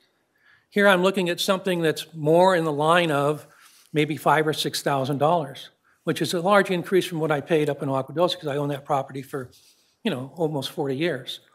So, saying that, I believe that uh, that the equal estoppel applies in this case. But then it didn't really dawn on me until just after I really started reading um, Joe's email to me in October about the justification on, on the comps, on the evaluations of the property. I put in a number of comps. Actually, I, you'll see in the book, I put in lots of comps. None of them were accepted. Um, I did have a realtor, a friend of mine, Rex, look at him, who's been in the business for 30 years. He thought that uh, some of the comps were, were realistic and would apply to the property. But as I, as I looked at the evaluations that Joe put on the properties that, uh, that he maybe considered, I think it was like the third time around, I realized that this was never about Prop 19. This, all along, this office processed this thing by, by a, a Prop 60, which if anybody had any training at all in the office when they looked at the documents, they would have said, Mr. Baker, look, I get what you're trying to do, but you don't qualify for this. You don't qualify for 19 because it's got to be, you've got to basically close after April 1st. And even though you're 12 days late from the two-year limit, you're 12 days outside the scope of Prop 19. You don't qualify for that either. And oh, by the way, you can't qualify for Prop 60 because the house you're buying is of more value. So here I, you know, here I'm sitting and I'm, and I'm just dumbfounded that, that I've, I've been put in this position. And I don't want to say, look at the people that I've dealt with, the assessor's office, are nice and polite. But there's something willfully lacking here with training. So as I'm talking to people in the office, like Audrey Ramirez, who was, was going to do the evaluation on this, she told me that Caleb Hine was going to do the Prop 19. So all along when I'm having these conversations, not one person, not even today, has said, you know what? We didn't process your property on, a, on, on Prop 19. We took it in, in a different route. That's unbeknownst to me. It's only by looking at Joe's email in detail and then going back to the declination letter and getting into the taxation code, which I'm not an expert on. Um, you know, maybe in other points of the law I might be, but not on this. And I look at it and I realize immediately that, God, I can't believe this. This thing was never going to fly. So here I am today, stuck with a house that I wouldn't have purchased, stuck with taxes that I can't afford, and, and, uh, and it seems that there's no wiggle room. So Joe did bring up some issues, and he did do the hypothetical thing in his email about even if you would have um, closed April 1st, uh, your house closed in March, so you don't call. I, I get all that, and I don't disagree with you about any of it. In fact, I don't really, the Prop 60, all of that, I don't disagree with it. But when it comes to the evaluations of the house, I did an inspection on the house, and I know that in Joe's email, which is listed here as an exhibit in the, in the book, along with a bunch of other stuff, Should we um, label these, this exhibit? uh, you can, I, I tabbed each one. have- They told me not to, Yes, so for This the would be- record, except applicants exhibit one through ten have been submitted, and we'll, we'll just label that as who Okay, has tabbed it. Thank one you. through 10. Thank you. Okay, you can continue, Mr. Baker.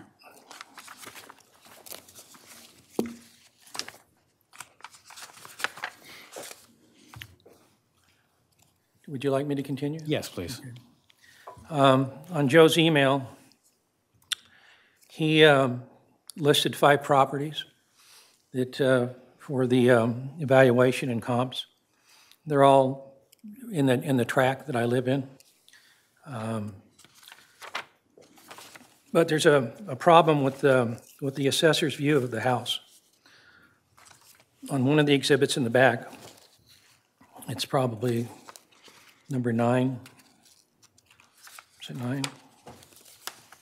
That might be the last 110. It's from uh, Cypress Point, and it's the actual catalog of the houses that were built by Trimark. There were three builders in that tract. Trimark went bankrupt. Another company came in, My house was uh, one of the first houses built. It was a model in 1993. The assessor's office lists the uh, square footage of that house of 1,973 square feet.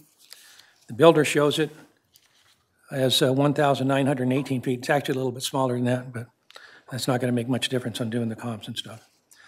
That house that was built as a model was built as a two-bedroom, two-bath house, not a three-bedroom, um, two-bath house. And though the ones that Joe, and I don't know, it was a different builder that built these houses that he's, he cited, they may well be um, the same, they may be three bedrooms, they could be two bedrooms, I don't really know. Um, uh, Where's that document? But all of the houses um, that he quoted, other than one, well, actually, all of them, are of less value than mine. And uh, the square footage for price, if you average it out, is down to like $262 a square foot. On the ones that uh, I submitted for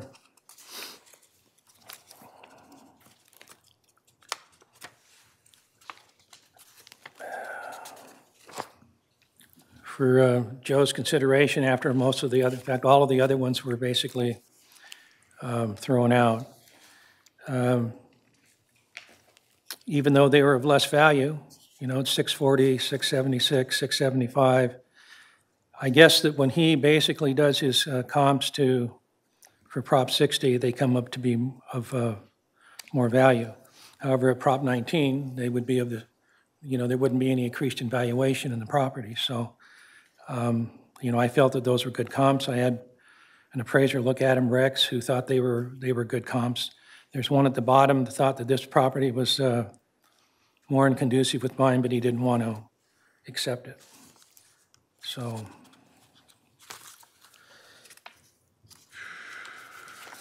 On my tab three in the book is a summary for the property tax appeal, which basically states everything that I've, I've said to you. Um, Tab four is a declaration under California Civil Code Procedure Section 2015.5, which uh, is usually accepted by administrative courts. There's no reason not to. Signed and dated by myself. And um, Again, at the back on 17 outlines at the timing, basically restating what I already said at the timing of the close of my escrow, that I relied on the employees of the assessor's office to my, to have a detrimental impact on me, and I believe that uh, the doctrine of equitable estoppel applies here. I've also included on tab five, um, who was the listing uh, realtor, uh, Rick Wilson, and um, basically talks in his, in his declaration, which you guys can read. I don't, I don't want to bore you with all of that, but um, uh, he even states in number seven that the, that the uh, front room or the front bedroom, which was going to be a bedroom, was converted into an office by the builder to accommodate buyers. The space has no closet or doors, and technically the house is uh, a two-bedroom, two-bath house.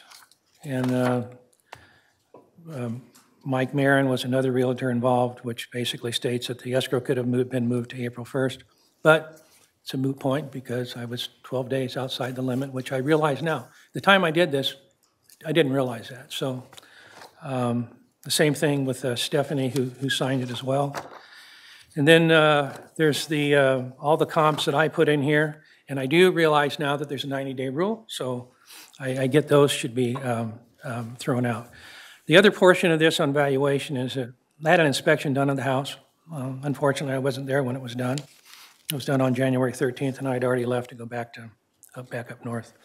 But I did have the opportunity to sit down with the inspector afterwards, and um, he did share some concerns. Of course, at this time, uh, escrow had already closed, so um, he shared concerns about um, leaks in the bathroom and things of that nature, but he thought it was just moisture and all that kind of stuff. As it turned out, I had a contractor uh, walk the house, Beeler Construction, and um, they outlined um, a number of flaws with the house, tuning to about $70,000. Um, but Joe told me that unless I'm involved in litigation, which I think is absolutely ridiculous, unless I'm involved in litigation, their office wouldn't consider this. Well, maybe I don't. First of all, the cost of litigation is super, super expensive, may well exceed this. Um, But the fact is that the house was damaged. Um, So there's, there's that that impacts it as well. I don't um, necessarily understand, um, and I'm sure Joe will explain it because he is, uh, you know, a professional. Um, I know that he'll explain how he gets the extra evaluation, but I noticed that when he was talking to me about my house that I sold in Agua Dulce for 589, that, uh, you know, you can bring it up in percentages, and I think in his email, um, I'm trying to find it here. Excuse me.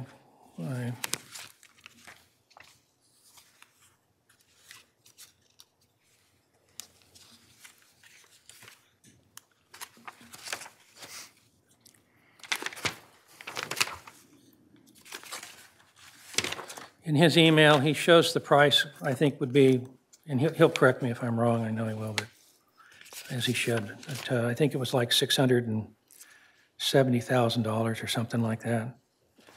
So, uh, he has the range down here. So, uh, my, my whole point really today, um, I don't know, maybe there's some way of taking 69.5 with the damages to the house and, and lowering the valuation and making it fit into Prop 60 or 90. I don't know. I'm not an expert on that. Um, But I, I, I do know one thing.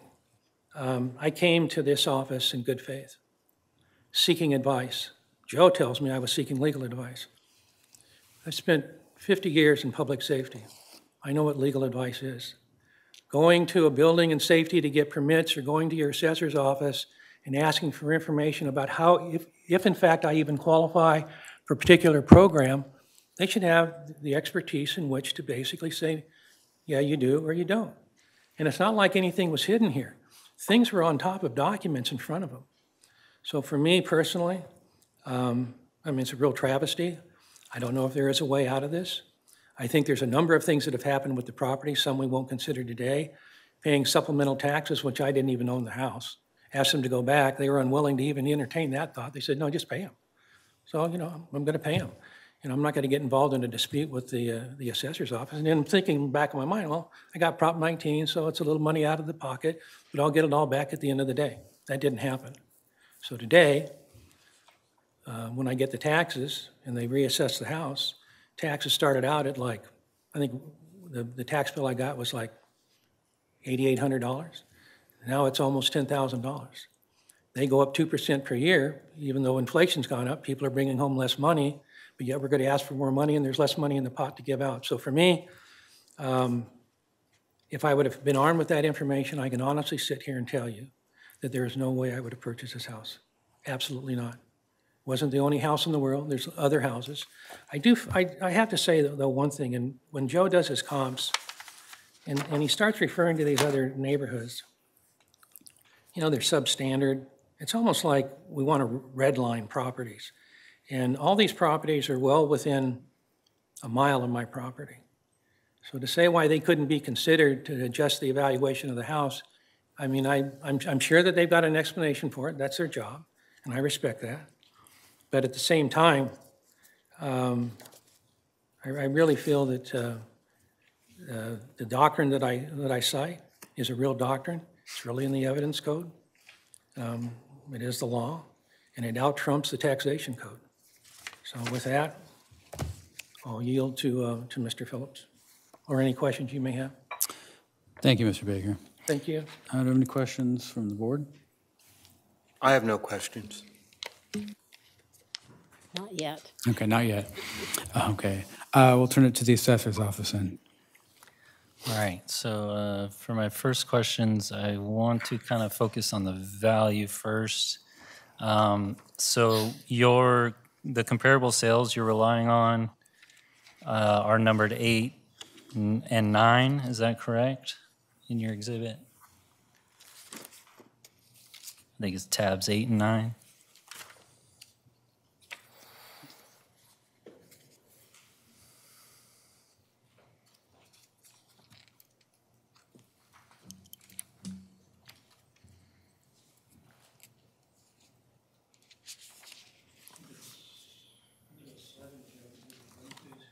Your email? I'm sorry. Are you referring to your email, Joe? No, I'm referring to the comparable sales that you're relying on for a lower value. Um, It's page eight and nine of your exhibit. Right, but the, those, well, yeah, they're in the back, back there in the back, yes, you're right, I'm sorry. I'm thinking of the exhibits. Okay. Yeah. No, you're right, eight and nine. Eight, and nine, okay. Um, Out of these comparables, are any of them in your direct neighborhood located in the same tract as you? No. Are any of them model matches to your property? Um, I don't know if they are or not. Okay.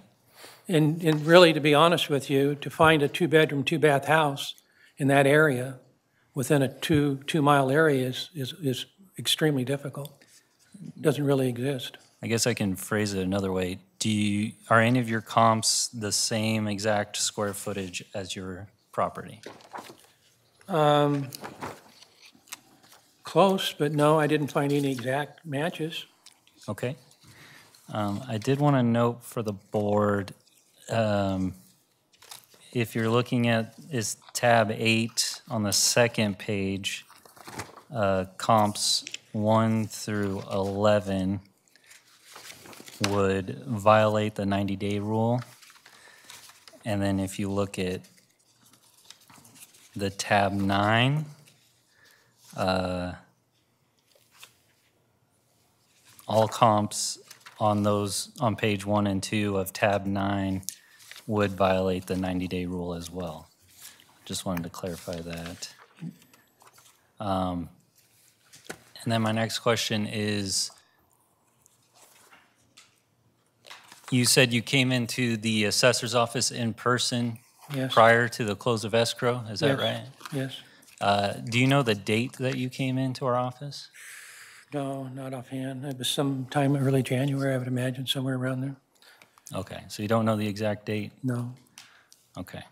Um, I, I will just want to just say one thing. You're referring to those comps in the back, but in your email, there's other comps that I sent you, which are in your, in the scope of your email as well. Right, I was just clarifying Okay. a few that's things fine. about your No, comps. And I openly admit that the other ones are outside the 90-day rule.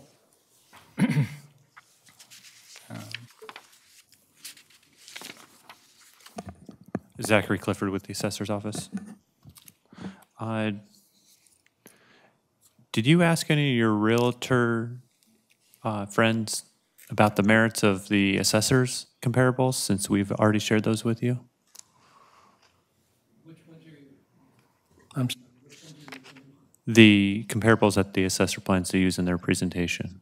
Did you ask your Realtor friends about the merits of those comparables?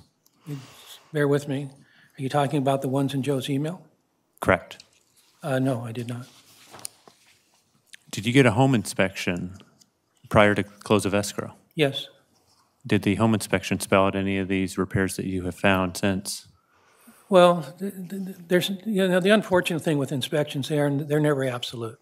Like they said, um, hey, there's some tiles shifted in the, in the, uh, on the roof. Um, Don't know if it's a problem. Um, I was told that the roof had been replaced in 2010. It didn't, it failed. I actually have the receipt for having to replace that. Uh, Damaged the drywall inside the house. Um, Leaks in the foundation, which I I did a a patch on, but the house has to be repiped. That's all part of the stuff that the, that the uh, contractor went through, and I've got copies of that too, if the, if the board uh, wants to see it. But um, yes, I did do an inspection report for a long answer, yes, I did. And how long, do you remember how long your escrow period was? Well, they could have been as long as I wanted. I mean, they were from, well, they closed on February 19th, so I put the offer in after I looked at the house. Well, actually, after I came back from the assessor's office, I put the offer in and, um, you know, you know, we just, they wanted to do a quick escrow, but they would have done a longer one if we asked. And so we just went ahead with the escrow. If I would have known different, I could have extended it out, but it wouldn't have made any difference because of being 12 days late. You can't, I mean, look, you're going to ask me all these questions, you're going to try and parcel around, but the reality is, no one really wants to talk about the elephant in the room, and the fact that misinformation was given by your office. I, look, at, I'm, I'll sit here and accept everything that Joe lays out, the fact about um, that I didn't qualify for either program, I get that. But that's not why I'm here. I believed I did. I relied on your information. Not to this day has anyone ever said, you know, Bob, we didn't process 219 and we're really sorry. It's like you were seeking legal advice. It's your problem. I just, I think, you know, I, I spent enough time in government to know that's not acceptable at any standard. Did the assessor's office explain to you that there would be a review process of your application before any approval would take place or denial? Um, Or did you expect the, uh, the person at accepting your application to give you approval No, I- at that no. moment? No, I, I, uh, I asked if there was any red flags, and if I qualified. I was told I did. She didn't see any red flags. Did you consider that as approval? When she said that there was no Well, I red flags? felt that if I got the taxes over there, I would be on solid ground. Yeah, I relied on that information. That's why I went ahead and closed the escrow. I didn't know about an April 1st date.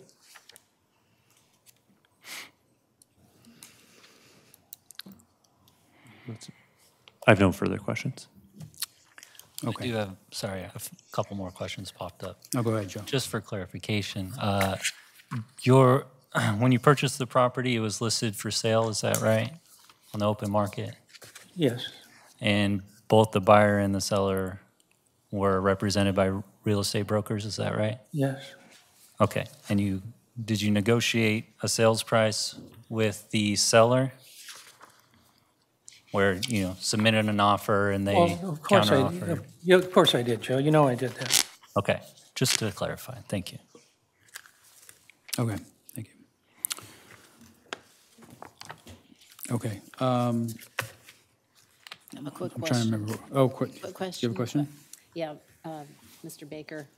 Uh, The list, I'm looking at uh, your listing sheet from your house.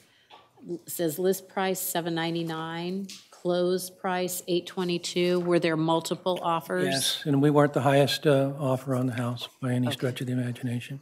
Okay, and then um, it looks like the contract was signed um, by the seller on 1/8/2021. So January is when you opened escrow, right? I believe so, something right around there, the 8th, 9th, something like that. That sounds So about Their right. escrow company they wanted to go to? Okay. Okay, just double checking. Any other questions? That's it. Okay. um, I believe it's time for the assessor's presentation.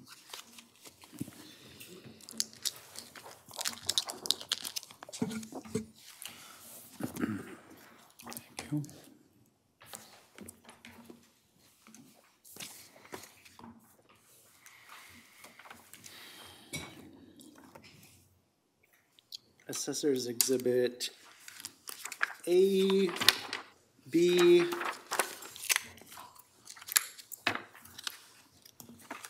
C, and D have been submitted into evidence. Thank you. All right, uh, Joe Phillips with the Assessor's Office.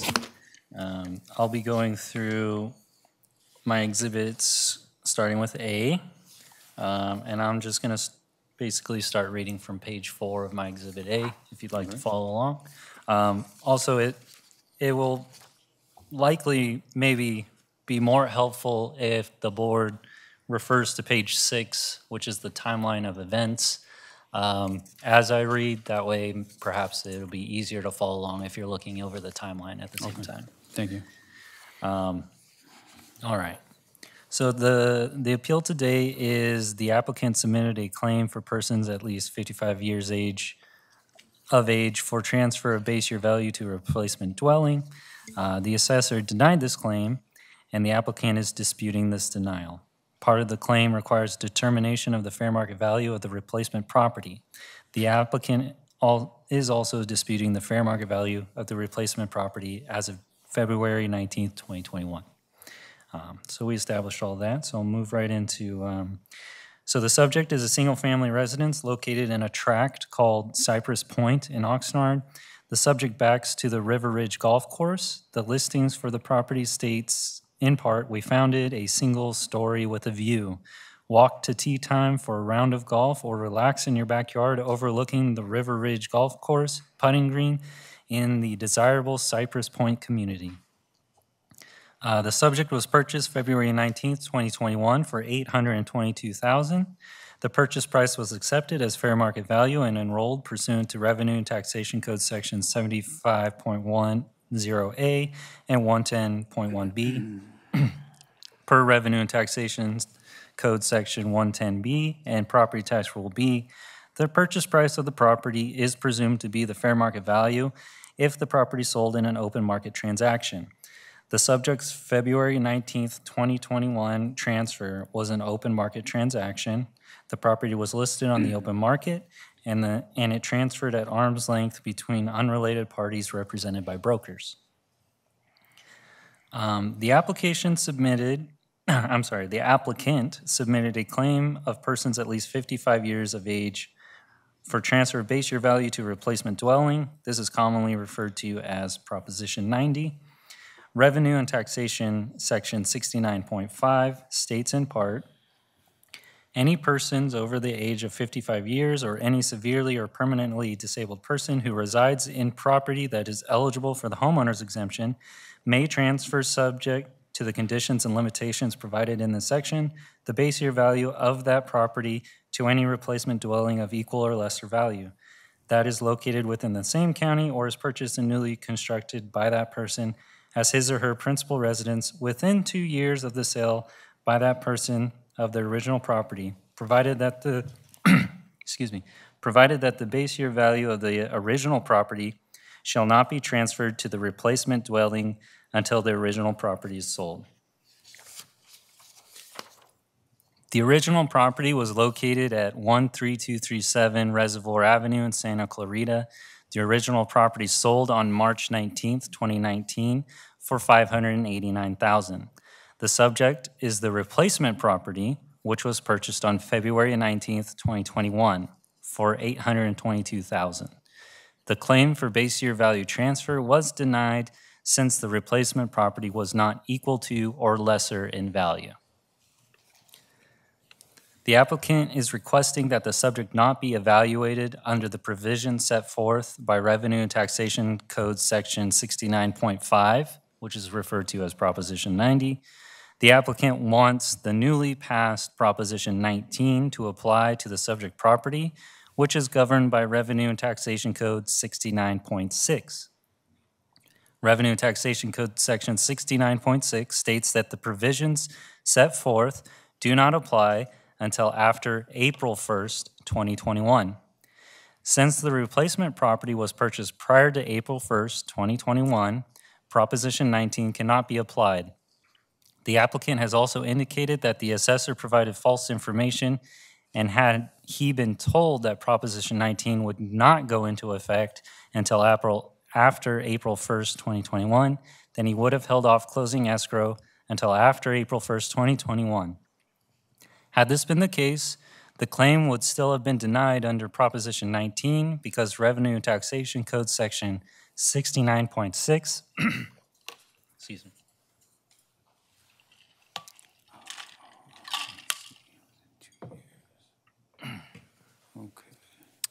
Revenue and Taxation Code Section 69.6 requires the replacement property be purchased within two years of the sale of the original property. Any date after March 19th, 2021 would not qualify under Proposition 19 nor Proposition 90.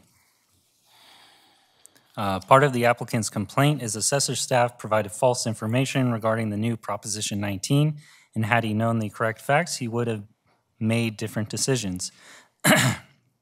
Revenue and Taxation, Section 69.6, was not added until September 30th, 2021. Also, the Board of Equalization guidelines on Proposition 19, which was Property Tax Rule 462.540, were not originally adopted until August 24th of 2021 and effective January 1st, 2022. Therefore, there was no way for the assessor to know the details of Proposition 19 at the time of the subject's purchase. It is also not part of the assessor's duties to, to provide guidance on when to close escrow. For these types of issues, the assessor always recommends the homeowners consult with their own legal counsel. The assessor performed a site check on October 2nd, 2023. The assessor was not allowed entry into the interior of the property due to health concerns. Uh, So the assessor and the applicant agreed that the assessor would rely on the listing photos for the interior of the property. So here's the, page six is the timeline. Uh, As you can see, original property sold March 19th, 2019. Replacement property was purchased uh, February 19th, 2021. So we reached the deadline, the two-year deadline that Revenue Taxation Code requires. Uh, Proposition 19 went into effect on April 1st, 2021. Uh, Here, I want to note, on July 29th, 2021, that is a note dated in the assessor's record stating the homeowner called and was asking questions about his supplemental bill. Um, Then on April 24th, 2021, that's when property tax rule 462.540 was adopted. Um, That provides guidelines for Proposition 19 from the Board of Equalization. Uh, September 30th, 2021, Revenue Taxation Code 69.6 was added. And then on November 19th, 2021, there's a notes in the assessor's record stating the homeowner called and was asking questions about the Proposition 19. And then about 10 days later is when we received the claim to transfer the base year value from the original property to the replacement dwelling. Unfortunately, we don't have any records of the applicant coming into our office to ask about Proposition 19 prior to the close of escrow. That's not to say he didn't do that, it's just not in our records, it's not in our notes. So um, I'm unable to verify if he did or not. Um, So for valuation, on page seven here, I'll just skip down here. We use the direct sales comparison or the market approach for our valuation. And then I'm going to go to that now. So that's going to be Exhibit B.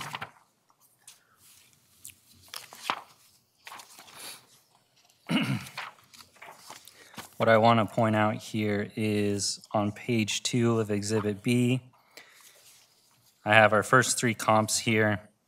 Uh, You'll notice, if you look at total living area, all three comps are model matches to the subject property.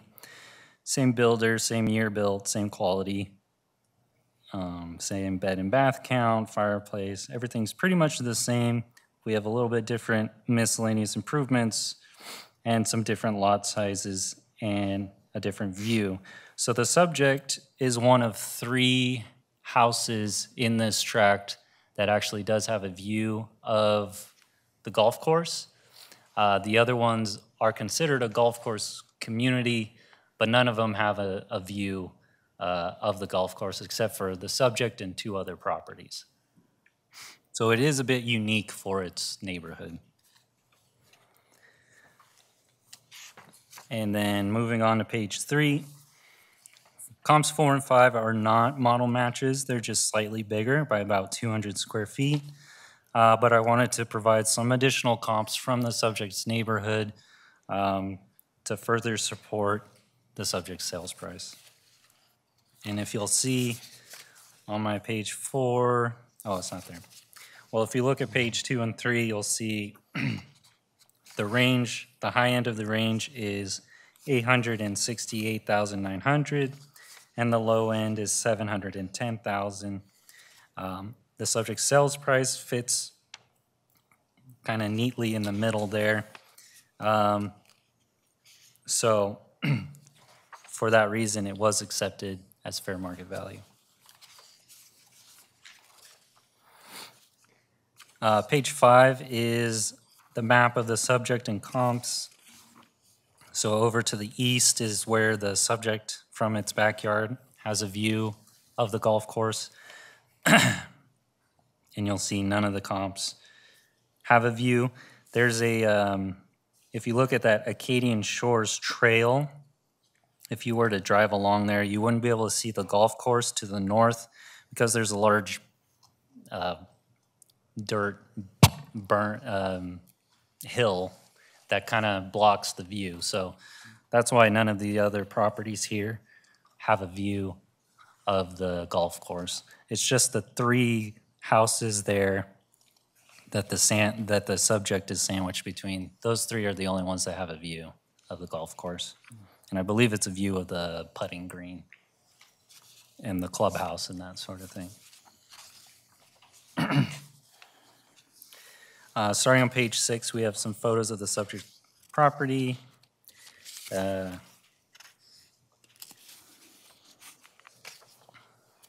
Page nine are photos of comp number one. 10 is comp number two. 11 is comp number three. 12 is comp number four. And 13 comp number five. I have the listing on page 14, which I think we've already seen. And then some listings from, of the comps that I was able to get. Not, I was not able to get all of the comps listings because I guess some of them were taken down after the sale, so I got the ones that I could grab, and they're there. Um, Exhibit C is some of the references I've made. Starting on page two, we have the, the denial of the, um, pro, uh, the 55 base year value transfer exclusion. Um, And as you can see on page three at the top there, we have the original property and the replacement property. The original property gets two years of the inflation factor, and then according to Revenue Taxation Code 69.5, it gets another 5% each year of an increase. So the 589 plus all the factoring gets us to 660,858 for a comparison value.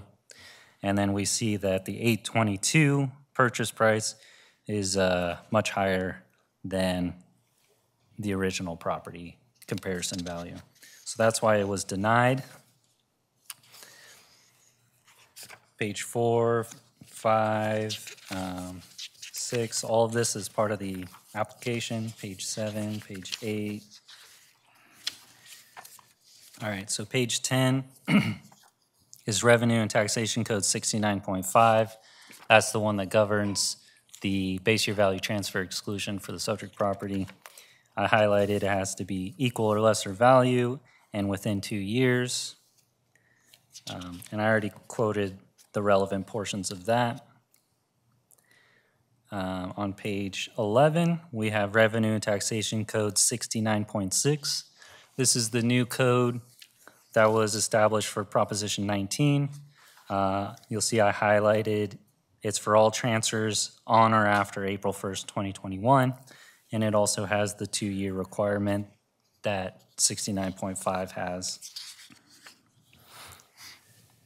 And then finally, page 12 is just a copy of Property Tax Rule 2, talking about how the sales price is presumed to be fair market value unless there's a significant deviation of more than 5%. And then um, my Exhibit D, I wanted to give kind of a summary. uh, All the comps that the applicant presented today, he did provide to me prior to today.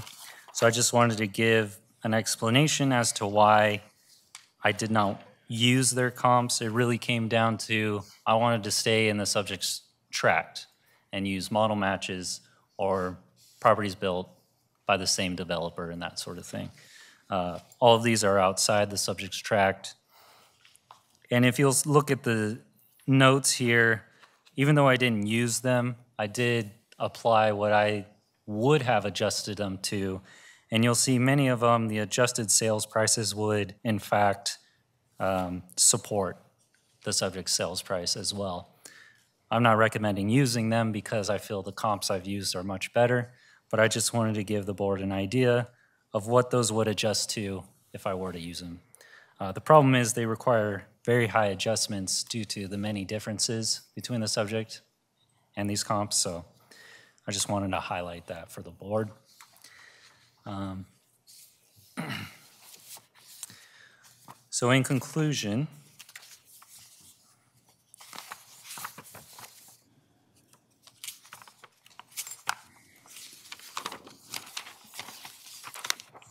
Uh, The assessor has carried out all duties according to the Revenue and Taxation Code and Board of Equalization guidelines. The assessor's appraisal indicates the subject's purchase price of 822 on February 19, 2021 was fair market value. The assessor requests the board sustain the purchase price on February 19, 2021, as well as sustain the assessor's denial of the base year value transfer claim according to the provisions set forth by Revenue and Taxation Code Section 69.5. Thank you. Okay, thank you. Uh, Does the board have any questions? I have two questions for Mr. Phillips. Uh, Will you confirm for me, Mr. Phillips, that the subject and all the comps were built by the same builder? Um, I believe Mr. Baker um, gave testimony that there were different builders. Okay. um, I don't have that at- at my disposal right now. Uh, I can't confirm if it was the same builder. I can confirm it's the same tract. Um, Perhaps there were multiple builders at that time. I would have to dig into the assessor's records to find that out. Um, But it's part of the same development, same tract. Um, I can't, uh, I can't say who the builders were. I didn't research that, so sorry if I misrepresented that. Okay, and my second question has to do with the bedroom count. Mr. Baker, I may be confusing the two cases, but are you, did you mention that this was completed as a two-bedroom house This, my house is a two-bedroom, two-bath house. with an office? With an office. All the other houses are designed, uh, or at least the ones that I've seen, like the one across the street, which was built by a different builder, if you can believe that, right across the street, is a three-bedroom, uh, two-bath house. But mine is, is a two-bedroom, two-bath house. It was the model for the track, so. Um, Had, I, I see that your model matches are all listed as three-bedroom, two baths. If they had been completed as two-bedroom houses with an office, would this have, uh, eh, eh, would there have been an adjustment made for the bedroom count between two and three? Um, So the assessor's office doesn't typically do adjustments for differences in bedroom count. Uh, We feel we address that with our square footage adjustments. Um, It's the assessor's opinion that if we were to do a square footage adjustment and then also do a bedroom adjustment, that we would essentially be doing some double dipping of adjustments there. That's the assessor's reasoning. Uh, But to answer the question about if there's two or three bedrooms at the subject property. I'd like to reiterate, uh, I- at the field check, I was not allowed an interior inspection due to health concerns. Um, So I had to rely on the listings for the interior.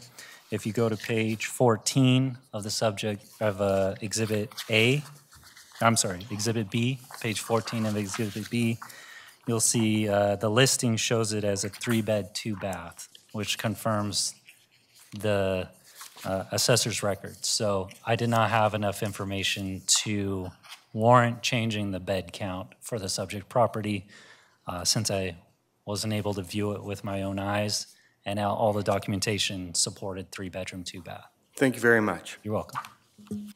Mr. Chair, as a follow-up to Mr. Wall's question, um, your office, is there a closet in the office? No, ma'am. Is there an inset There's where a. a uh, closet used to be? Yeah, there, there is an inset right there, um, but no closet and no doors. Okay. And it's a double cased opening. It's not a, you know, like a single door for a bedroom, so it was double cased, I guess to accommodate people to come in. So, and there were three, by the way, there were three builders. Trimark was the first, they went bankrupt. And um, there's a number of different, uh, two other builders that built homes to finish up the uh, development over a course of three or four years. Okay. Okay, um, Can I go out of order and ask one question? of the course you can. Sorry. Um, How did you originally hear about uh, the 55 and over exemption? Um, From a friend of mine about Prop 19, told me that it had passed. When I inquired about it through my realtors, nobody really, even people at the escrow company, nobody had any real depth knowledge about any of this. So what I was told, they said, look, in order to find out if you're even going to qualify, you need to go to the assessor's office. So when we were down here, I came over here and talked with them. They gave me a form and filled it out, came back. and They said it was the wrong form. So I, when I left, I took the forms with me and sometime later brought them back and, and dropped them off. And, and here we are. So Okay, thank you. you're welcome. Thank you, Mr. Chair. Okay, Mr. Baker, do you have any direct questions for the assessor uh, regarding their presentation? Uh, Well, I, I, I- there is one thing that, that, uh, that I am concerned about. I know that he's using, and and Joe, I know you're using um, uh, the other properties in the, in our development, and, and I understand why. But those houses were built by a different builder. Plus, I've submitted an exhibit that shows from Trimark, when they built, I don't know about the other builders, but it shows that the square footage, because you're telling me you'd make adjustments for square footage, this property is 1,918 square feet, not 1973. So that must have some impact. And plus, the bedroom count should have an impact too on Well. Mr. Baker, actually, I'm going to, interrupt. I'm sorry. Uh, I believe you'll have a chance for your closing Okay, statements. Uh, We're just looking at- for questions All at right. this stage. No questions then? No. Okay. Mr. Um, Chair? Yes. I just want to clarify, because I'm realizing there's a few different values floating around, Mhm. and I think it might have to do with that earlier issue of the date of assessment, because the application Mm. doesn't match up to, yes, so, so Mr. Phillips, the value that matters is the eight hundred and twenty-two thousand as of September nineteenth, twenty twenty-one. Is that the correct value that this board needs to weigh in on for the, um, transfer? Yeah, so the, the board is deciding the value as of February 19th, 2021, and that is the purchase price of 822, uh, 822,000. Thank you for clarifying. You. And sorry, just so that I have a clear, everything in one place, the applicant's opinion of value as of the date of sale is what? Looks 625,000? 625, believe. okay. Yes. And then what was the value of the home that you sold? So- 589. Sorry, can you do that with your microphone on so it's recorded? I'm sorry, um, the, the value of the house I sold was 589. Apologize.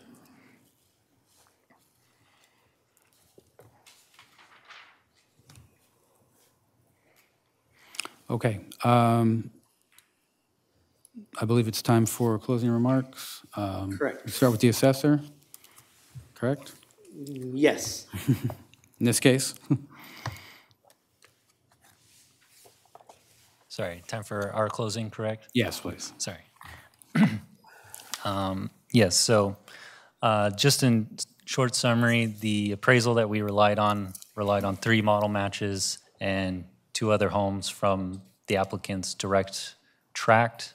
Uh, It has a name, it's called, let me say it one more time. It was uh, Cypress Point in Oxnard. Um, These comparables that we relied on um, showed that the sales price for the subject property fell within the range. Um, One thing the applicant noted in my emails that I don't think I spoke on is even if you went to the very bottom of our range, um, which I think was 710, uh, you, he still wouldn't be able to uh, qualify for the base year value transfer because that would still be higher than um, than his orig- his original property's sales price. Um, the other thing I wanted to mention is we followed the revenue and taxation code according to 69.5. Um, and as I explained Revenue Taxation Code 69.6, which is about Prop 19, uh, would not apply due to it only being effective April 1st of 2021, which was after the sale of the subject property. Um, So that's why we have to apply Revenue Taxation Code uh, 69.5 for this one. Um, So for these reasons, we ask the board to um, agree that the sales price is considered fair market value and that the applicant does not qualify for the base year value transfer exclusion uh, for this sale. And that will conclude the assessor's presentation. Okay, thank you. And Mr. Baker? Well, I would go back to my opening statement about equitable estoppel, which is a legal doctrine. It's codified in the Evidence Code, Section 623. And for me, the timing that closed my escrow was reliant on the representation of employees of the assessor's office after I had detrimentally relied on their information receiving from the assessor's office. That office took an inconsistent position based on the assessment, and that inconsistent consistency. This is unfair, and I believe the doctrine of equitable estoppel precludes the office from going back on their initial representation as to me when I filled out the forms. Plus, I also feel too, if uh, the condition of the house was considered, that it, uh, it may have an impact on, um, on lowering the value of the property.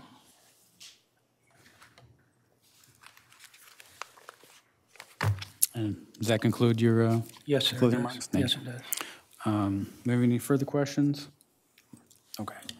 Before your board concludes, uh, Mr. Baker, your appeal also raises challenge of the market value as of January first, twenty twenty-two, approximately eleven months later. Do you still wish to challenge that issue and continue that matter on to a subsequent hearing date? Or are you withdrawing that issue at this time? Are you talking about an appeal pending? Is that what you're talking about? Your, your appeal, so box A, decline in value is selected, which is the market value as of January first, twenty twenty-two. Uh, so nine months later, or sorry, eleven months later, the value as compared to what the assessor enrolled. Are you still challenging that for a temporary market value reduction? Yes. Okay. Um, would April twenty-second work for that? Um, I, yeah, I guess that would, yes. I guess we need to I check. thought I it. already addressed that though with you earlier, but I guess not. Sorry, do you believe you presented documentation to that value today as well? No. Okay.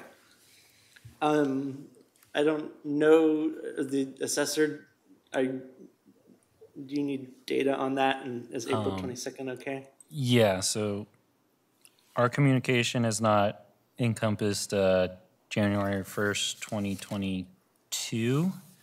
Uh, So there would be similar requests for information and kind of similar process as this base year value one.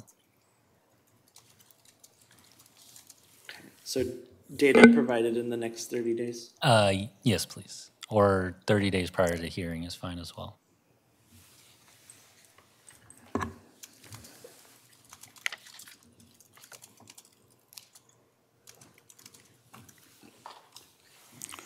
Right, Chair Luna, so we have a request to continue the market value for January second, twenty, sorry, January first, twenty twenty-two to April twenty-second, twenty twenty-four, with the proviso that requested data be provided to the assessor at least thirty days prior. Um, So moved. Second? All right, Hearing no objections, motion carries. all right. So that concludes if, if your board would like to take the case under submission now.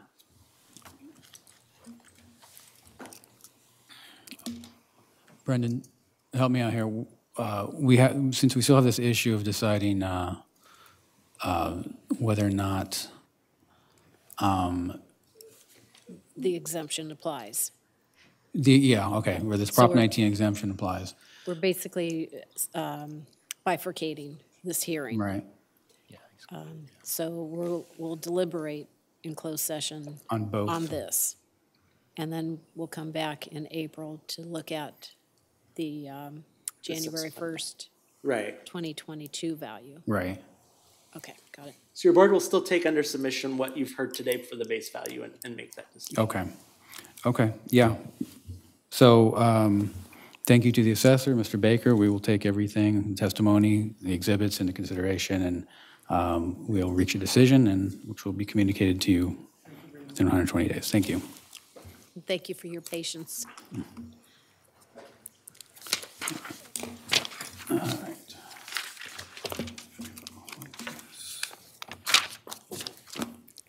Yeah, but I think we're going to address.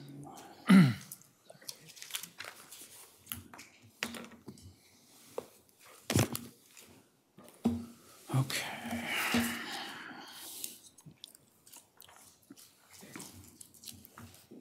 Um, Brendan, are we going to be addressing the prior case next?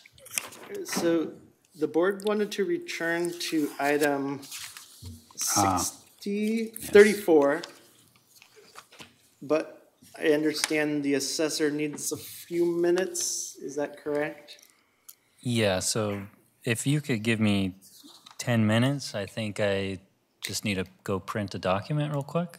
Are, are you involved in item 49? Can we address item 49 and then, or do you need to do Uh, it? no, I'm not involved in 49, so do you, if you guys want to start that case and I can come back? Leave it. I'm, o- yeah, I'm, board members, you okay with doing that? So Item item 49 is a 49. jurisdiction hearing, which was next, um, and then Mr. Nemi and Ms.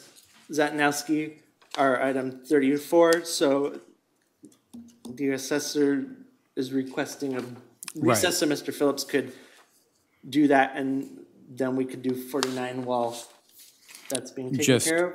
I, I mean, Yeah, I'm, I'm, Okay. I'm looking back at my notes. Um, I had 30. Applicant said 30 minutes, Right. assessor said five Five. minutes. so we could, or we could take a 10-minute break, and I'm concerned about keeping the NEMI's. let's just do that. Let's minute take a 10-minute break, and then And then we'll, Have your we'll be information. ready for the NEMIs to just go, so, Exactly. yeah, okay. At least get return that. at 3:15? Uh, Yes. Yes. Oh, perfect.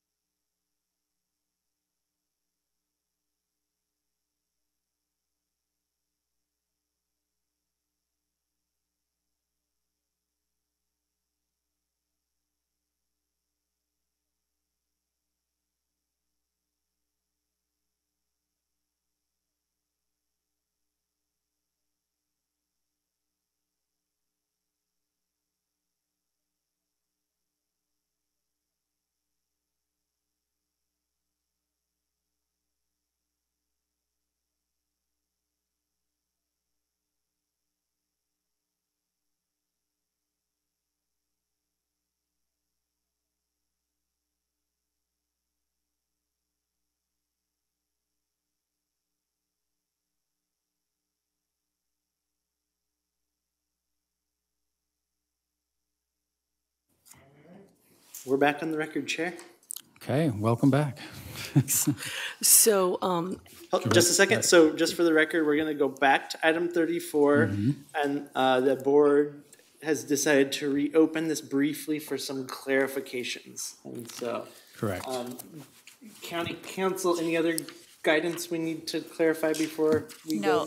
No, no, well, just to let the parties know that the board has not been apprised of anything. So you don't need, don't assume that they know anything that you've discussed with Brendan. Got it. Okay, who are we starting with? Okay, so. Our um, applicant? Oh, sorry. Start with, are we starting with the, our applicant? Ye- I, that's what I'd advise and is go to the applicant and then let the assessor Okay. respond. Okay. I don't know. Let's just, let's try that. Okay. Go ahead. So, so um, at the close, um, at break for lunch, I was confused at a few things that um, Audrey had said, particularly that we had worked together um, in the past, um, successfully, if you will. And so I tried to get Audrey, but she decided to leave a different direction. So Joe was there, and I said, "Hey, Joe," I go, "I'm confused because she said that we'd worked together before, and I don't recall that." And he said, "Yes." He goes, "I believe she misspoke." And he was going to then do some investigation. But then we went to lunch, and I'm like, "Well, she misspoke. I thought about that." And then there were two other things that I feel she misspoke about in her close that we had no chance to respond to. And I said, how would the governing board, if Joe does explore this a little further, how would they find out? So we sent an email to Brendan saying, you know, in the hallway, um, Joe said he believed she misspoke. He was going to check in, and there were two other things we thought she misspoke about. So um, Joe, I mean Brendan said we should come back, and so we are. And so the th- but in sitting here, of the three, one we really she did not misspeak about. It was because it was in 2022 that apparently she and my husband emailed back and forth and did resolve a stipulation.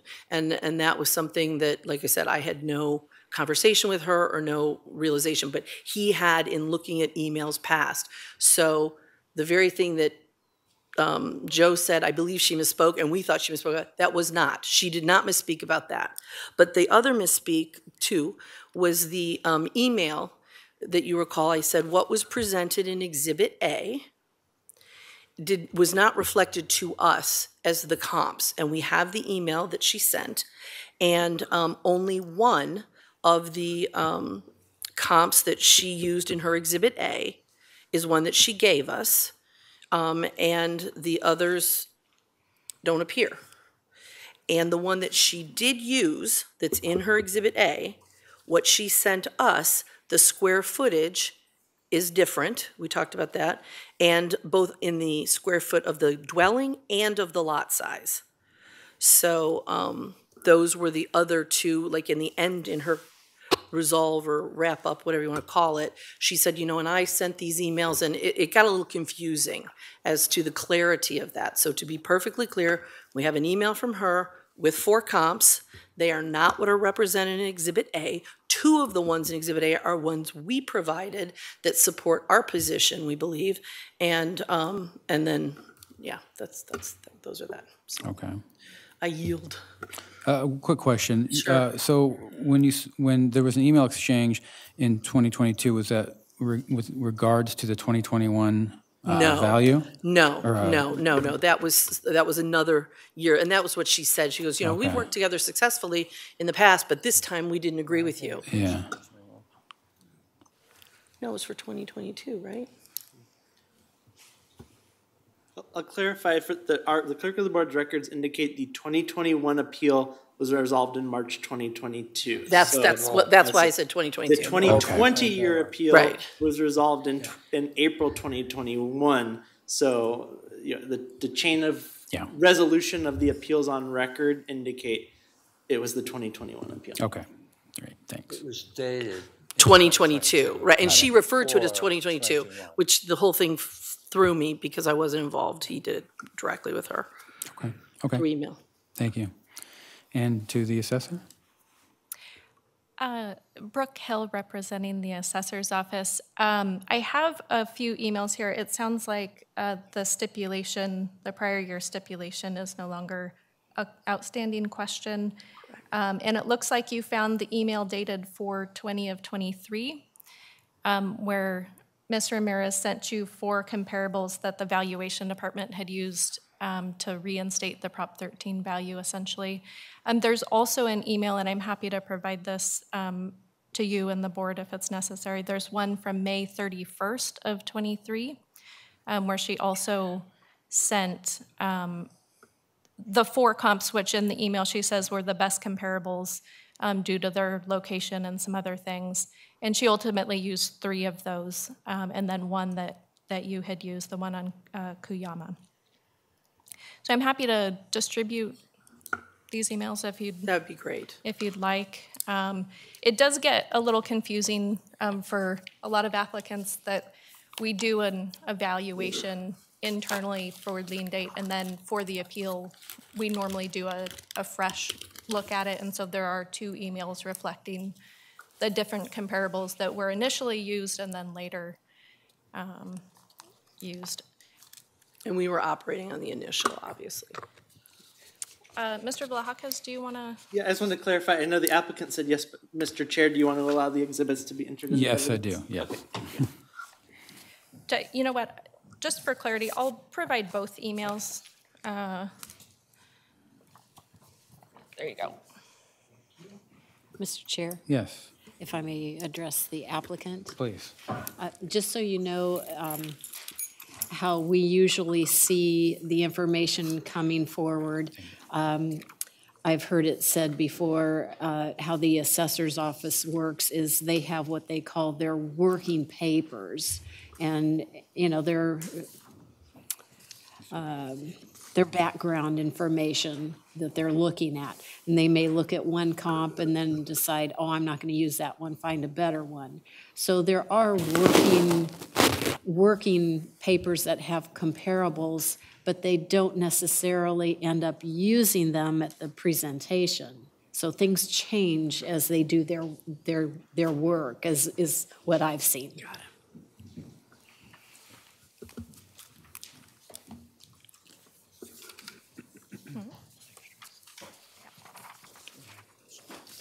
This one.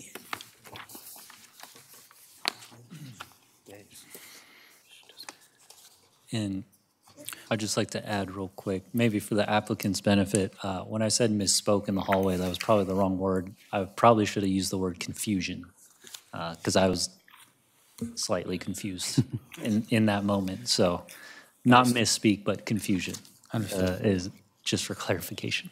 Okay. Uh, Brendan, are, the- Yeah, so it let's looks like just these call are marked three and four, but are these, uh, We'll just call them Exhibit C. The, both the emails will be Exhibit C for the Okay. record. okay. Yeah, my apologies, I thought it was going to be part of a bigger No package. problem. All right.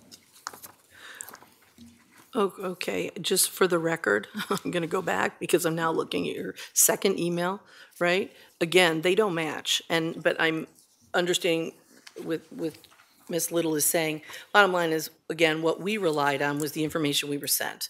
Um, They don't match, the second one doesn't match with her exhibit either, which you're saying is something. But again, I think this speaks to a larger issue that I'm hearing today with not just our case, but the other case. And that is that, um, you know, we rely on the information that is emailed to us and that is said to us when we call as a, you know, a government entity. And when you can't rely on that, you know, it gets a little dicey out there for us. So I just offer that as a, I don't know, parting comment, I guess. But anyway, thank you, and we appreciate it, and we're sorry we took as much time as we did. No, it's fine. Thank you. Insane. So Thank- thank you very much. Thank you very much. Thank you to the assessor's office as well. Uh, Just since the assessor has the burden of proof and the right to close the hearing, we should just verify they, they don't have anything else to add, since they have the right to close. Got it. To the assessor's office? No, I think, I think we've covered everything, so. Okay, great. Thank you. Thank you. Thank you. All right. So now we're on to Mr. Devan. Mr. Devan, if you want to come forward to the podium. Item 49.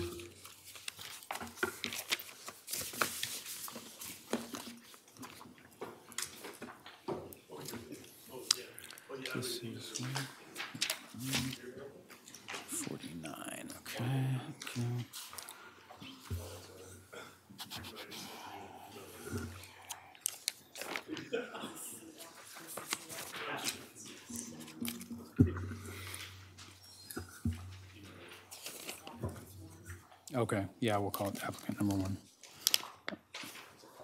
Here's a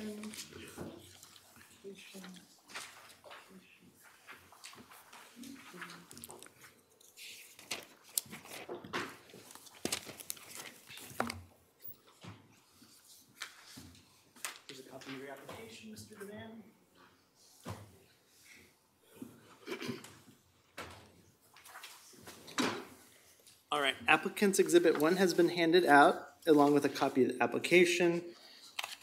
This is a hearing to determine if the board has jurisdiction to, um, over, to hear challenge of a denial of a Land Conservation Act contract renewal denial, if I'm summarizing at that. So since the applicant is the one requesting the board invoke jurisdiction, um, and it's not a residential property per se, it's agriculture, I don't think there's a burden of proof, and, and we would go with the applicant to explain why they have juris, why they believe the board has jurisdiction in this matter. Okay, sounds good. Uh, Okay. Mr.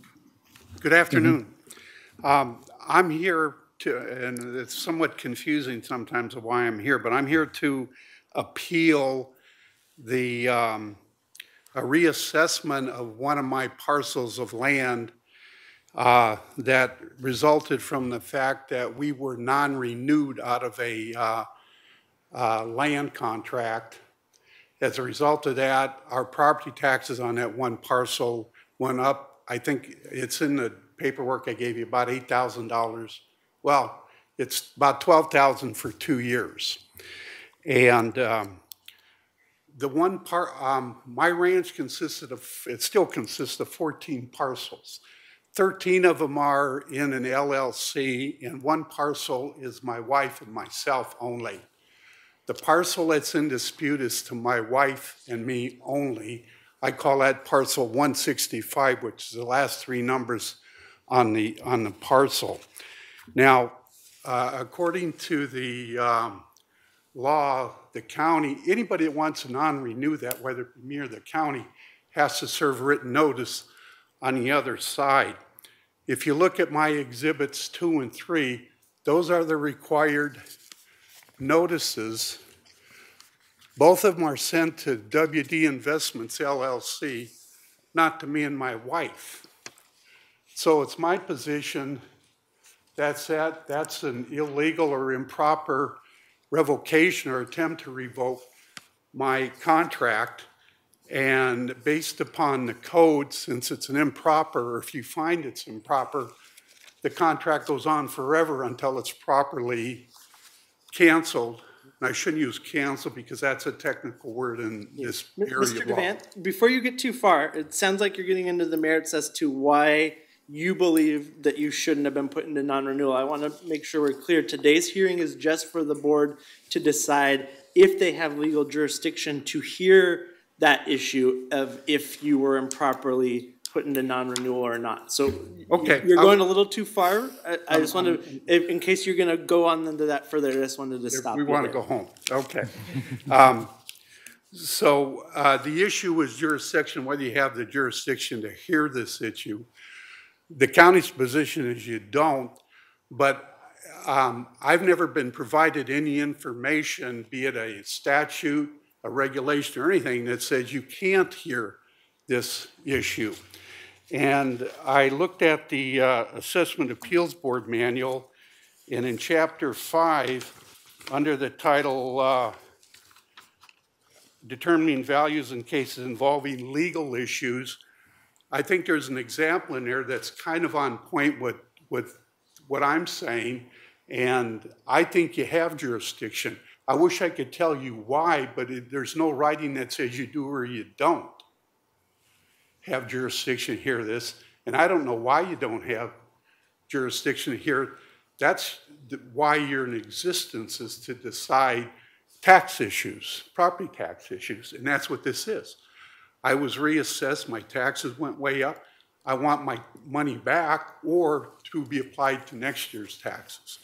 And with that, I rest because I have no specifics. I looked and looked, but I can't give you a code or regulation number that says I do or they don't. So I go Okay, to the county. okay, thank you. Just real quick, Mr. Devan, um, the, you mentioned the quote from the Assessment Appeals Manual, and I, I've read it myself before, but I don't see that in your exhibits anywhere. Is that correct? You have not given us that page from the assessment. I have not given you that page. I Okay. read that last night. Okay, can you just, for, real clear for the record, so legal counsel can research it, what page of the Assessment Appeals Manual that was? Sixty. Page sixty? Thank you. Uh, the- County Counsel, is that necessary? You don't need a copy, right? No, I can. Thank you. Are you talking about the assessment appeals manual for this county, or you're talking about the assessment appeal of the state? Assessment appeals manual. The State Board of Equalization, correct? I think it's the state. Yeah. This is the first time I've ever done this. I, I, uh, uh, I You can. about got me to confess last time I was here. Alright. Okay, and, So if your board doesn't have any questions, we could go to the assessor. or- yeah. Uh, Do, do the board members have any questions, or? Not yet. Okay. Uh, Okay, to the assessor, um, would you like to state your position? Yes. Do you have documents or just? Uh, so we have documents, yeah. Will it- will it be okay if I keep this? Yeah, I can steal someone's copy afterwards. Just don't let me forget. Thank you. Thank you.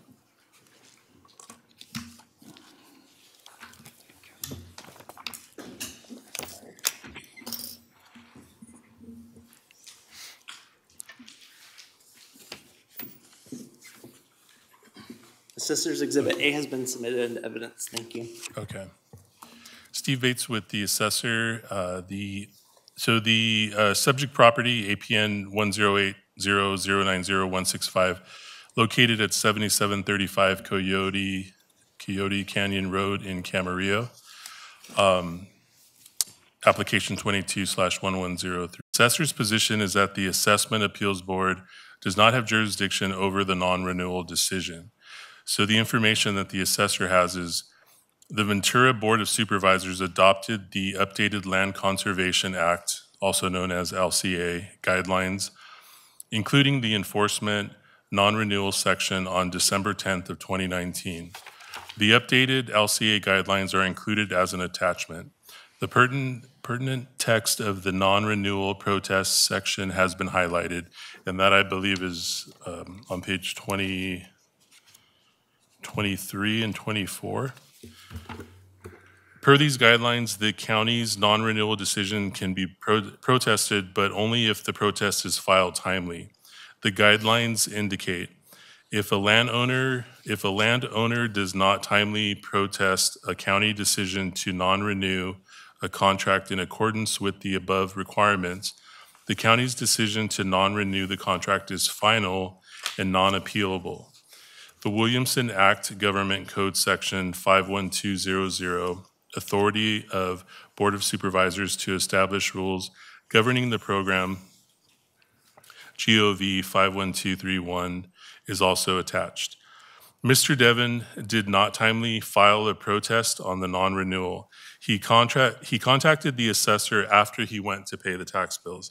Therefore, per the LCA guidelines, the non-renewal decision is non-appealable. Mr. Devon has taken a non-renewal, has taken a non-renewal decision on different properties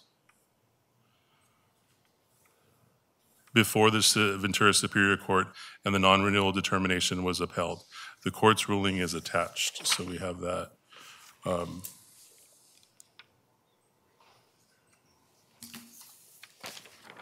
So that, I believe, I think just referencing the uh, Board of Supervisors was, I think I mentioned it on page 23 and 24, and that's highlighted, numbers two and three.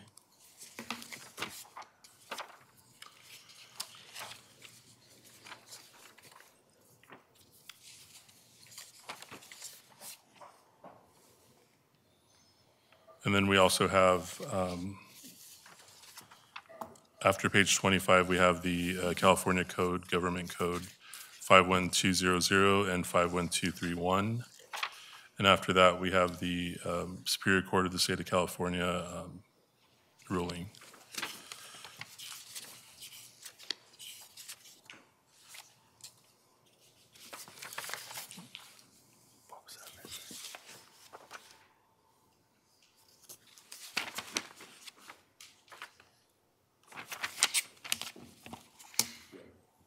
And that completes our presentation. Okay, thank you. Um, Mr. Devan, do you have any questions for the assessor? I have no questions for him, I just have a, a, a point to make. Um, Should we go back to the assessor for, uh, does anyone have any If the board has questions? no for the assessor? I have a question for the Okay. assessor. Um, Mr. Bates or Mr. Bradley, either. Mr. Devan has stated that he wasn't properly noticed, that the notification letter did not go to, and I know the letter didn't originate from the assessor's office, but I'm concerned that WD Investments LLC received the letter and not the, uh, Mr. Devan or his wife. Do you have, is, is this a concern that we should be taking notice of? uh, Scott Bradley of the County Assessor's Office.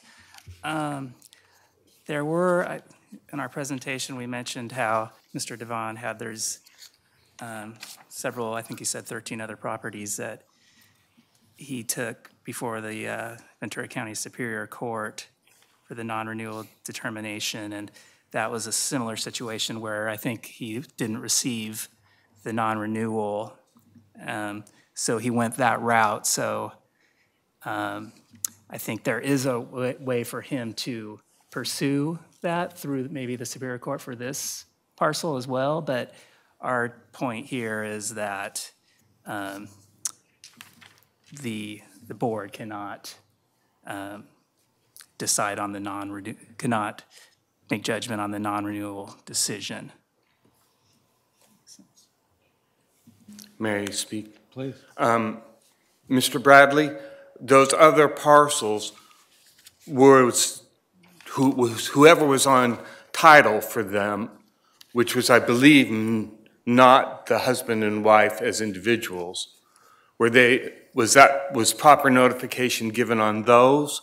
In other words, I'm not sure, you may be a false equivalency here suggesting that the same method of uh, appeal is available for um, Mr. Devan in this instance, because I don't see that he's been properly notified. And I understand the notification didn't come from your office, but this seems to be an odd situation.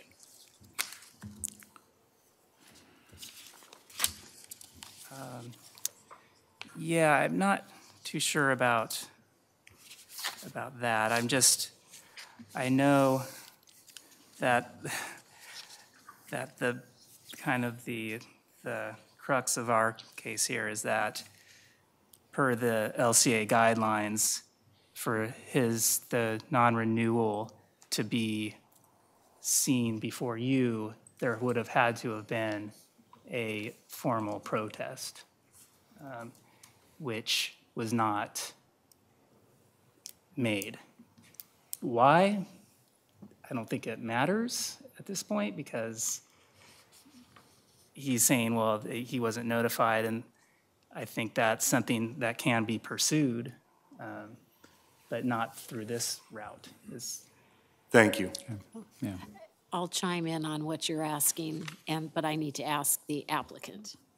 Um, Are you a um, partner or a director of WD Industry Investments I LLC? I am. That is you. And, Well, it's me, it was me and other people, and right now it's just me and my wife. We bought them out. okay, and um, WD Investments LLC receives mail at Coyote Canyon? Yes, And do you personally, you and your wife, receive mail at the Coyote Canyon Yes. address? Yeah. Okay. So you did receive the notice of non-renewal? No, Well, it's our position we didn't, but we litigated it on those 13 parcels and lost that. They, s- they sent us about an inch worth of paperwork, they claim, and I've never seen it. My wife has no memory of getting it, so I don't know. Our mailbox, and we haven't had a problem with theft of mail, but our mailbox is out on, it was out on Bradley Road for a while. So I don't know. But So- the, the difference is, is that they sent it to WD Investments. We denied getting it, but the court found we got, it. they don't admit or even allege that they sent it to us individually. Mm-hmm. So, I mean, that's the difference. Both of us can take, either one of us can take a writ. If they lose, they can take a writ. If I lose, I can take a writ to the court, so. But you basically heard the case I'm gonna make in the court. It's gonna be quick. I'm going to ask kind of a side question. Um, Are you still farming this particular parcel 165? Are you still farming that parcel? I'm ranching it. I You're run ran- cattle. You run cattle? Okay. Um, Few coyotes, a mountain lion every now and then, but no, it's, it's a fun place. And um, I'm reading the letter from uh, Ventura County Assessor's Office, October 23rd, 2020. Um, Second paragraph, it states that our records indicate that you have failed to return the agricultural preserve questionnaire for the past nine years for the LCA contract. Um, Had you, in fact, been returning the agricultural preserve questionnaires? I don't know if we did them or not. We did some, mm-hmm. but, you know, I don't know. I didn't know there was a problem. They were gonna change the whole law and all this, you know, on the December nineteenth. Mm. But though, that letter is addressed to WD Investments, not John and Kathy. So, However, the entities are the same. no, they're not the same. Uh, Well, um, if, if, if I were going to send you a letter, you and your wife, where would I send it? That address on, um, Coyote Canyon Road, On, pardon? Coyote Canyon Road. At the same address as WD Investments? At Yes. Okay. It's So. one of, the- it's one of their addresses. Some things got sent to my office in Burbank that went to WD Investments. Why that happened, I don't know. Um, our, when we bought the ranch originally, our address was on Bradley Road. And then they changed it to Coyote Canyon, and then the, the people that live in Coyote Canyon wouldn't let us put our mailbox next to theirs. And then the post office had to get involved and let us receive our mail, Okay. So. And is there any current litigation uh, through Superior Court regarding the LCA contract? No. Okay. And any filings with the Board of Supervisors regarding the LCA non-renewal? Not regarding this, the other case there was. Mm, There was, okay. And that's the one that got denied, right? Right. Okay. Hmm. Okay, thank you. Okay. um, Let's see, where are we? So I, I think any closing statements from the assessor and then from the applicant. Okay, to the assessor.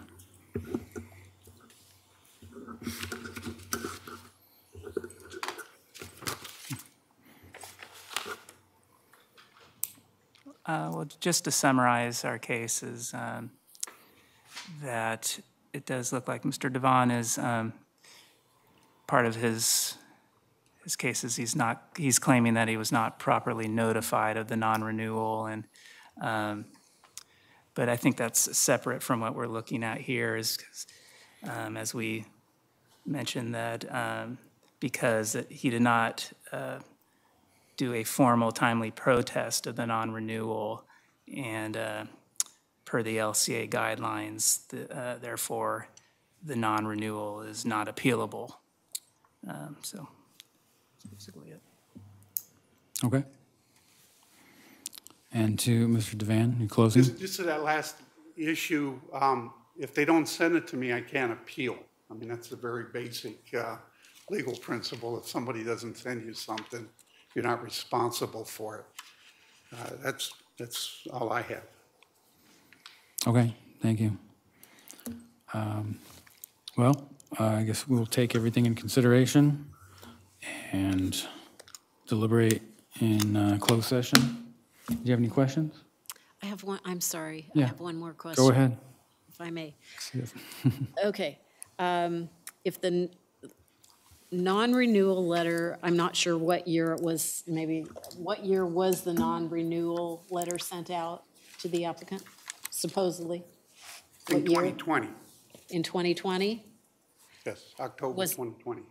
Okay. That's the date of this letter. I think tw- 20. You had a 20? I'm, I'm not sure, though. I- I'm Okay. under oath. I, I- Okay, so the non-renewal, uh, to, you're going to basically come out of the contract.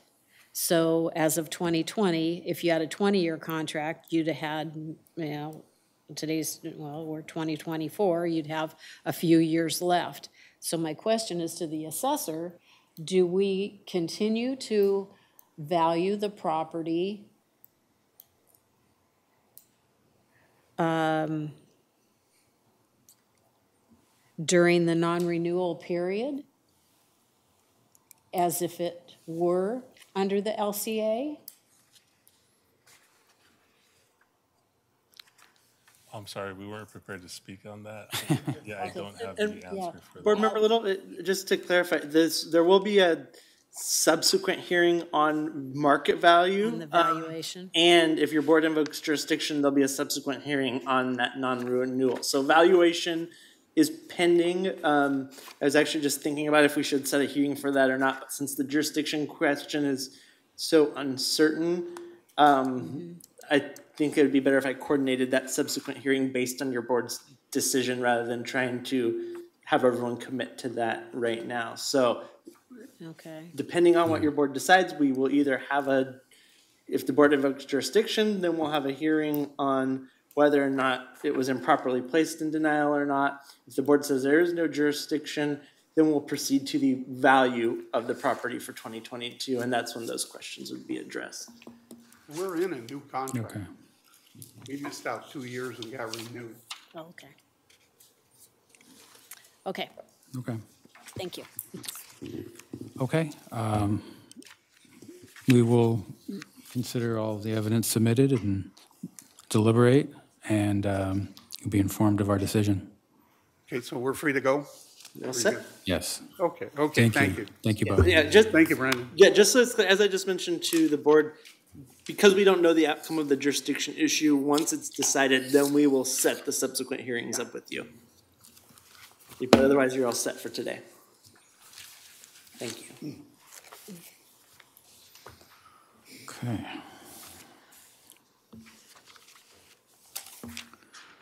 All right, so what, 57, 59? That's correct. Okay. Ms. Heisen, Ms. Salant, if you guys would like, you can come take a seat up here.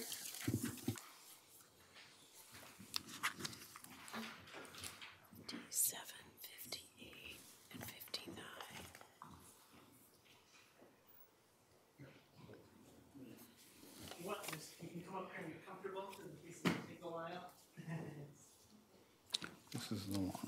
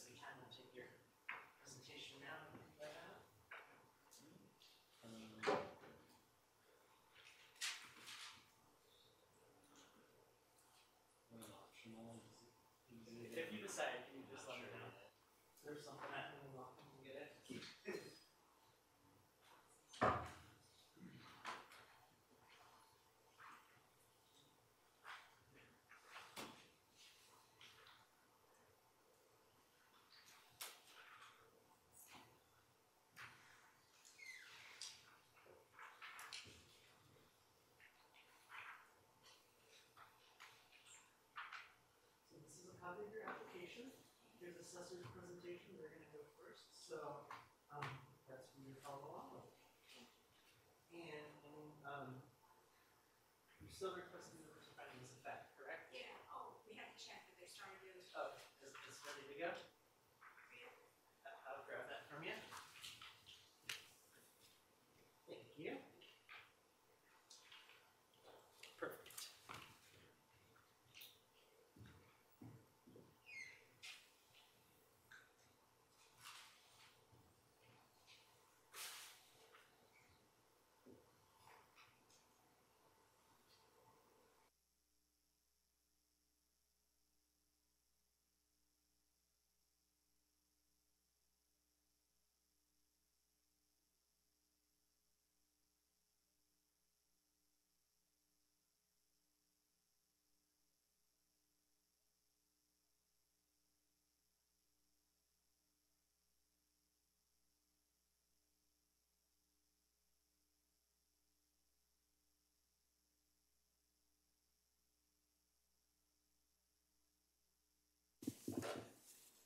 All right, board members, I think we're all set. I've handed out the application as well as a copy of Assessor's Exhibit A, and is there a B behind it?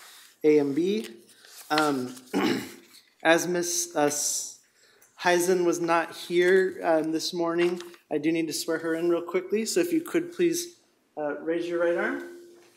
You solemnly affirm that the testimony you're about to give in the matters now pending before this board will be the truth, the whole truth, and nothing but the truth? Thank you. Um, one quick matter of business that I realized this morning when I was printing out this application. Um, this, we previously had a hearing where, where your board determined to accept this application as timely filed. There was originally a question of if it was timely filed or not. Um, one thing I, we, we did not do, um, was address, um, the completeness of the application in, in section six. So if you look at the application, page two, section six, the only thing selected is other. Whereas if you look at the very last page of this package, where the more recently filed application, there are boxes B1 and B2 selected, and that's because Ms. Heisen reached out and worked with my office to make sure that that later application was filed correctly. However, just to clarify, to correct the record, uh, the applicant does need to amend the, this first two applications in section six to select boxes B1 and B2 for the July sixteenth, twenty twenty-one change in ownership um, to make it all compliant with what they're eligible to um, appeal. And so I apologize, we did not catch that at the last hearing when we were discussing timeliness. Um, So again, section six, B one and B two need to be selected for July sixteenth, twenty twenty-one. Just want to confirm with you, Ms. Heisen, that is your intent to en- challenge that reassessment, correct? really fast, so I'm not sure what you're asking. Okay. The, the intent is that we have an appeal for, well, there were three issues. Um, One is the parent-child, which I think we have basically resolved. Um, And another one is the over 55 exclusion, and the other one is valuation. So as long as those are in all three, then we're good. Okay. Yeah, so board members, we just need a, a motion to approve that amendment, just to clear up the technicalities. So moved. I second.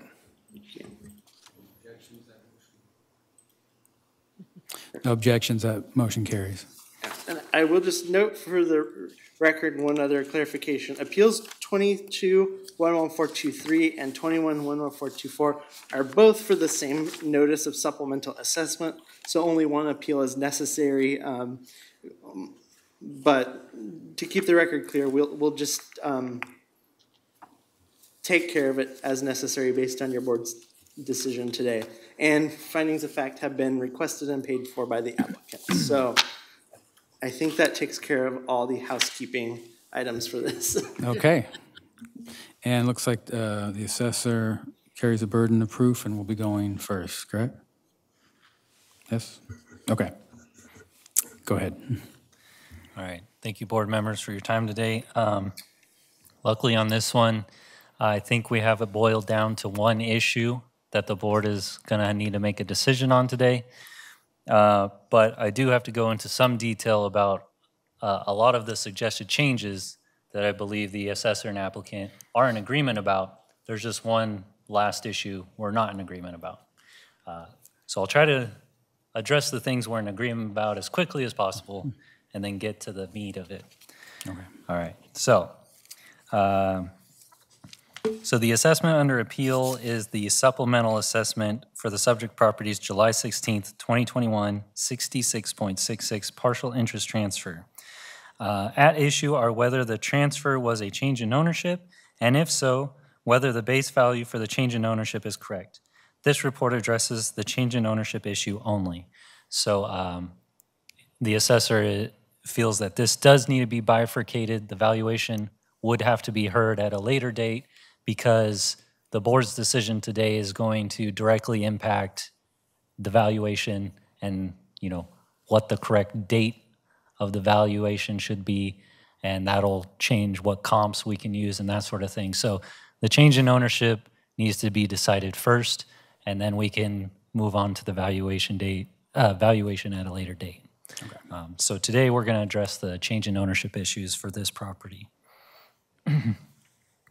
So a bit of history here. On January 5th, 2021, the owner of the subject property, Cecil Salant, passed away. This is according to the affidavit death of trustee recorded on June 21st, 2021. The property was held in a trust titled Cecil Salant Trust dated October 22nd, 2019. This is a revocable trust that became revocable when Cecil Salant passed away. The trust stated that the primary beneficiaries of the trust were Laura Beth Heisen, Andrea Salant, and Madeline Salant, AKA Madeline Hendel. The trust stated each beneficiary was to receive a third of the assets in the trust. The successor trustee is Laura Beth Heisen. Finally, the trust states that the trustee has the authority to allot different kinds of disproportionate share of property or undivided interest in property among the beneficiaries. Uh, This is commonly referred to as non-pro rata distributions uh, by the California State Board of Equalizations. Um, And then the last fact here is on July 16th, 2021, a deed was recorded where Laura Beth Heisen, successor trustee of the Cecil Salant Trust, granted the property to Andrea Salant. All right, so those are the, kind of the facts real quick. Uh, And then next, I want to talk about how the assessor originally treated these series of events. So the three beneficiaries filed a claim for reassessment exclusion for the transfer between parent and child. The claim was approved, therefore the January 5th, 2021 change in ownership was excluded from reassessment. As of January 5th, 2021, the three beneficiaries were considered the owners of the property. The assessor then determined the July 16th, 2021 deed was a 66.66 change in ownership since Andrea Salant already owned a third of the property as of January 5th, 2021. It was now the sole owner as of July 16th, 2021. So that's how we originally approached this. Uh, And then next, this is what the assessor is suggesting today, and I believe this is what the applicant also agrees with. So the assessor and applicant both agree on the following changes. The January 5th, 2021 change in ownership should be a 66.66% reassessable event. The July 16th, 2021 deed should be a non-reassessable event because it reflects the distribution of the property according to the trust and is only a clearing title deed. So the main reason for these suggested changes is due to the assessor receiving the trust distribution. Many of the Board of Equalization's guidelines for how to process trust-related transfers depends on how the trust is distributed to the beneficiaries. So when we originally worked it, we didn't quite have all the facts of how the trust was distributed. Once we got those facts, following Board of Equalization guidelines, this is how we feel it should be treated. And I will go into some detail as as to where the Board of Equalization says this is how we are, ought to do it. So on January 5th, 2021, this is a change in ownership according to Property Tax Rules 462.16B2. Um, A change of ownership does occur at the time the revocable trust becomes irrevocable. Uh, Property Tax Rule 462260 also says, for purposes of reappraising real property, as of the date of change of, in ownership of real property, the following date shall be used. And for trusts that are revocable, the date the trust becomes irrevocable. So example one, A creates an inter vivos revocable trust that becomes irrevocable upon A's death. The date of the change in ownership is the date of A's death. And property tax annotation 625.61 and property tax annotation 220.761 um, also speak about this. So that's why we're using the date of the, the date that the trust became irrevocable as the change in ownership, and not the July 16, 2021 date. Uh, The trust allowed the the trustee to distribute the assets non-pro rata. According to the trust distribution and the close of escrow documents, Andrea Salant provided funds in order to equalize the distribution. As directed by the Board of Equalization, this is seen as Andrea purchasing the property from the other beneficiaries. Uh, And Assessor's Handbook 401, page 90.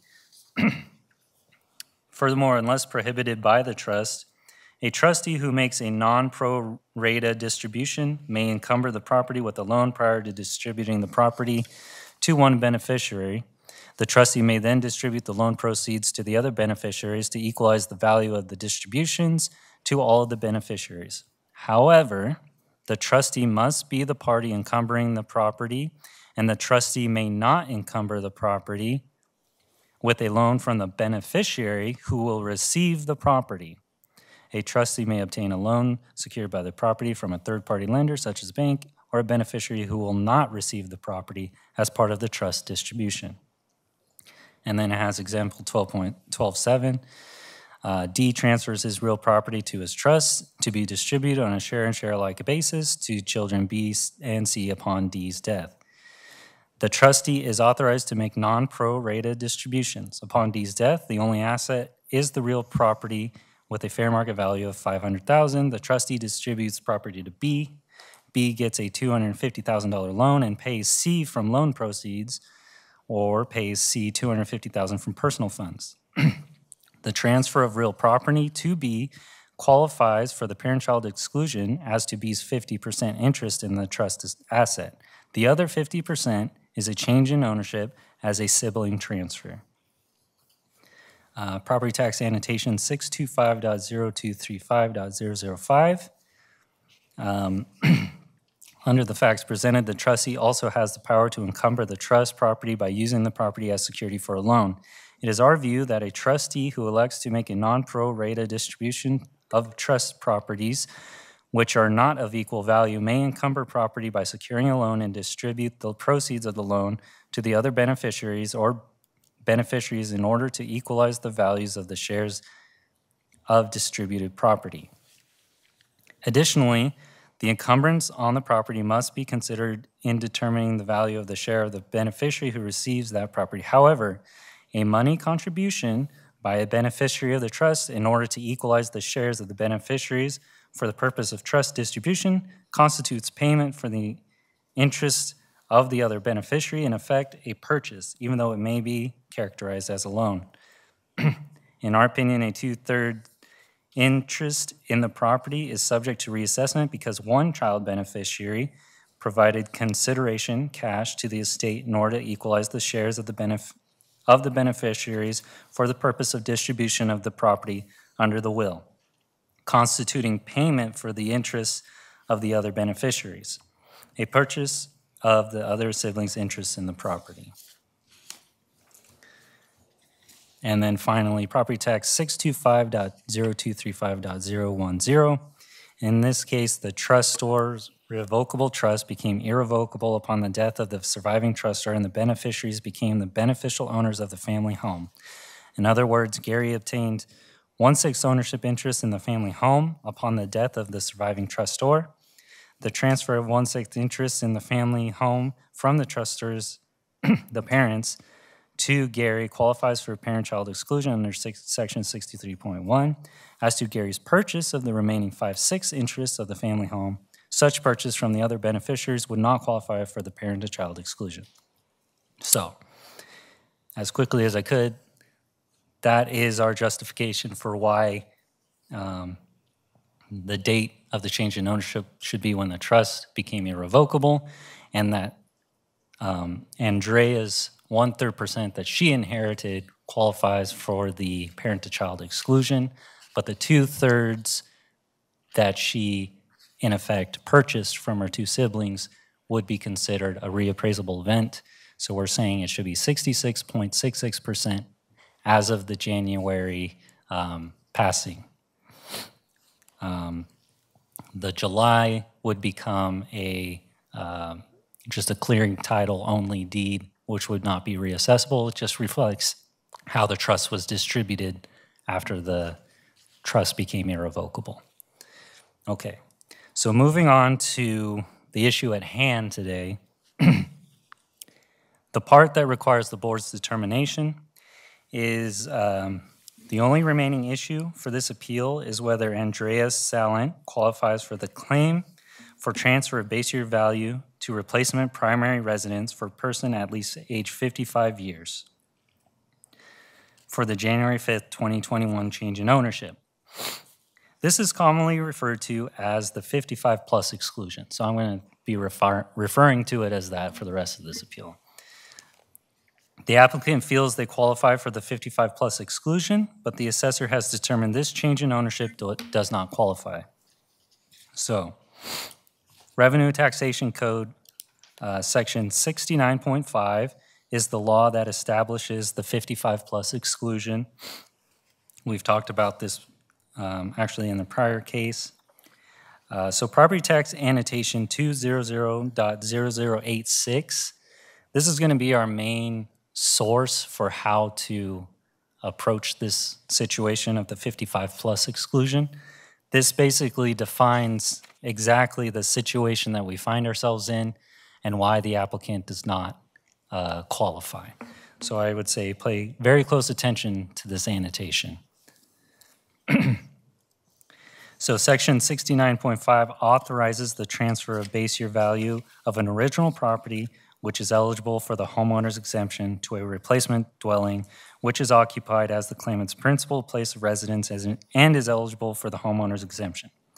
The section deals with the original property and the replacement dwelling as single integrated units. The definition of these terms, found in subdivisions G, 3, and 4, refer to a building, structure, or other shelter constituting a place of abode, whether real or personal property, which is owned and occupied by a claimant as his or her place of residence, and any land owned by the claimant on which the building, structure, or other shelter is situated.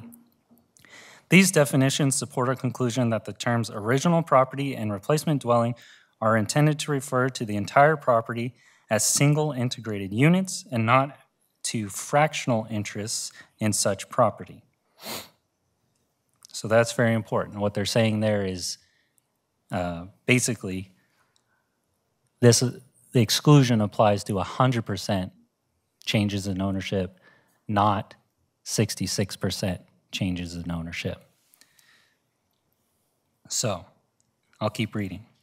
For that reason, we have generally followed this interpretation for purposes of applying the various requirements of section 69.5. For example, where a 50% interest in a replacement dwelling was acquired by inheritance, such as this case with the subject property, and the remaining 50% interest was purchased from other heirs, we have concluded that the replacement property could not be considered to be purchased for purposes of section 69.5. Logically, this analytically this analytical approach suggests that since we treat the original property and replacement dwelling on a single unit basis, anything less than a 100% purchase of the replacement dwelling will not qualify for the benefit. So it has to be uh, 100% purchased, not partially inherited and partially purchased. It has to be 100% purchased. The present beneficiary of a trust is not required to purchase his or her interest in the trust property and assets, but becomes the beneficial or equitable owner of that portion designated as his or her share by gift or devise at the time the trust becomes irrevocable. So what that sentence just said is as soon as the trust became irrevocable, Andrea automatically inherited her one-third interest in the property. She didn't have to do anything to earn it, it- she automatically inherited it. That is when the lifetime beneficiary's interest terminates on the date of death of the surviving spouse, the present beneficial interest transfers without consideration to the trust beneficiaries. Even though the property and assets in this trust remained undistributed for a substantial time period after the- her mother's death, Mrs. S acquired beneficial ownership at that time. Thus, Mrs. S became the owner of a 33 and one-third percent interest in the Piedmont residence where her mother died and the trust became irrevocable. The principle that the present beneficiary of an irrevocable trust is always considered the owner of the property in the trust, in contrast to the trustee who merely holds legal title, has been manifest since the enactment of the change in ownership statutes implementing Proposition 13. Moreover, the trust itself is never viewed as a separate entity for purposes of owning the real property or assets in the trust. Rather, the assessor must look through the trust to determine who has a vested present, beneficial, and equi- equitable interest in the trust property. Based on the foregoing, the purchase by Mr. and Mrs. S of the Piedmont resi- residence from the trust does not meet the requirements of Section 69.5 Mrs. S's 33 and a third percent interest was not a transfer resulting in a change in ownership for consideration, since she acquired it by gift or devise as a present beneficiary of the trust on the date of her mother's death. Even if the parent-child claim filed by Mrs. Sunder, the Section 63.1 exclusion had been denied by the assessor and a change in ownership did result, uh, Mrs. S did not purchase her interests as required under Section 69.5. And instead, 33 and a third percent of the $600,000 purchase price that she and her husband paid the trust in exchange for title to the replacement property she received back upon distribution from the trust as a result of the trust's interest acquired on her mother's death. So based on this annotation, it is the assessor's position that the change in ownership on January 5th, 2021 does not qualify for the 55-plus exclusion because one-third of the property was inherited and two-thirds was purchased. This does not satisfy the requirement of Revenue and Taxation Code Section 69.5 that the property must be fully purchased. Purchase is defined in Revenue and Taxation Code Section 67 as a change in ownership for consideration. This is also restated in Property Tax Annotation 200.0087, which is provided for the board as a reference in its Assessor's Exhibit B.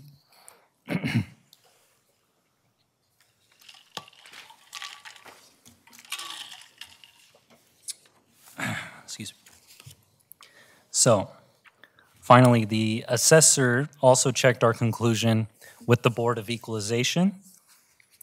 Uh, We reached out to Glenna Schultz, who is a principal property appraiser with the Board of Equalization, and she confirmed the assessor's findings. So I'm quoting what she wrote to us. Uh, Revenue Taxation Code Section 69.5 and 69.6 requires that a claimant purchase or newly construct a replacement dwelling.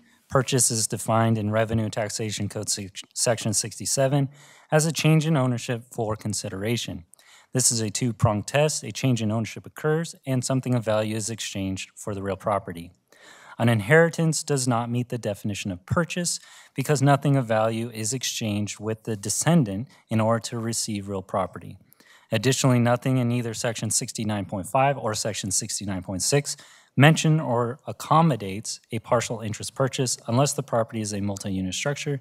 Thus, property tax rule 462.540 provides, example three, owner is the sole owner of a primary residence, which has a market value of 500,000. Co-owner purchases a 50% interest in owner's property for 250,000. Co-owner sold their original property, primary residence for 200,000 and meets all other requirements. Co-owner may not transfer the base year value of the, their primary residence to their 50% interest in owner's primary residence since the owner's primary residence did not undergo a 100% change in ownership. Thus, a dwelling that is partially inherited and partly purchased does not qualify as a replacement dwelling under Revenue Taxation Code Section 69.6. And she goes on to say, we opine the same under Section 69.5, see property tax annotations, and I've already mentioned those too. So just for clarification, 69.5 is the revenue taxation code that governs the applicant's uh, change in ownership date. 69.6 would be Proposition 19, which we've discussed. Um, That, that was implemented after the trust became irrevocable, so Proposition 19 uh, would not apply in this situation. So we're, we're only looking at Revenue Taxation Code Section 69.5 for this one. Uh, Next, we have Assessors Exhibit B. You'll see the table of contents there. This um, basically has everything that I just referenced in my Exhibit A. Um, So the first few pages here are the recorded deeds. The first one's the um, affidavit death of trustee. And on there, that's where we get our, um, on page, well, you can't really see it. It's page six, but it's kind of blocked. Um, You'll see on there, it says the date of death is January 5th, 2021. So that's where we're getting that date from. It's from this recorded deed or this recorded affidavit of death. Uh, Next is the grant deed on July 16th, 2021. This is on page seven. Uh, This is showing that how it was distributed from the trust. This is the one we're saying should no longer be considered um, a reappraisable event, but just be clearing title based on how the trust was dis- distributed. On page 11, this is the, I'm sorry, page 10. Page 10 is the uh, close of escrow statement that was provided um, from the applicant. The section I highlighted there is, uh, represents the portion that Andrea Salant uh, inherited. So that's her inherited portion. And then the other portions down there are what the funds that she contributed, um, and that, according to the Board of Equalization, is seen as purchasing it from her two sisters. And then the next page is the trust distribution that was provided by the applicant.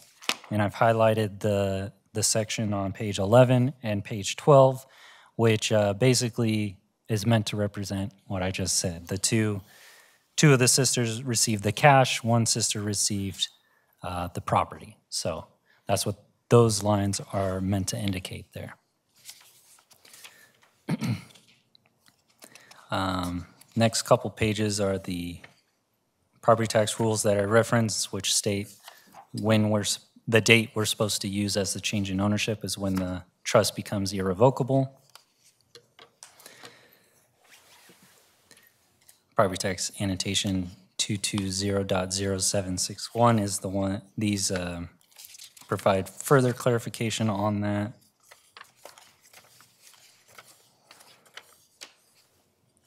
And then um, I did want to spend a little bit of, hopefully a short amount of time on page 30. This comes from the Assessor's Handbook, the 401. So I've highlighted the relevant sections. For transfers made through a trust, the date of the change in ownership is the date the property is transferred to the irrevo- irrevocable trust. That's what I read through in my Exhibit A. But on page 31, I wanted to read a little bit more here. Um,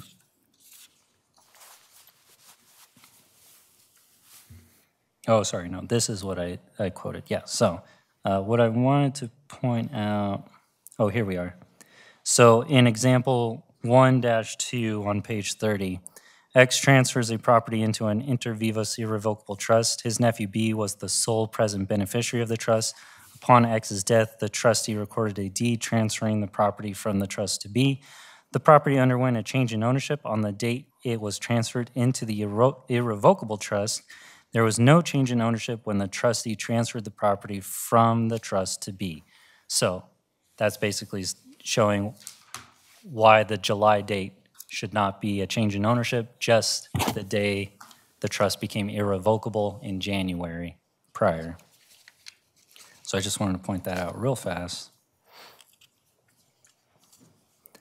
Um, And then the rest are a lot of the annotations that I had quoted.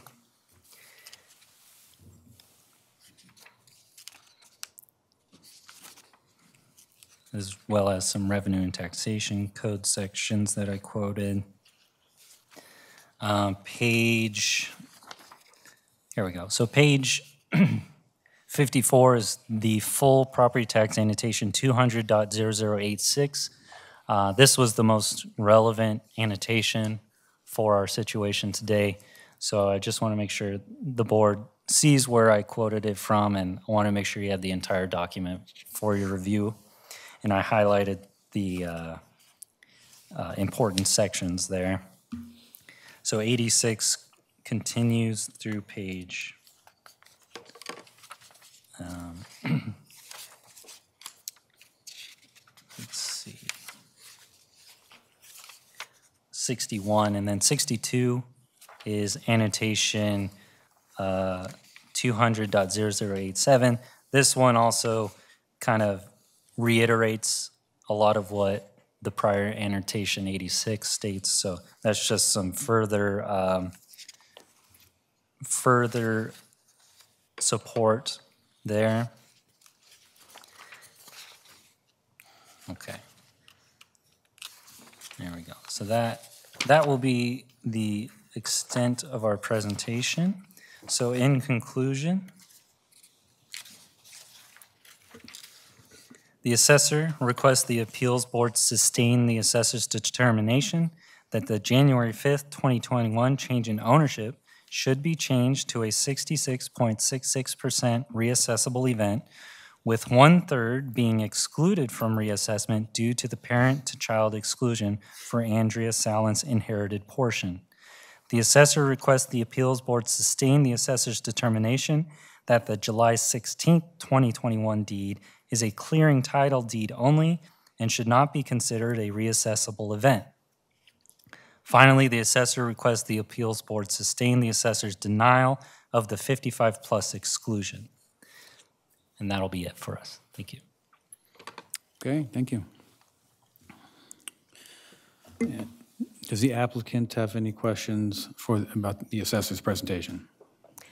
Uh, I don't know if it's a question for, for Mr. Phillips or if it's a clarification, but for purposes of the parent-child um, transfer exclusion, um, it would be under the old law because um, the, the trustor died January 5th, 2021. For purposes of the 55, of, of the 55-plus exclusion, the pertinent date is July 16th, 2021, because that's when my sister, um, when Andrea purchased the property. Um, There was a- Do- uh, an do- email uh, uh, exchange a couple of months ago. Ms. Heisen, I'm sorry, Yeah. do you have any questions for the, for the assessor regarding their presentation?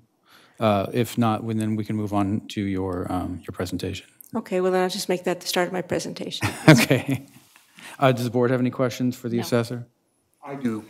Uh, Mr. Phillips, I I just want to make sure I have the broad brush uh, here. Yeah. There was, um, there's two dates involved. The first date is when uh, the mother passed away, and the property went, at that point, to three children.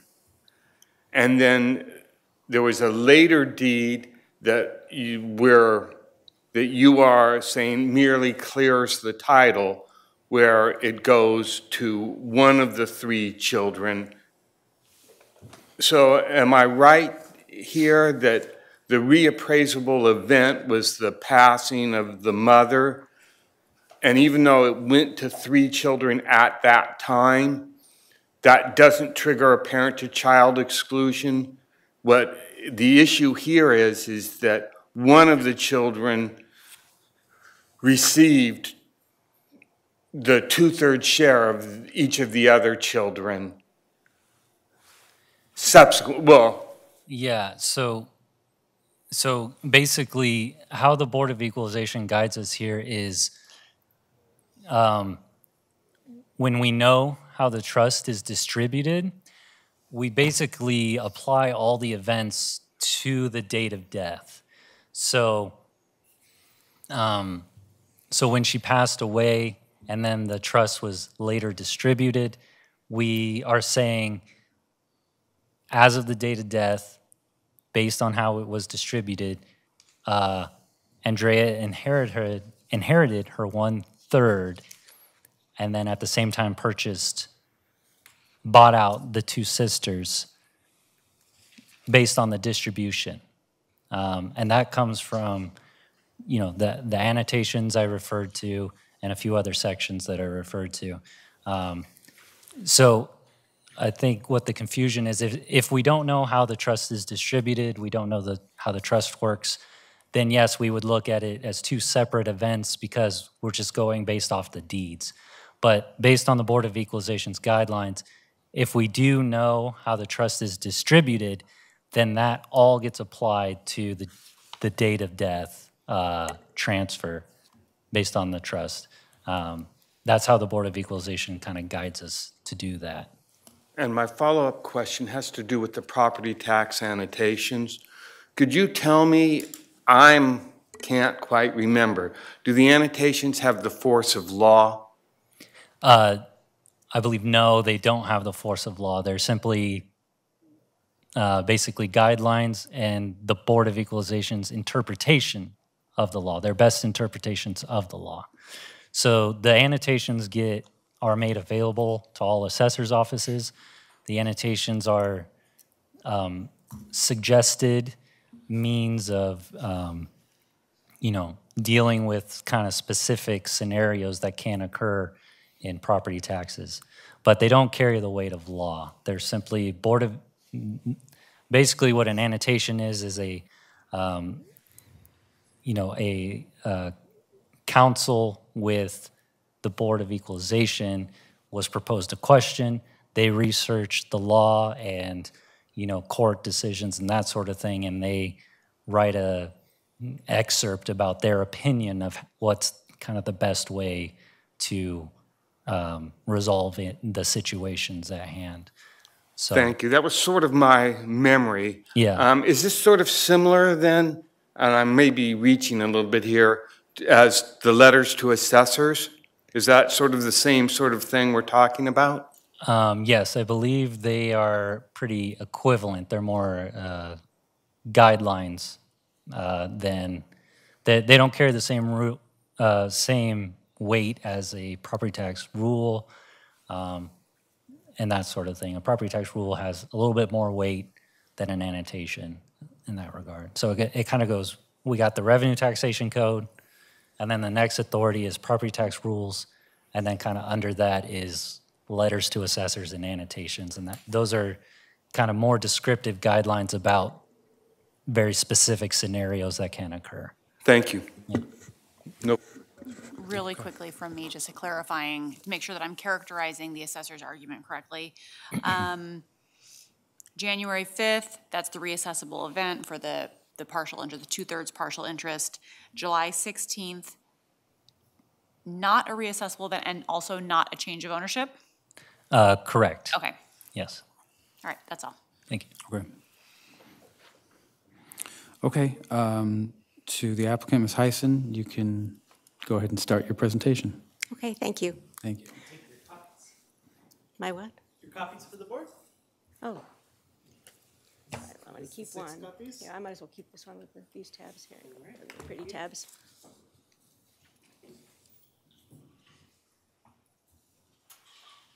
Thank you. Thank you.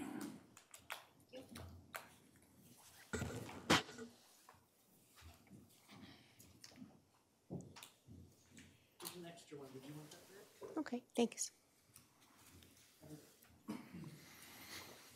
All right, applicants exhibit, um, let's call it zero through eight have been submitted, yeah. So including the cover page, that'll be exhibit zero, and then through exhibit, well, actually, let's see. Based on your table of contents, you have fifteen different documents in here, Ms. Heisen, is that correct? No, that's not the table of contents. I, I I believe what you're looking at, the- I'm, oh, yes, table of contents, but the exhibits, there is no exhibit list, but the exhibits are one through nine and A through C. Okay. Um, let's just call this package applicant's exhibit one, and then I'll sub-identify based on her tables. Okay. Thank you.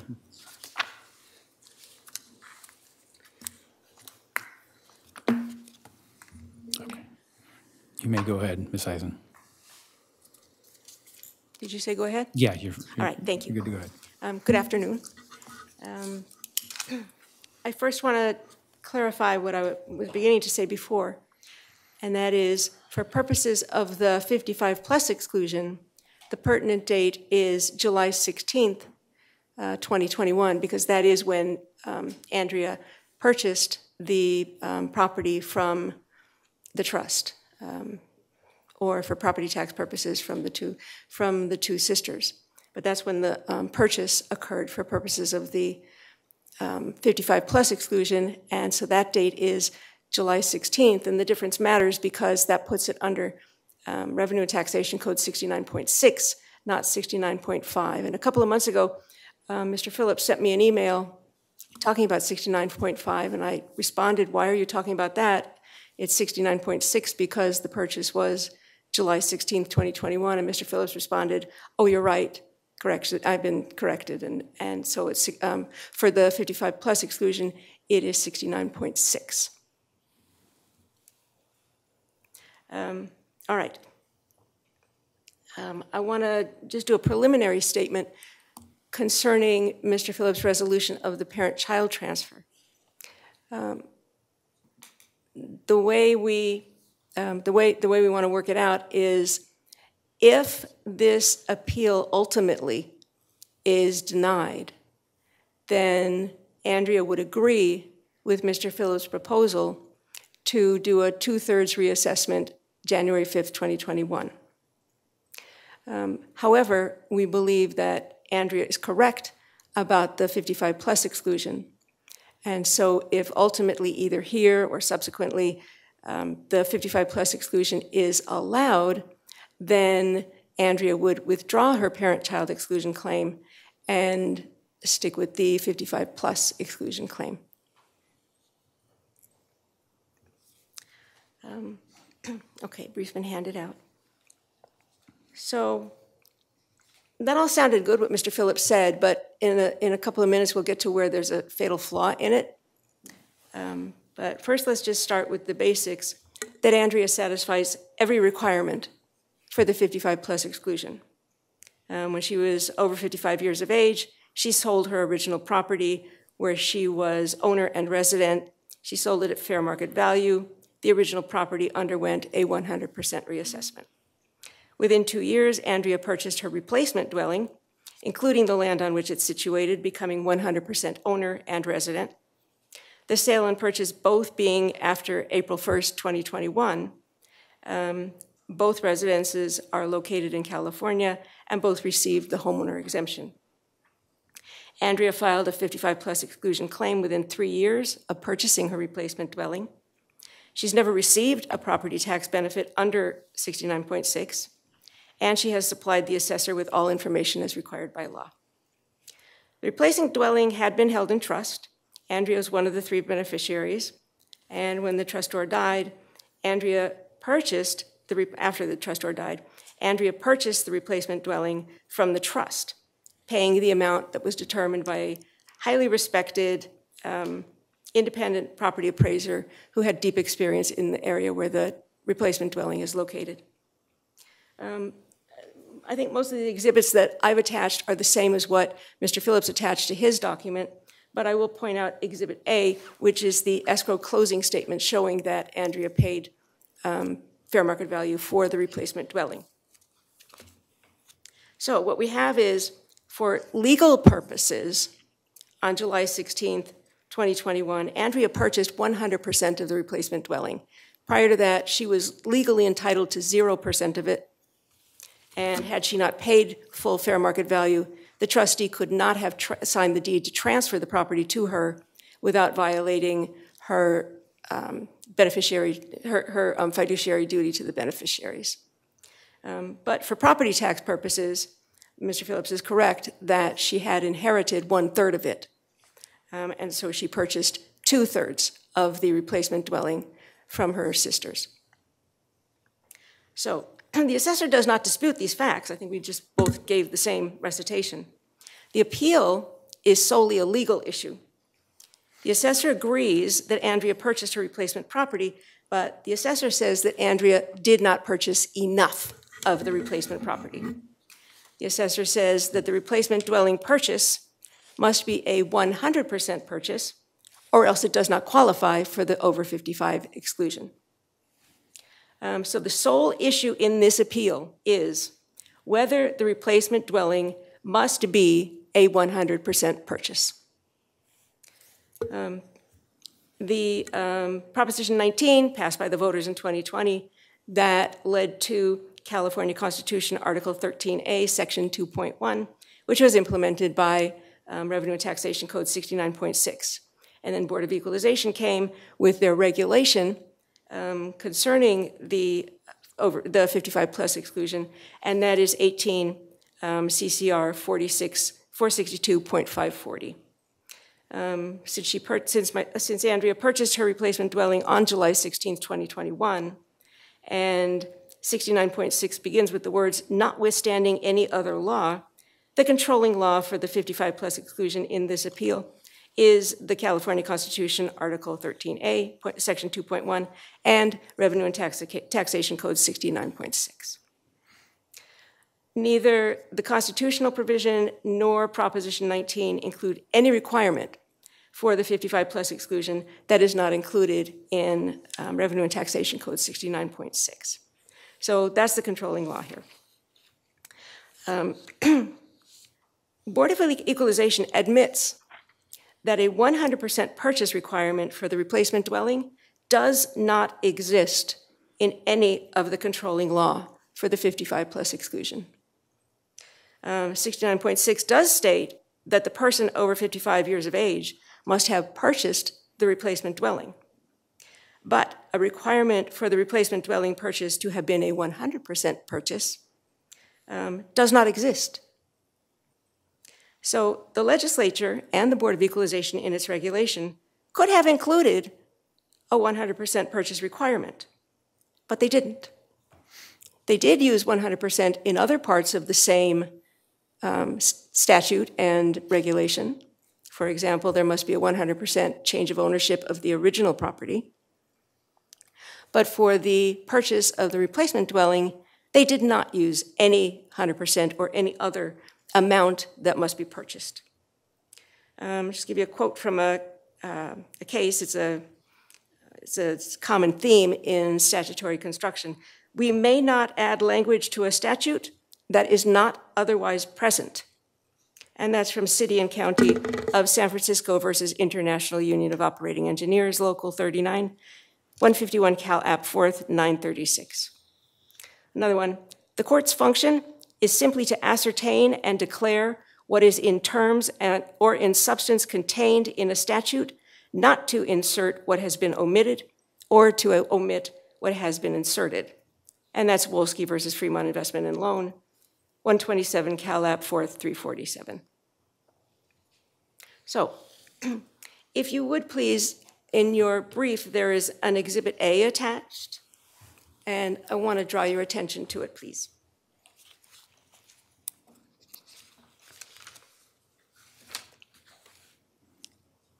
That's from, oops, I'm sorry.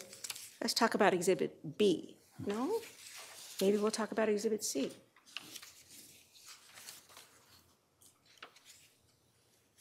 Where is example two? Oh, here it is. I'm sorry, it's Exhibit C, my mistake. Okay, so the regulation includes an example two. Um, It starts with, at, at at 462-540A, it lists the conditions that are required to be met in order to qualify for the 55-plus exclusion. Um, And under the fourth condition is example two. So let's read. Owner sells their primary residence for 550,000. Owner and two other persons together purchase a replacement primary residence for 500,000. If owner is otherwise qualified, the factored base year value of their original primary residence can be transferred to the replacement primary residence. Even though owner only owns a one-third interest in the replacement primary residence, 100% of the original primary residence changed ownership, and 100% of the replacement primary residence underwent a change in ownership within two years. Only owner is considered a claimant, even if the other, if the other co-owners will benefit from owner's base year value transfer. What do we get from that? That means that the person over 55 can get the 55 plus exclusion by purchasing only one third of the replacement dwelling. Andrea, however, purchased two thirds of her replacement dwelling. So, based on example two in the regulation, um, it appears that Andrea it qualifies for the 55 plus exclusion because the same thing happened. Um, there was a 100% change of ownership of the original property and the replacement dwelling. And she bought twice as much as the person in example two. So, under this example, Andrea qualifies for the over 55 exclusion. So, talked about this with uh, Mr. Phillips, and he said, no, no, no. The reason the person in example two qualifies and Andrea does not is because in example two, someone, someone purchased 100% of the replacement property. And with Andrea, she purchased two thirds and inherited two thirds, no one else. So basically, the practical impact of that is that even though Andrea purchased twice as much as the person in example two, and even though Andrea now owns 100% of the property, she doesn't get the exclusion. Whereas this other person in example two, who purchased only one third of the property and owns only one third of the property, does get the exclusion, as to two other people who aren't even over 55. So the inequity in that is obvious. But let's look at this theory that you qualify for the exclusion as long as someone purchased 100% of the property. So for that, I want to draw your attention, please, to, let me make sure I'm pointing to the right exhibit this time. Yeah, now we're looking at A. This is from Revenue and Taxation Code 69.6. I'm going to drink some water, I'm sorry. Okay. So this is from the applicable statute about the 55-plus exclusion. Which exhibit is this? Yes, we are. And it says, notwithstanding any other law, the following shall apply, shall being mandatory.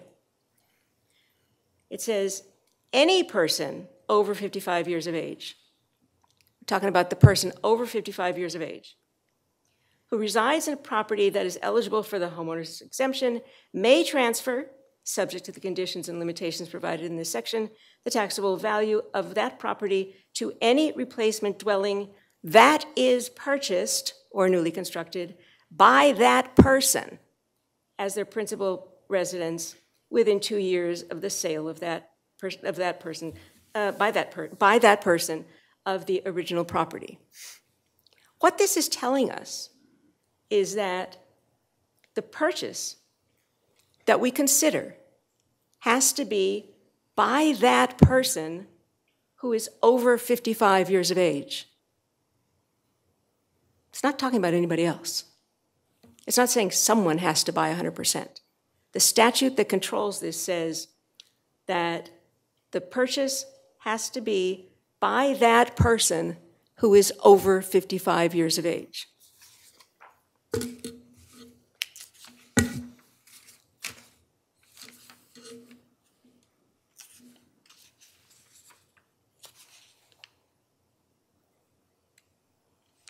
So the statute does not state that the relevant purchase is a person by the per- uh, is a purchase by the person who's over 55 years of age and by someone else.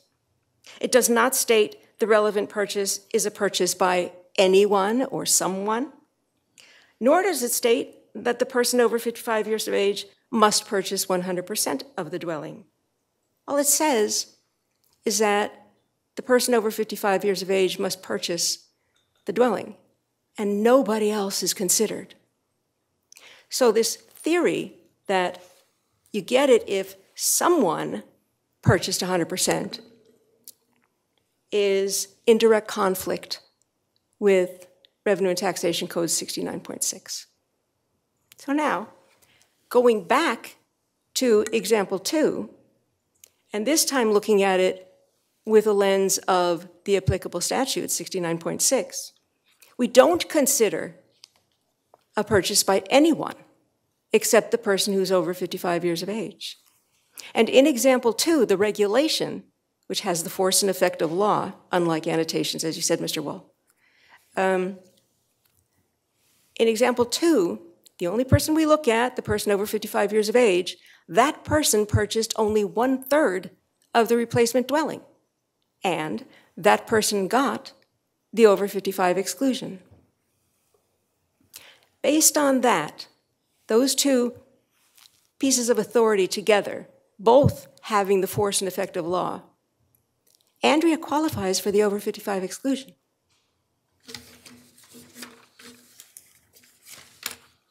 I'm going to go back and see if I missed anything in that, skipping around.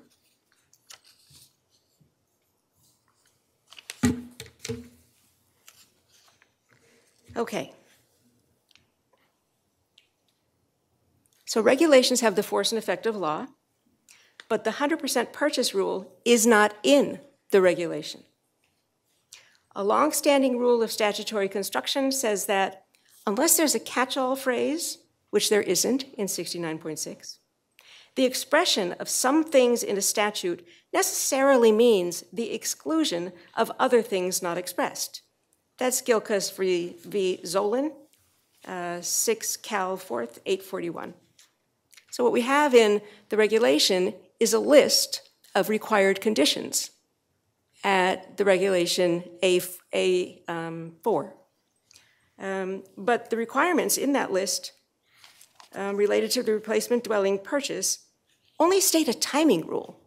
They don't say anything about the amount that must be purchased or that it must be a 100% purchase. It's just not there. Therefore, the rules of statutory construction tell us that no such requirement exists. What is in the regulation at example two is that the person over 55 years of age who purchases less than 100% of the replacement dwelling can qualify for the 55 plus exclusion.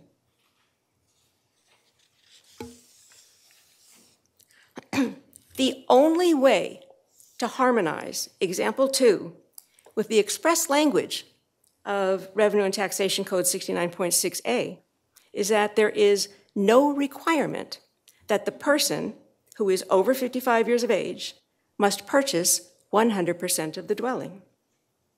The assessor's alleged 100% purchase requirement could only be possible if the words by that person were not written into 69.6A.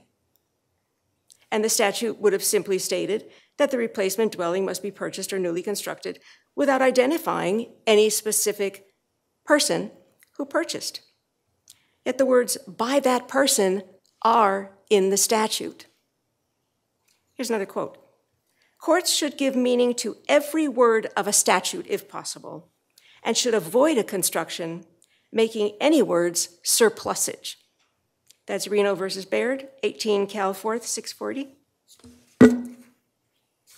The assessor's 100% purchase requirement would, put in, con- in conjunction with um, the regulation, would impermissibly leave the statutory words by that person as mere surplusage. And we can't do that.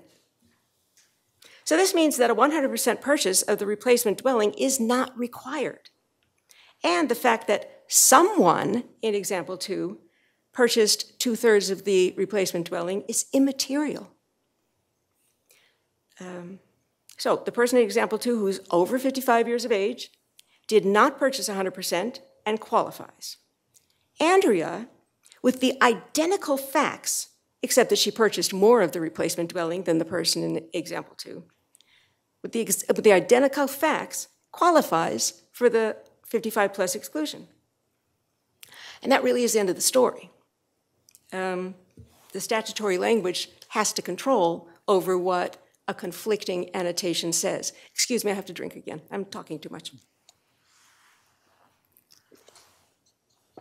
Okay.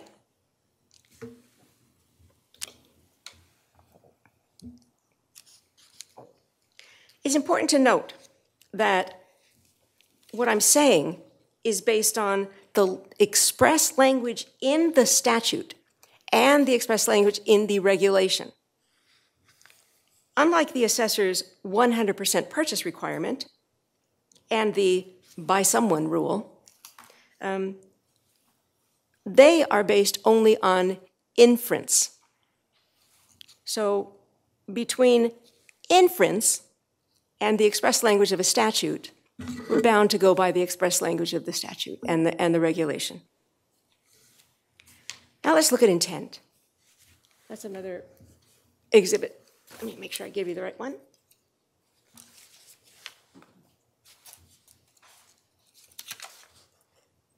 Okay, this time we're looking at Exhibit B. And this is the last exhibit we'll look at. This is from the California Constitution concerning the 55 plus exemption. Limitation on property tax increases on primary residences for seniors, the severely disabled, wildfire, natural disaster victims, and families. It is the intent of the legislature in proposing and the people in adopting this section to do both of the following. The second one is irrelevant to this case. Number one, the intent is to limit property tax increases on primary residences by removing unfair location restrictions on homeowners who are seniors over 55 years of age that need to move closer to family or medical care, downsize, find a home that better fits their needs. And then there's number two, which is immaterial to this. Um, here's another quote. As with any statute, we strive to ascertain and effectuate the legislature's intent. And that's People versus Castaneda, 23 Cal 4th, 743. So, under the intent of the Constitution, um, what we want to do is make it so that seniors and other vulnerable populations who are listed in here, so that those vulnerable populations can change their primary residence without suffering a loss of their property tax base. And that's what Andrea is trying to do. She chose the house she chose. Um, primarily, she had been living um, in her original property for 30 years. She's getting older. She's a widow. There's only one other family member immediate family member in the Southern California area who lives nearby, and that's me. And the replacement dwelling is a lot closer to me than Andrea's original property. Um, the replacement dwelling is also closer to her medical, um, where her medical insurance has their facilities. It's a one story house instead of two, which when you get older is good. So, for a number of reasons, um, the replacement dwelling is more suitable to, for her needs. And that's what the intent of the legislature and the voters who passed Proposition 19 wanted to help happen. So she meets the intent of the statute. On the other hand, the 100% purchase requirement, not found in any law, violates the voter and legislative intent, um, and it unfairly and without valid justification attempts to claw back a benefit that the voters in the legislature intended to provide to the vulnerable populations who are listed. Excuse me. I'm really sorry. It'd be nice if it No problem. Okay, the amount of the exclusion. So, as seen in the regulation, um, 18 CCR 462.540, example two, even if the person over 55 years of age purchases only one third of the replacement dwelling, the 55 plus exclusion amount is not reduced by the amount of the replacement of the amount of the I'm sorry, not reduced by the amount of the replacement residence that the person over 55 years of age did not purchase. That's why those two other people in example two, who were not even over 55 years of age, also benefited from the exclusion because it applies to 100% of the dwelling. So, because Andrea purchased twice as much of her replacement dwelling as did the person over 55 years of age in the example two, Andrea qualifies for the exclusion, the 55 plus exclusion, and the exclusion amount is not reduced by the amount of her replacement dwelling that, for property tax purposes, she did not purchase. Um, while we're talking about intent and things like that, I want to mention something. Question might arise well, why allow the additional benefit of the 55 plus exclusion to a person over 55 years of age who doesn't even purchase 100% of the dwelling? Well, example two says you do. But I think the, the reason is that the 55 plus exclusion confers no additional property tax benefit that the person over 55 years of age does not already have at their original property. So, what it does is it prevents them from losing their property tax base. It doesn't give them anything extra. And that's from the formula for um, determining the amount. Uh, you look at the at the um, compare the two values of the original and the um, replacement dwelling. And if the replacement dwelling has the higher full cash value, then the replacement dwelling's new tax base is the same as that of the original property, plus the difference between the full cash value of the two residences. So you keep the same benefit, no more and no less. Um, and if the replacement dwelling is of lesser value, then the same property tax base transfers over, even though it's the properties of lesser value. So you still keep the same benefit. There is no additional benefit at all conferred that the person does not already have. We're giving them nothing extra. All we're doing is preventing them from losing a benefit that they have. but if they do move, their property tax might increase if the new residence is worth more than the last one. Okay, so beyond any doubt, the statute says that Andrea qualifies, the statute plus the regulation put together. But you might be wondering, well, where did these annotations come from? And so I read them, and I looked at their reasoning. And while it doesn't matter because the statutory language controls, I want to go into some of it. Um, for the by someone theory, there is no reasoning.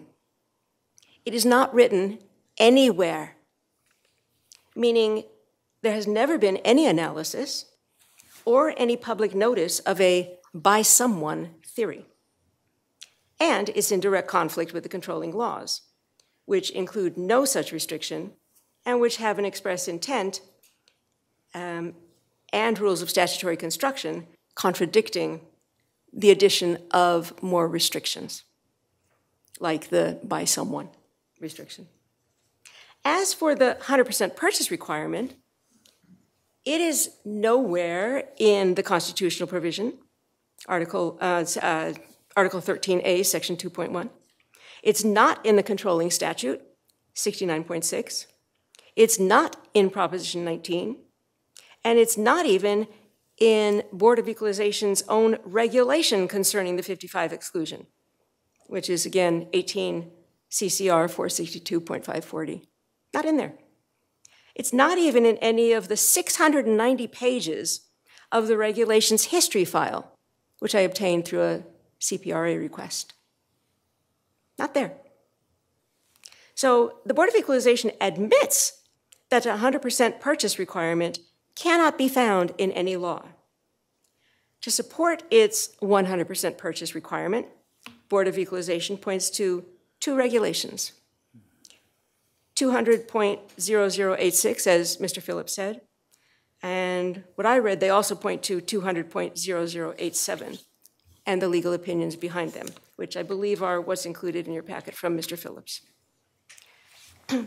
None of those, by the way, say anything about a by someone theory.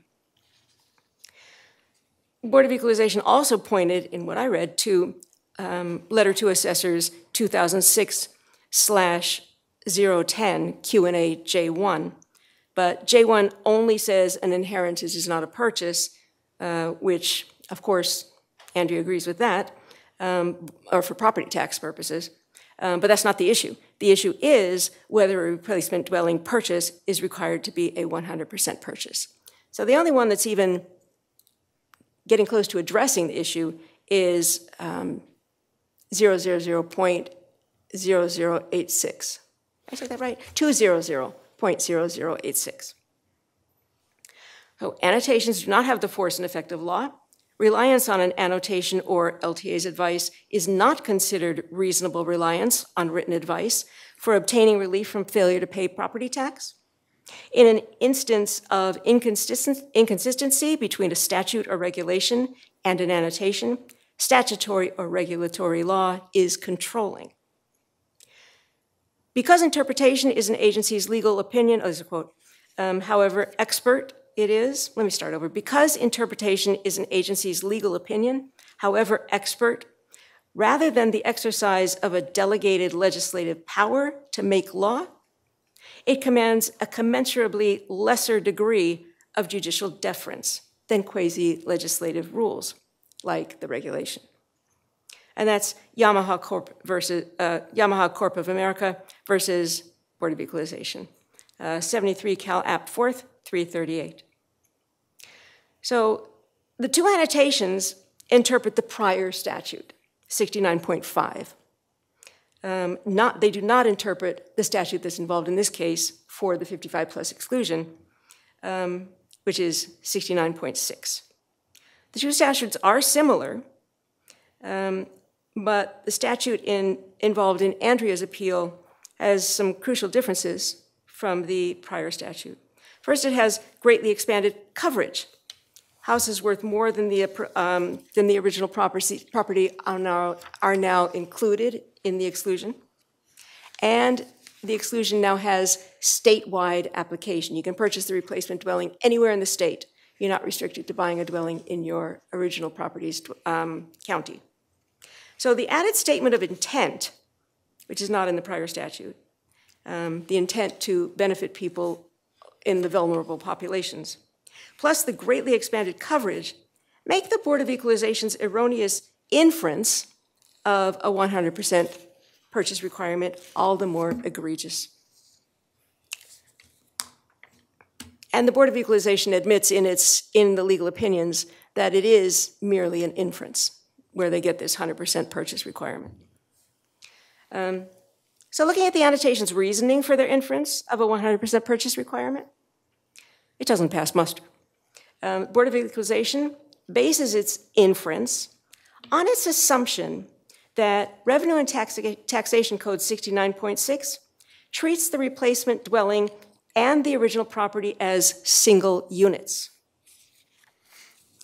Um, the legal opinion uh, C 03 30 1990, which annotation 200.0086 in part relies on, points to the definition. This is where they get the, the idea that it's uh, single units.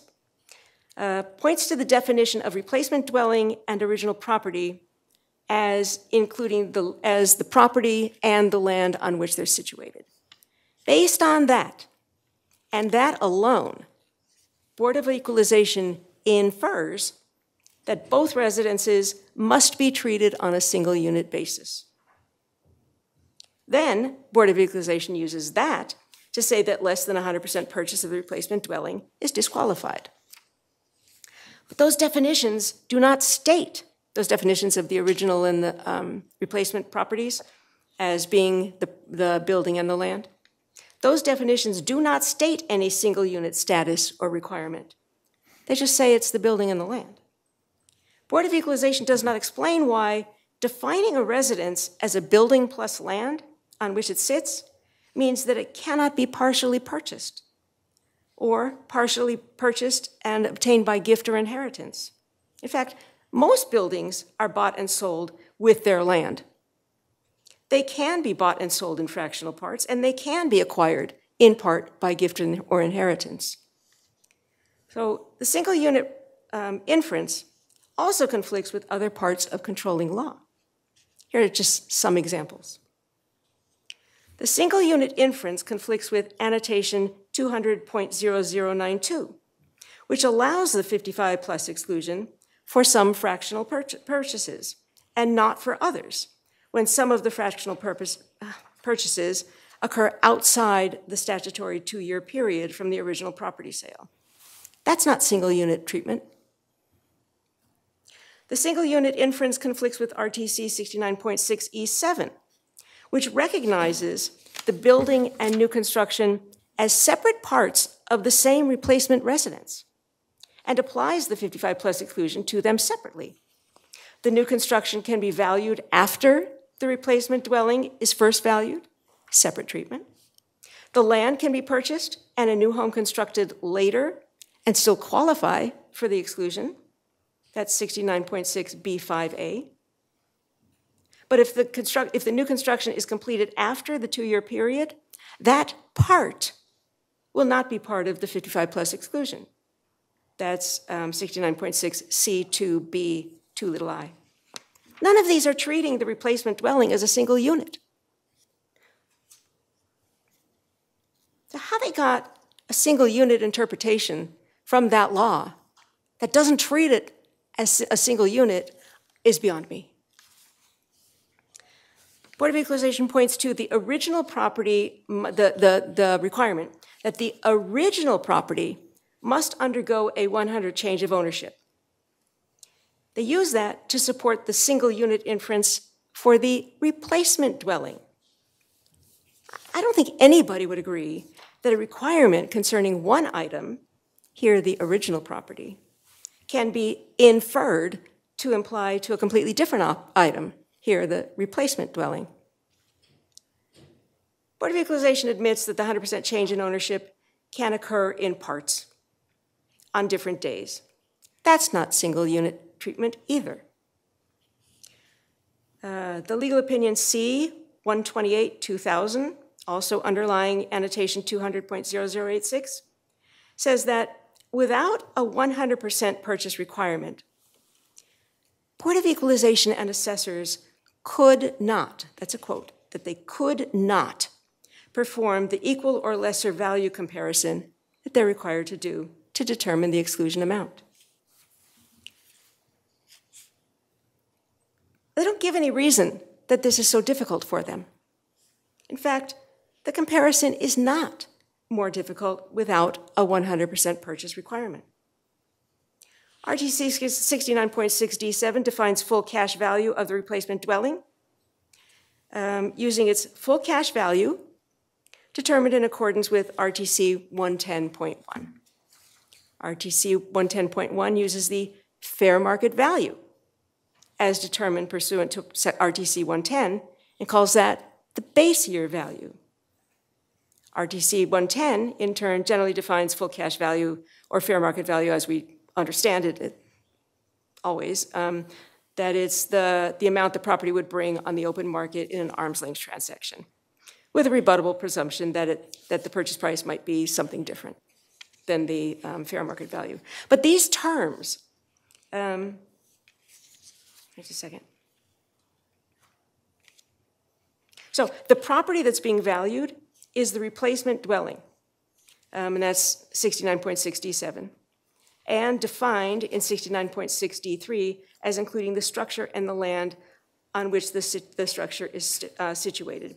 None of these terms, the term, the, the um, fair market value, full cash value, base year value, none of these terms change depending on whether the person purchased 100% of the property, 50% of the property, a third of the property.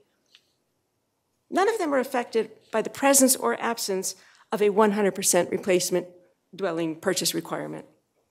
So the required equal or lesser value comparison of the fair, full cash value of the original residence and the replacement dwelling is not impossible, and it's not even more difficult without a 100% purchase requirement for the replacement dwelling. The BOE's alleged inability to perform the equal or lesser comparison conflicts with the Board of Equalization's apparent ability to perform the comparison if more than 100% of the replacement dwelling is purchased.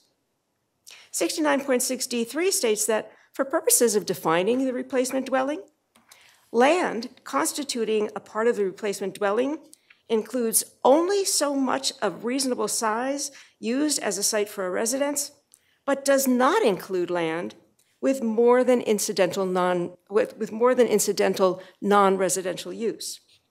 This means that if you buy land that includes more than incidental non-residential use, that means you just bought more than 100% of the replacement dwelling. And the excess is not treated as part of the replacement residence. And the Board of Equalization apparently has no problem performing the equal or lesser value comparison if more than 100% of the residential dwelling is purchased. But it could not do the same comparison if less than 100% is purchased? This inconsistency, again, shows that a 100% replacement dwelling purchase cannot be inferred.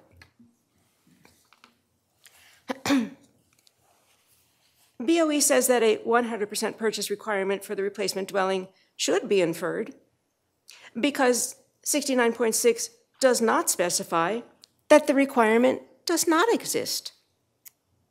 Well, the Board of Equalization is not using accepted rules of statutory construction, which says we may not add language to a statute that is not otherwise present that's City and County of San Francisco versus International Union of Operating Engineers, Local 39, 151 Cal App 4th, 938. So the inference of a single unit treatment also directly conflicts with example two in the regulation that we looked at, interpreting the current law, unlike the annotations, which, as discussed, allows the 55 plus exclusion for a fractional pur purchase by the person who is over 55 years of age. That is, under 69.6, the only purchase we're supposed to look at. One of the three, I'm so sorry.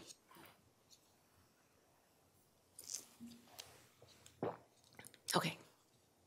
One of the three legal opinions, which annotation 200.0086 um, is C 330 1990, and it correctly admits at page two of that legal opinion quote, "It is fair to say that our conclusions are not necessarily free of doubt," unquote. Um, far from it. For these reasons, the annotations are not entitled to weight because they conflict with the statutory language and the regulatory language that has the weight of law, and because they're inconsistent. Further, it's well settled that, is a quote, administrative regulations that violate acts of the legislature, as this 100% purchase and by someone theory do, um, they go against the 69.6 and example two. Um, it's well settled that administrative regulations that violate acts of the legislature are void, and no protestations that they are merely an exercise of administrative discretion can sanctify them. Administrative regulations that alter or amend the statute or enlarge or impair its scope are void, and courts not only may, but it is their obligation to strike down such regulations. That's Selby v. Department of Motor Vehicles, 110 Cal App 3rd 470. Uh, it's, a long, it's a whole lot of cases that say this. Another one is Morris v. Williams, 67 Cal 2nd 733. Here, the express language, the express legislative language of 69.6a, limiting consideration to a purchase by that person who is over 55 years of age, and the quasi-legislative language of 18 CCR 462-540, example 2, allowing less than a 100% purchase by that person who is over 55 years of age to qualify for the 55 plus exclusion, those have the force and effect of law.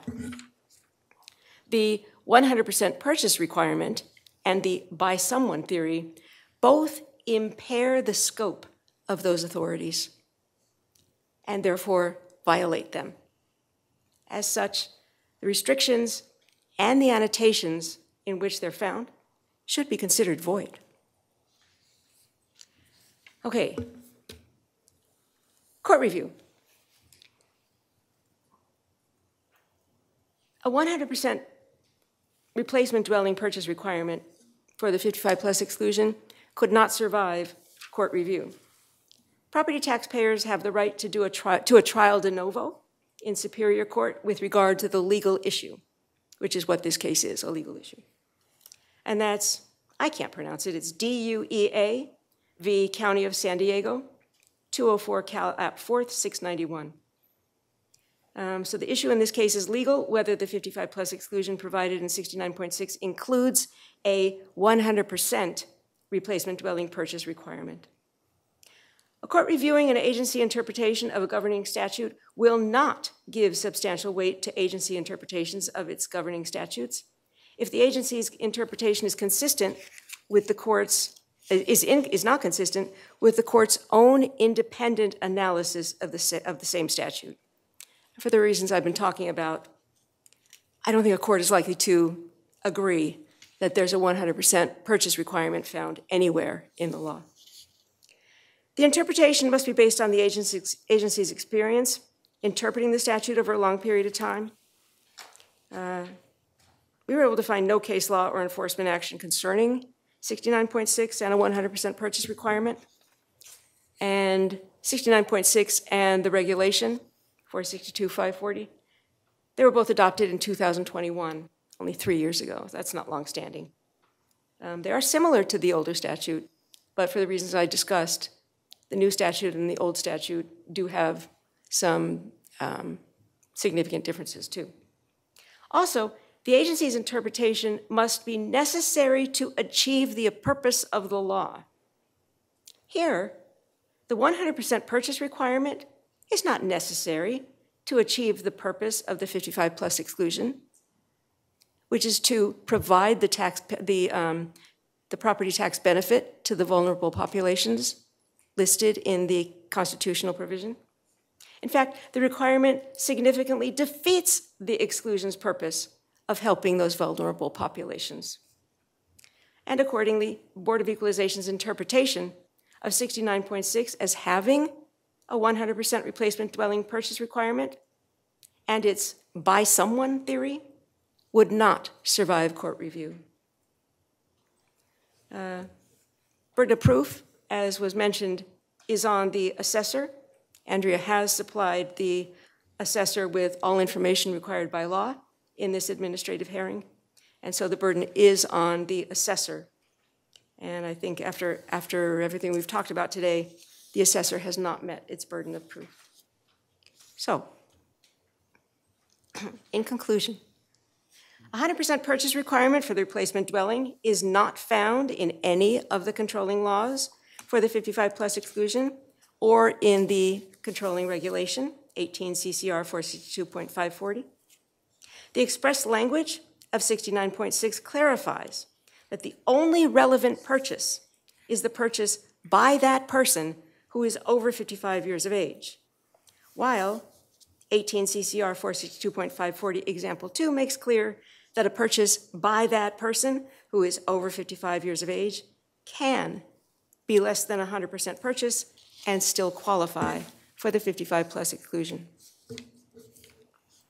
A 100% purchase requirement and the assessor's argument that the purchase must be by someone both conflict with the express voter and legislative intent for the 55 plus exclusion set forth in the California Constitution, produce inequitable results, and conflict with the express legislative language of RTC 69.6 and the quasi-legislative language of 18 CCR 462.540, example two.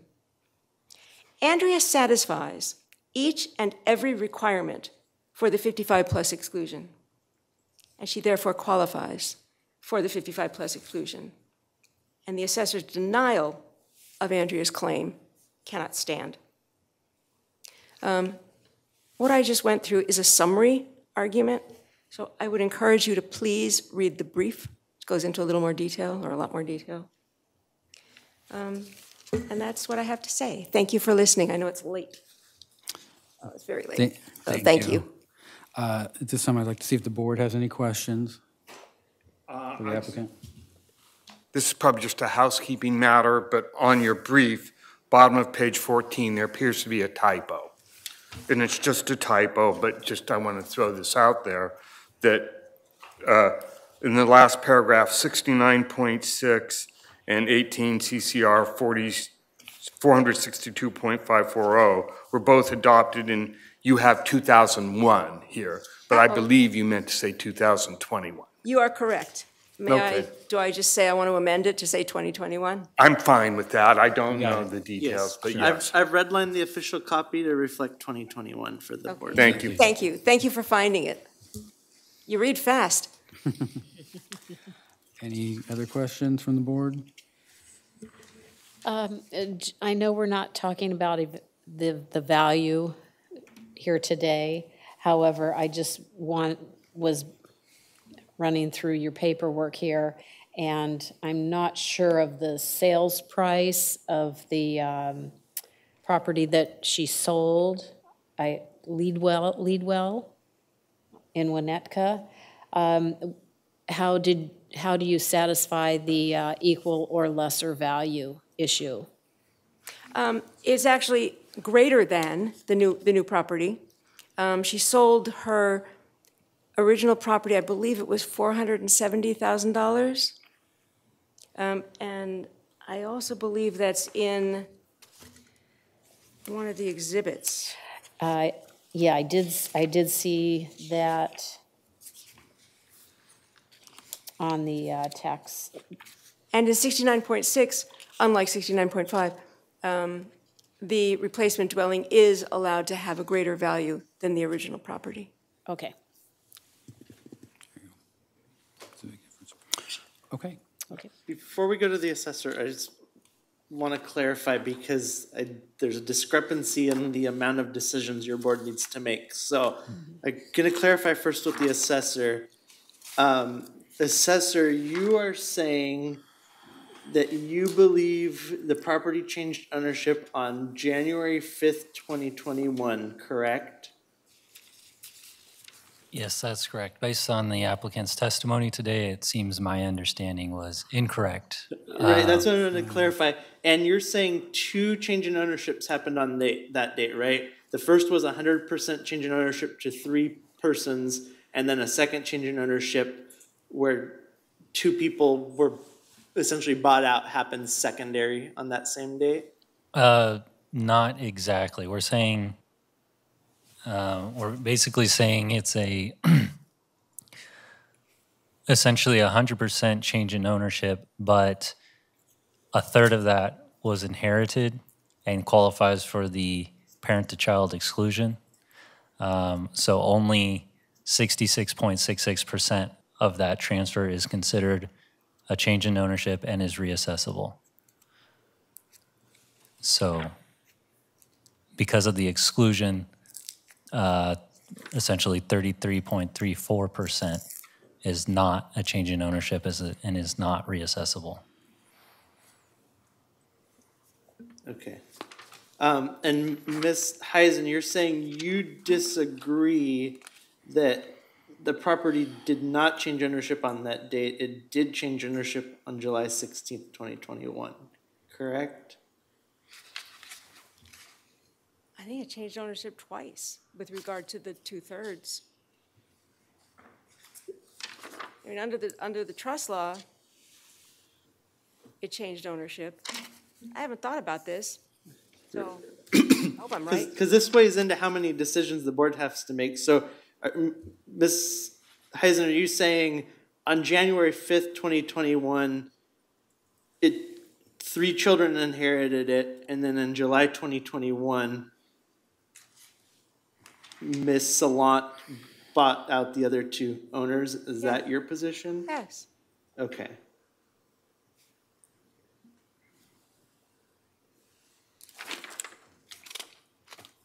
Okay, so it, it looks like the decisions for the board are gonna be what the actual change in ownership dates were, what percentages changed, and if it qualifies for the fifty-five plus exclusion. Uh, I just wanted to clarify, because as Mr. Phillips stated, he thought there was agreement on some of the issues, and it doesn't sound like there is.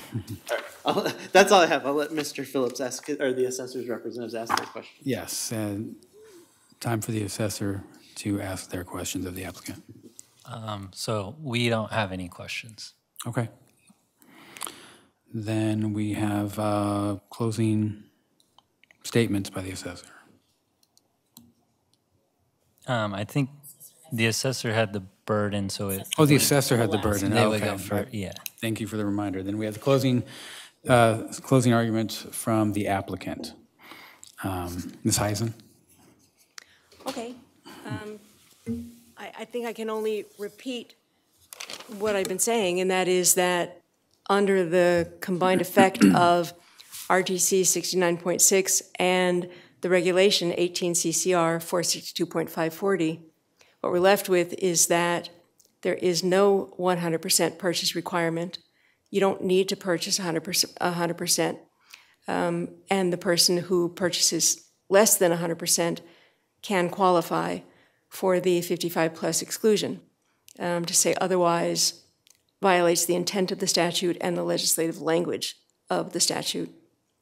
Um, And I don't think there's anything getting, any getting around that. The annotations do not support the assessor's position uh, when you think about them. On, on the surface, they appear to, but when you think about the reasoning, they don't at all. Um, They're inconsistent, and they admit that the 100% purchase requirement is not in the law, and that they merely inferred it based on what they saw as, if you define something as include, a, a, property as including the building and the land, it can only be treated as a single unit, which is not how a building with land is always treated. It's, you can't infer that from the fact that it's a building with land. Um, and so, because we don't have the 100% purchase requirement, and Andrea meets all the, the uh, requirements of the 55 plus exclusion, she qualifies for it. I also want to say, um, my understanding is that the board members, um, I, I think you're somehow connected to the Board of Equalization. And so, and so, I mean, I'm sitting here saying, I don't know if it's your boss or what, I'm sitting here saying, your boss is wrong. And that's probably hard to hear. But, but you also have an obligation to do the right thing. And so I hope you will read the brief and do the right thing, which is to allow the 55 plus exclusion for Andrea. Thank you. Thank you. To the assessor? Thank you. Um, So uh, I had a phone call on or about January 24th, 2024 with the applicant. Uh, And that was where I got my um, understanding that we were agreeable to most of the facts, and it was just the 55 plus. Uh, So I'm sorry that perhaps that was not the case today. Um, So I believe I've stated all the sources that justify how the assessor is treating this property under the Board of Equalization's guidelines. Um, You know, when a trust is involved and it becomes irrevocable, everything points to the day it becomes irrevocable is the change in ownership. And once the assessor knows how the trust is distributed, once we get those details, uh, any subsequent deed is just a clearing title, um, making sure title reflects how the trust is distributed. I pointed that out in my presentation exhibit B. um, And a very easy way to follow that is on page 30 of my exhibit B. Uh, This is the Board of Equalization's Assessor's Handbook, and it, uh, on page 30, it basically describes that that's how you, how it ought to be treated.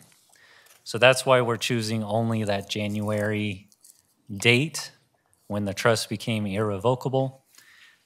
It's outlined there in that Assessor's Handbook. Uh, And there's some other supporting documents, but this is the easiest I found to understand. So that would be the best source for that part of it.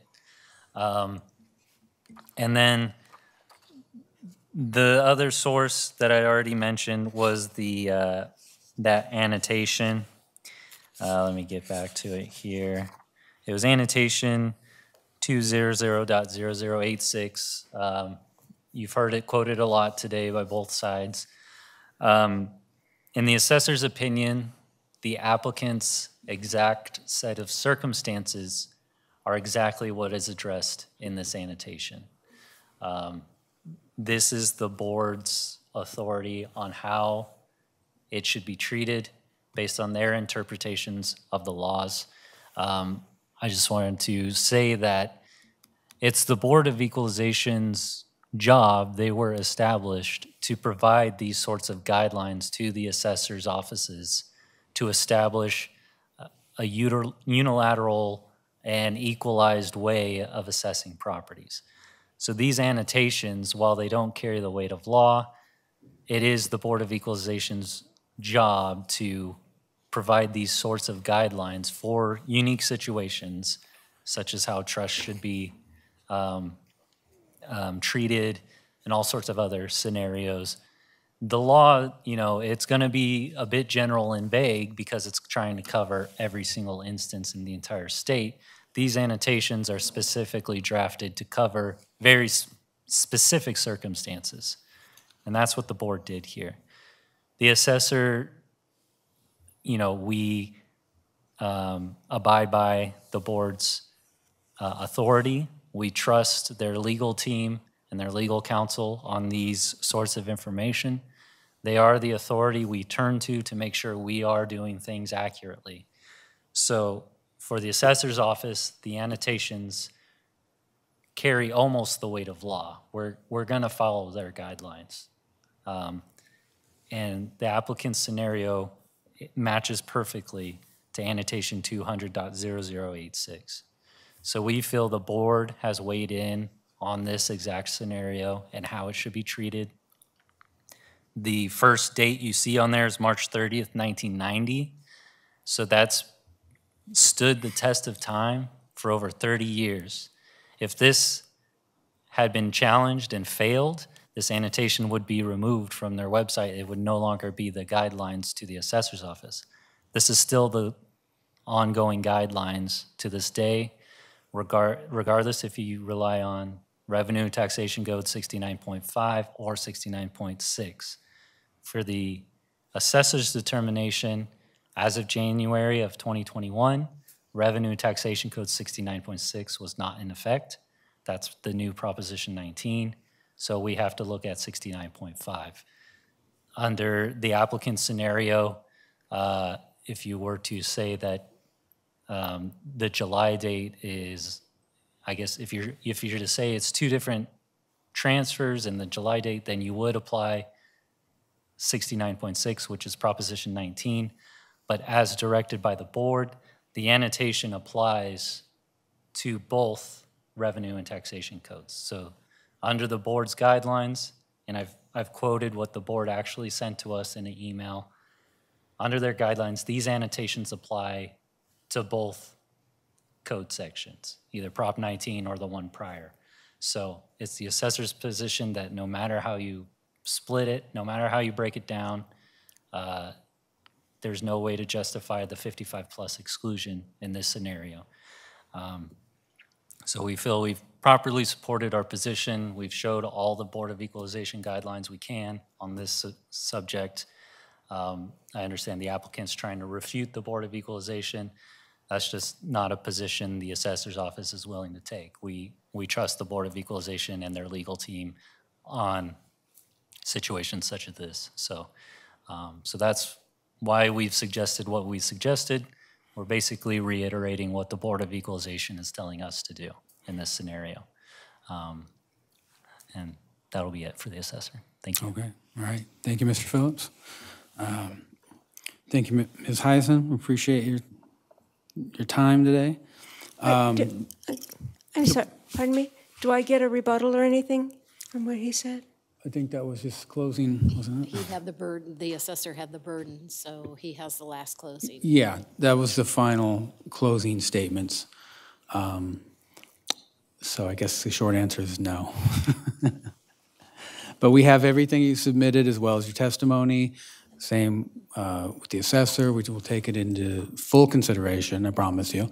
Um, As well as, um, like I said, everything said today, as well as everything, um, the written material. And the board will confer in closed session and um, reach our decisions. And Brendan will inform you of the decision. Okay, thank All right, you. thank you. And do we need to discuss another date for the valuation portion? Thank you for the reminder. I'm not on top of it anymore. It's too late in the day. Um, So to discuss the issue of value, um, Ms. Heis, uh, yes, Ms. Heisen, but how long do you need to prepare for that? If, if you're, are you still pursuing the issue of assessed value as well? Yes. Okay. Um, are you, are you ready to discuss that with the board in the near future, or do you need I can, I can discuss it with, the with, any time. However, um, I don't think Mr. Phillips even wants to look at valuation until we hear the board's decision about the 55 plus, because that would affect the date of the valuation, if I, if I'm understanding that correctly, right, Mr. Phillips? Yeah. Yeah, so the, the board's decision today would have an effect on the value, uh, specifically wh- what's the correct date that we should be using and what exclusion should apply. Um, So, Yeah. so yeah, the decision today would affect, well, most importantly, the date of value. Right, I forget, yeah, so board, since, since the date of change in ownership is in question, which would prohibit them from beginning appraisals because of the ninety-day rule, um, I don't like doing this, but it's probably best we continue indefinitely and I'll figure it out after your board decides. Since it would be very hard to place a, a Right. date on the, but still a moving target. Understood. Okay, All right, so we'll continue that second portion indefinitely. okay. And I believe that's it, yeah? You guys trailed one more item. Did we? Uh, Carola Buhay, let's see, that is sixty-seven and sixty-eight. Oh. Mr. Phillips, you've been with us all day. Have you had a chance to prepare? Yeah, that was one of my concerns. I have not had a chance to prepare the subpoena. Uh, Not quite sure how to Are move you able forward to on that. verbalize specific documents to the board that you're requesting? I, I don't know if, if you say, "Hey, I'm requesting X, Y, Z, maybe we can. Uh, Like- Yes, I know we're going to request her appearance before the board. And how about if we just said, we say any related documents to the uh, property address? I would recommend, I, my understanding of Mr. Phillips' testimony earlier was that there was something very specific that he wanted from, Yeah. I forget her name, but, and that, so I think the subpoena should, should specifically state, and so I think that we can do this, Okay. even though Mr. Phillips hasn't had a chance to prepare the subpoena. If he says the document that he wants, mm-hmm. and then so it, it would be a list of documents. I could, Oh. I could do my best to do it off the top of my head, but. I don't want to, I, I mean, I guess I don't, I don't want him to not include everything that he wants, so it probably is better to do this on another day. Yeah, and, uh, you know, thinking about it more, subpoenas can be requested anytime in advance of the scheduled hearing, so maybe let's just plan to discuss it at the March twenty-fifth hearing, or, because we've already set April as the compliance Right. date, so w- we can, your board is next here, Ap- March twenty-fifth? We can, Yes. we can that- talk about it with a fully drafted subpoena at that time? Is that our, is that board two? I don't, I think, it- I'll, I'll, we'll we'll work with Mr. Phillips in the assessor's office to make sure it comes back to your next Board Two meeting. Okay. Um, so let's not, I, I think it's March twenty-fifth, but let's just not put a date. Let's just say, uh, really, no, because a subpoena can come anytime that before is the us. scheduled hearing. Yeah, I do have so that as, as uh, Board Two, Okay, March 25th. okay. If so we that works basically out. take no action on the subpoena right now, I think we can bring it back whenever is necessary prior to the hearing. Yeah, I, I should have it, I should have it finalized hopefully tomorrow, and I could email uh, Brendan and county counsel, and you guys can discuss ne- the next steps, I guess, from there. Okay. Sounds good. Okay, so with that, Emily, we don't need a formal action on that now that we've, okay. So now I think we're good to adjourn. Okay, uh, meeting is adjourned.